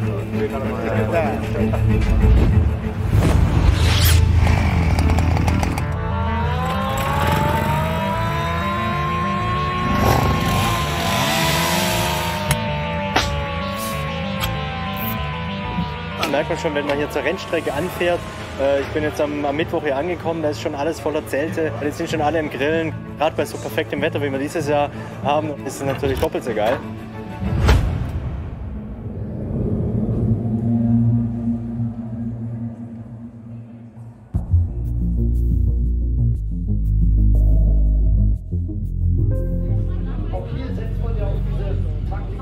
Wir Mittwoch. Das ist unglaublich, was hier schon an Fans mit vor Ort sind. Sie können zu den Autos, sie können reinschauen, sie können mit den Fahrern sprechen. Also sie bekommen wirklich Motorsport, können sie wirklich hautnah miterleben. Und ich glaube, dass äh, ja, deshalb sind sie auch da. Die haben Spaß, hi Jungs. Und äh, ja, macht selbst Spaß mit dabei zu sein. Die ist übrigens für meinen Sohn. Wenn ich zurückkomme, dann sage ich ihm, von wem ich die überreicht gekriegt habe für ihn. Ja, das ist ja eigentlich das erste Mal, dass ich so dicht rankomme. Ne? Gleich den Altmeister Bernd Schnader hier persönlich sehe und dass der mir das überreicht, das ist äh, ja, unbeschreiblich. Eis? Ja, was willst du denn? 1, 2, 3, 5?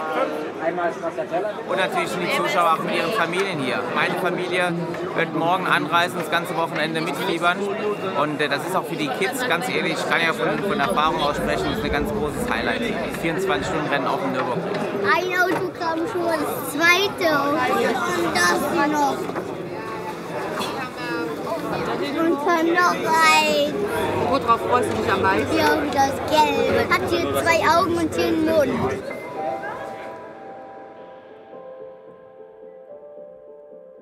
One of the most wonderful parts of this race is the passion and the dedication of the crews. And I think this is what sticks with you and this is what you remember. But I'm very proud and grateful for all the effort everyone on the team puts in. That's what makes this race. X2 verso la sinistra. Serve un cacciavittino.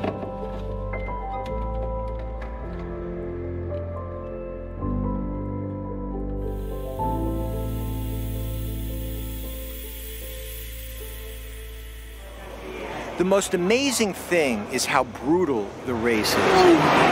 To do it for 24 hours at night, in the rain, in the sun, with cars that are 100 kilometers different in speed passing each other. You have to be aware of that and drive around them in a safe way. And with 160 cars, there's nothing like it in the world. Die Nordschleife ist einfach besonders, weil es ist wahnsinnig eng. Unglaublich viele schnelle Kurven, aber auch blinde Kurven, wo du nicht einsehen kannst. Sehr wellig. Die Markierungen von den Fans, die natürlich auch im Trockenen einfach die Gripverhältnisse ändern. Immer spannend ist, ist natürlich auch Wünsch, wenn man durch wegen den ganzen Fans, auf die man zufährt. Dann natürlich auch Pflanzgarten 2. Wenn das ist, äh, jedes Mal, wenn das Auto mal kurz vorm Abheben ist oder abhebt, das ist äh, ja, Adrenalin für den Fahrer. Wir wollen das Auto spüren, wir wollen die Strecke spüren, die Fans sehen. Ja, deswegen sind wir hier.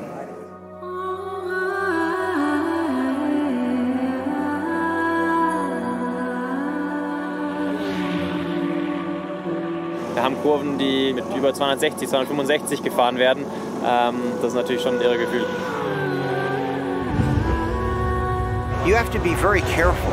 There's not endless runoff, low friction asphalt, gravel traps to slow you down.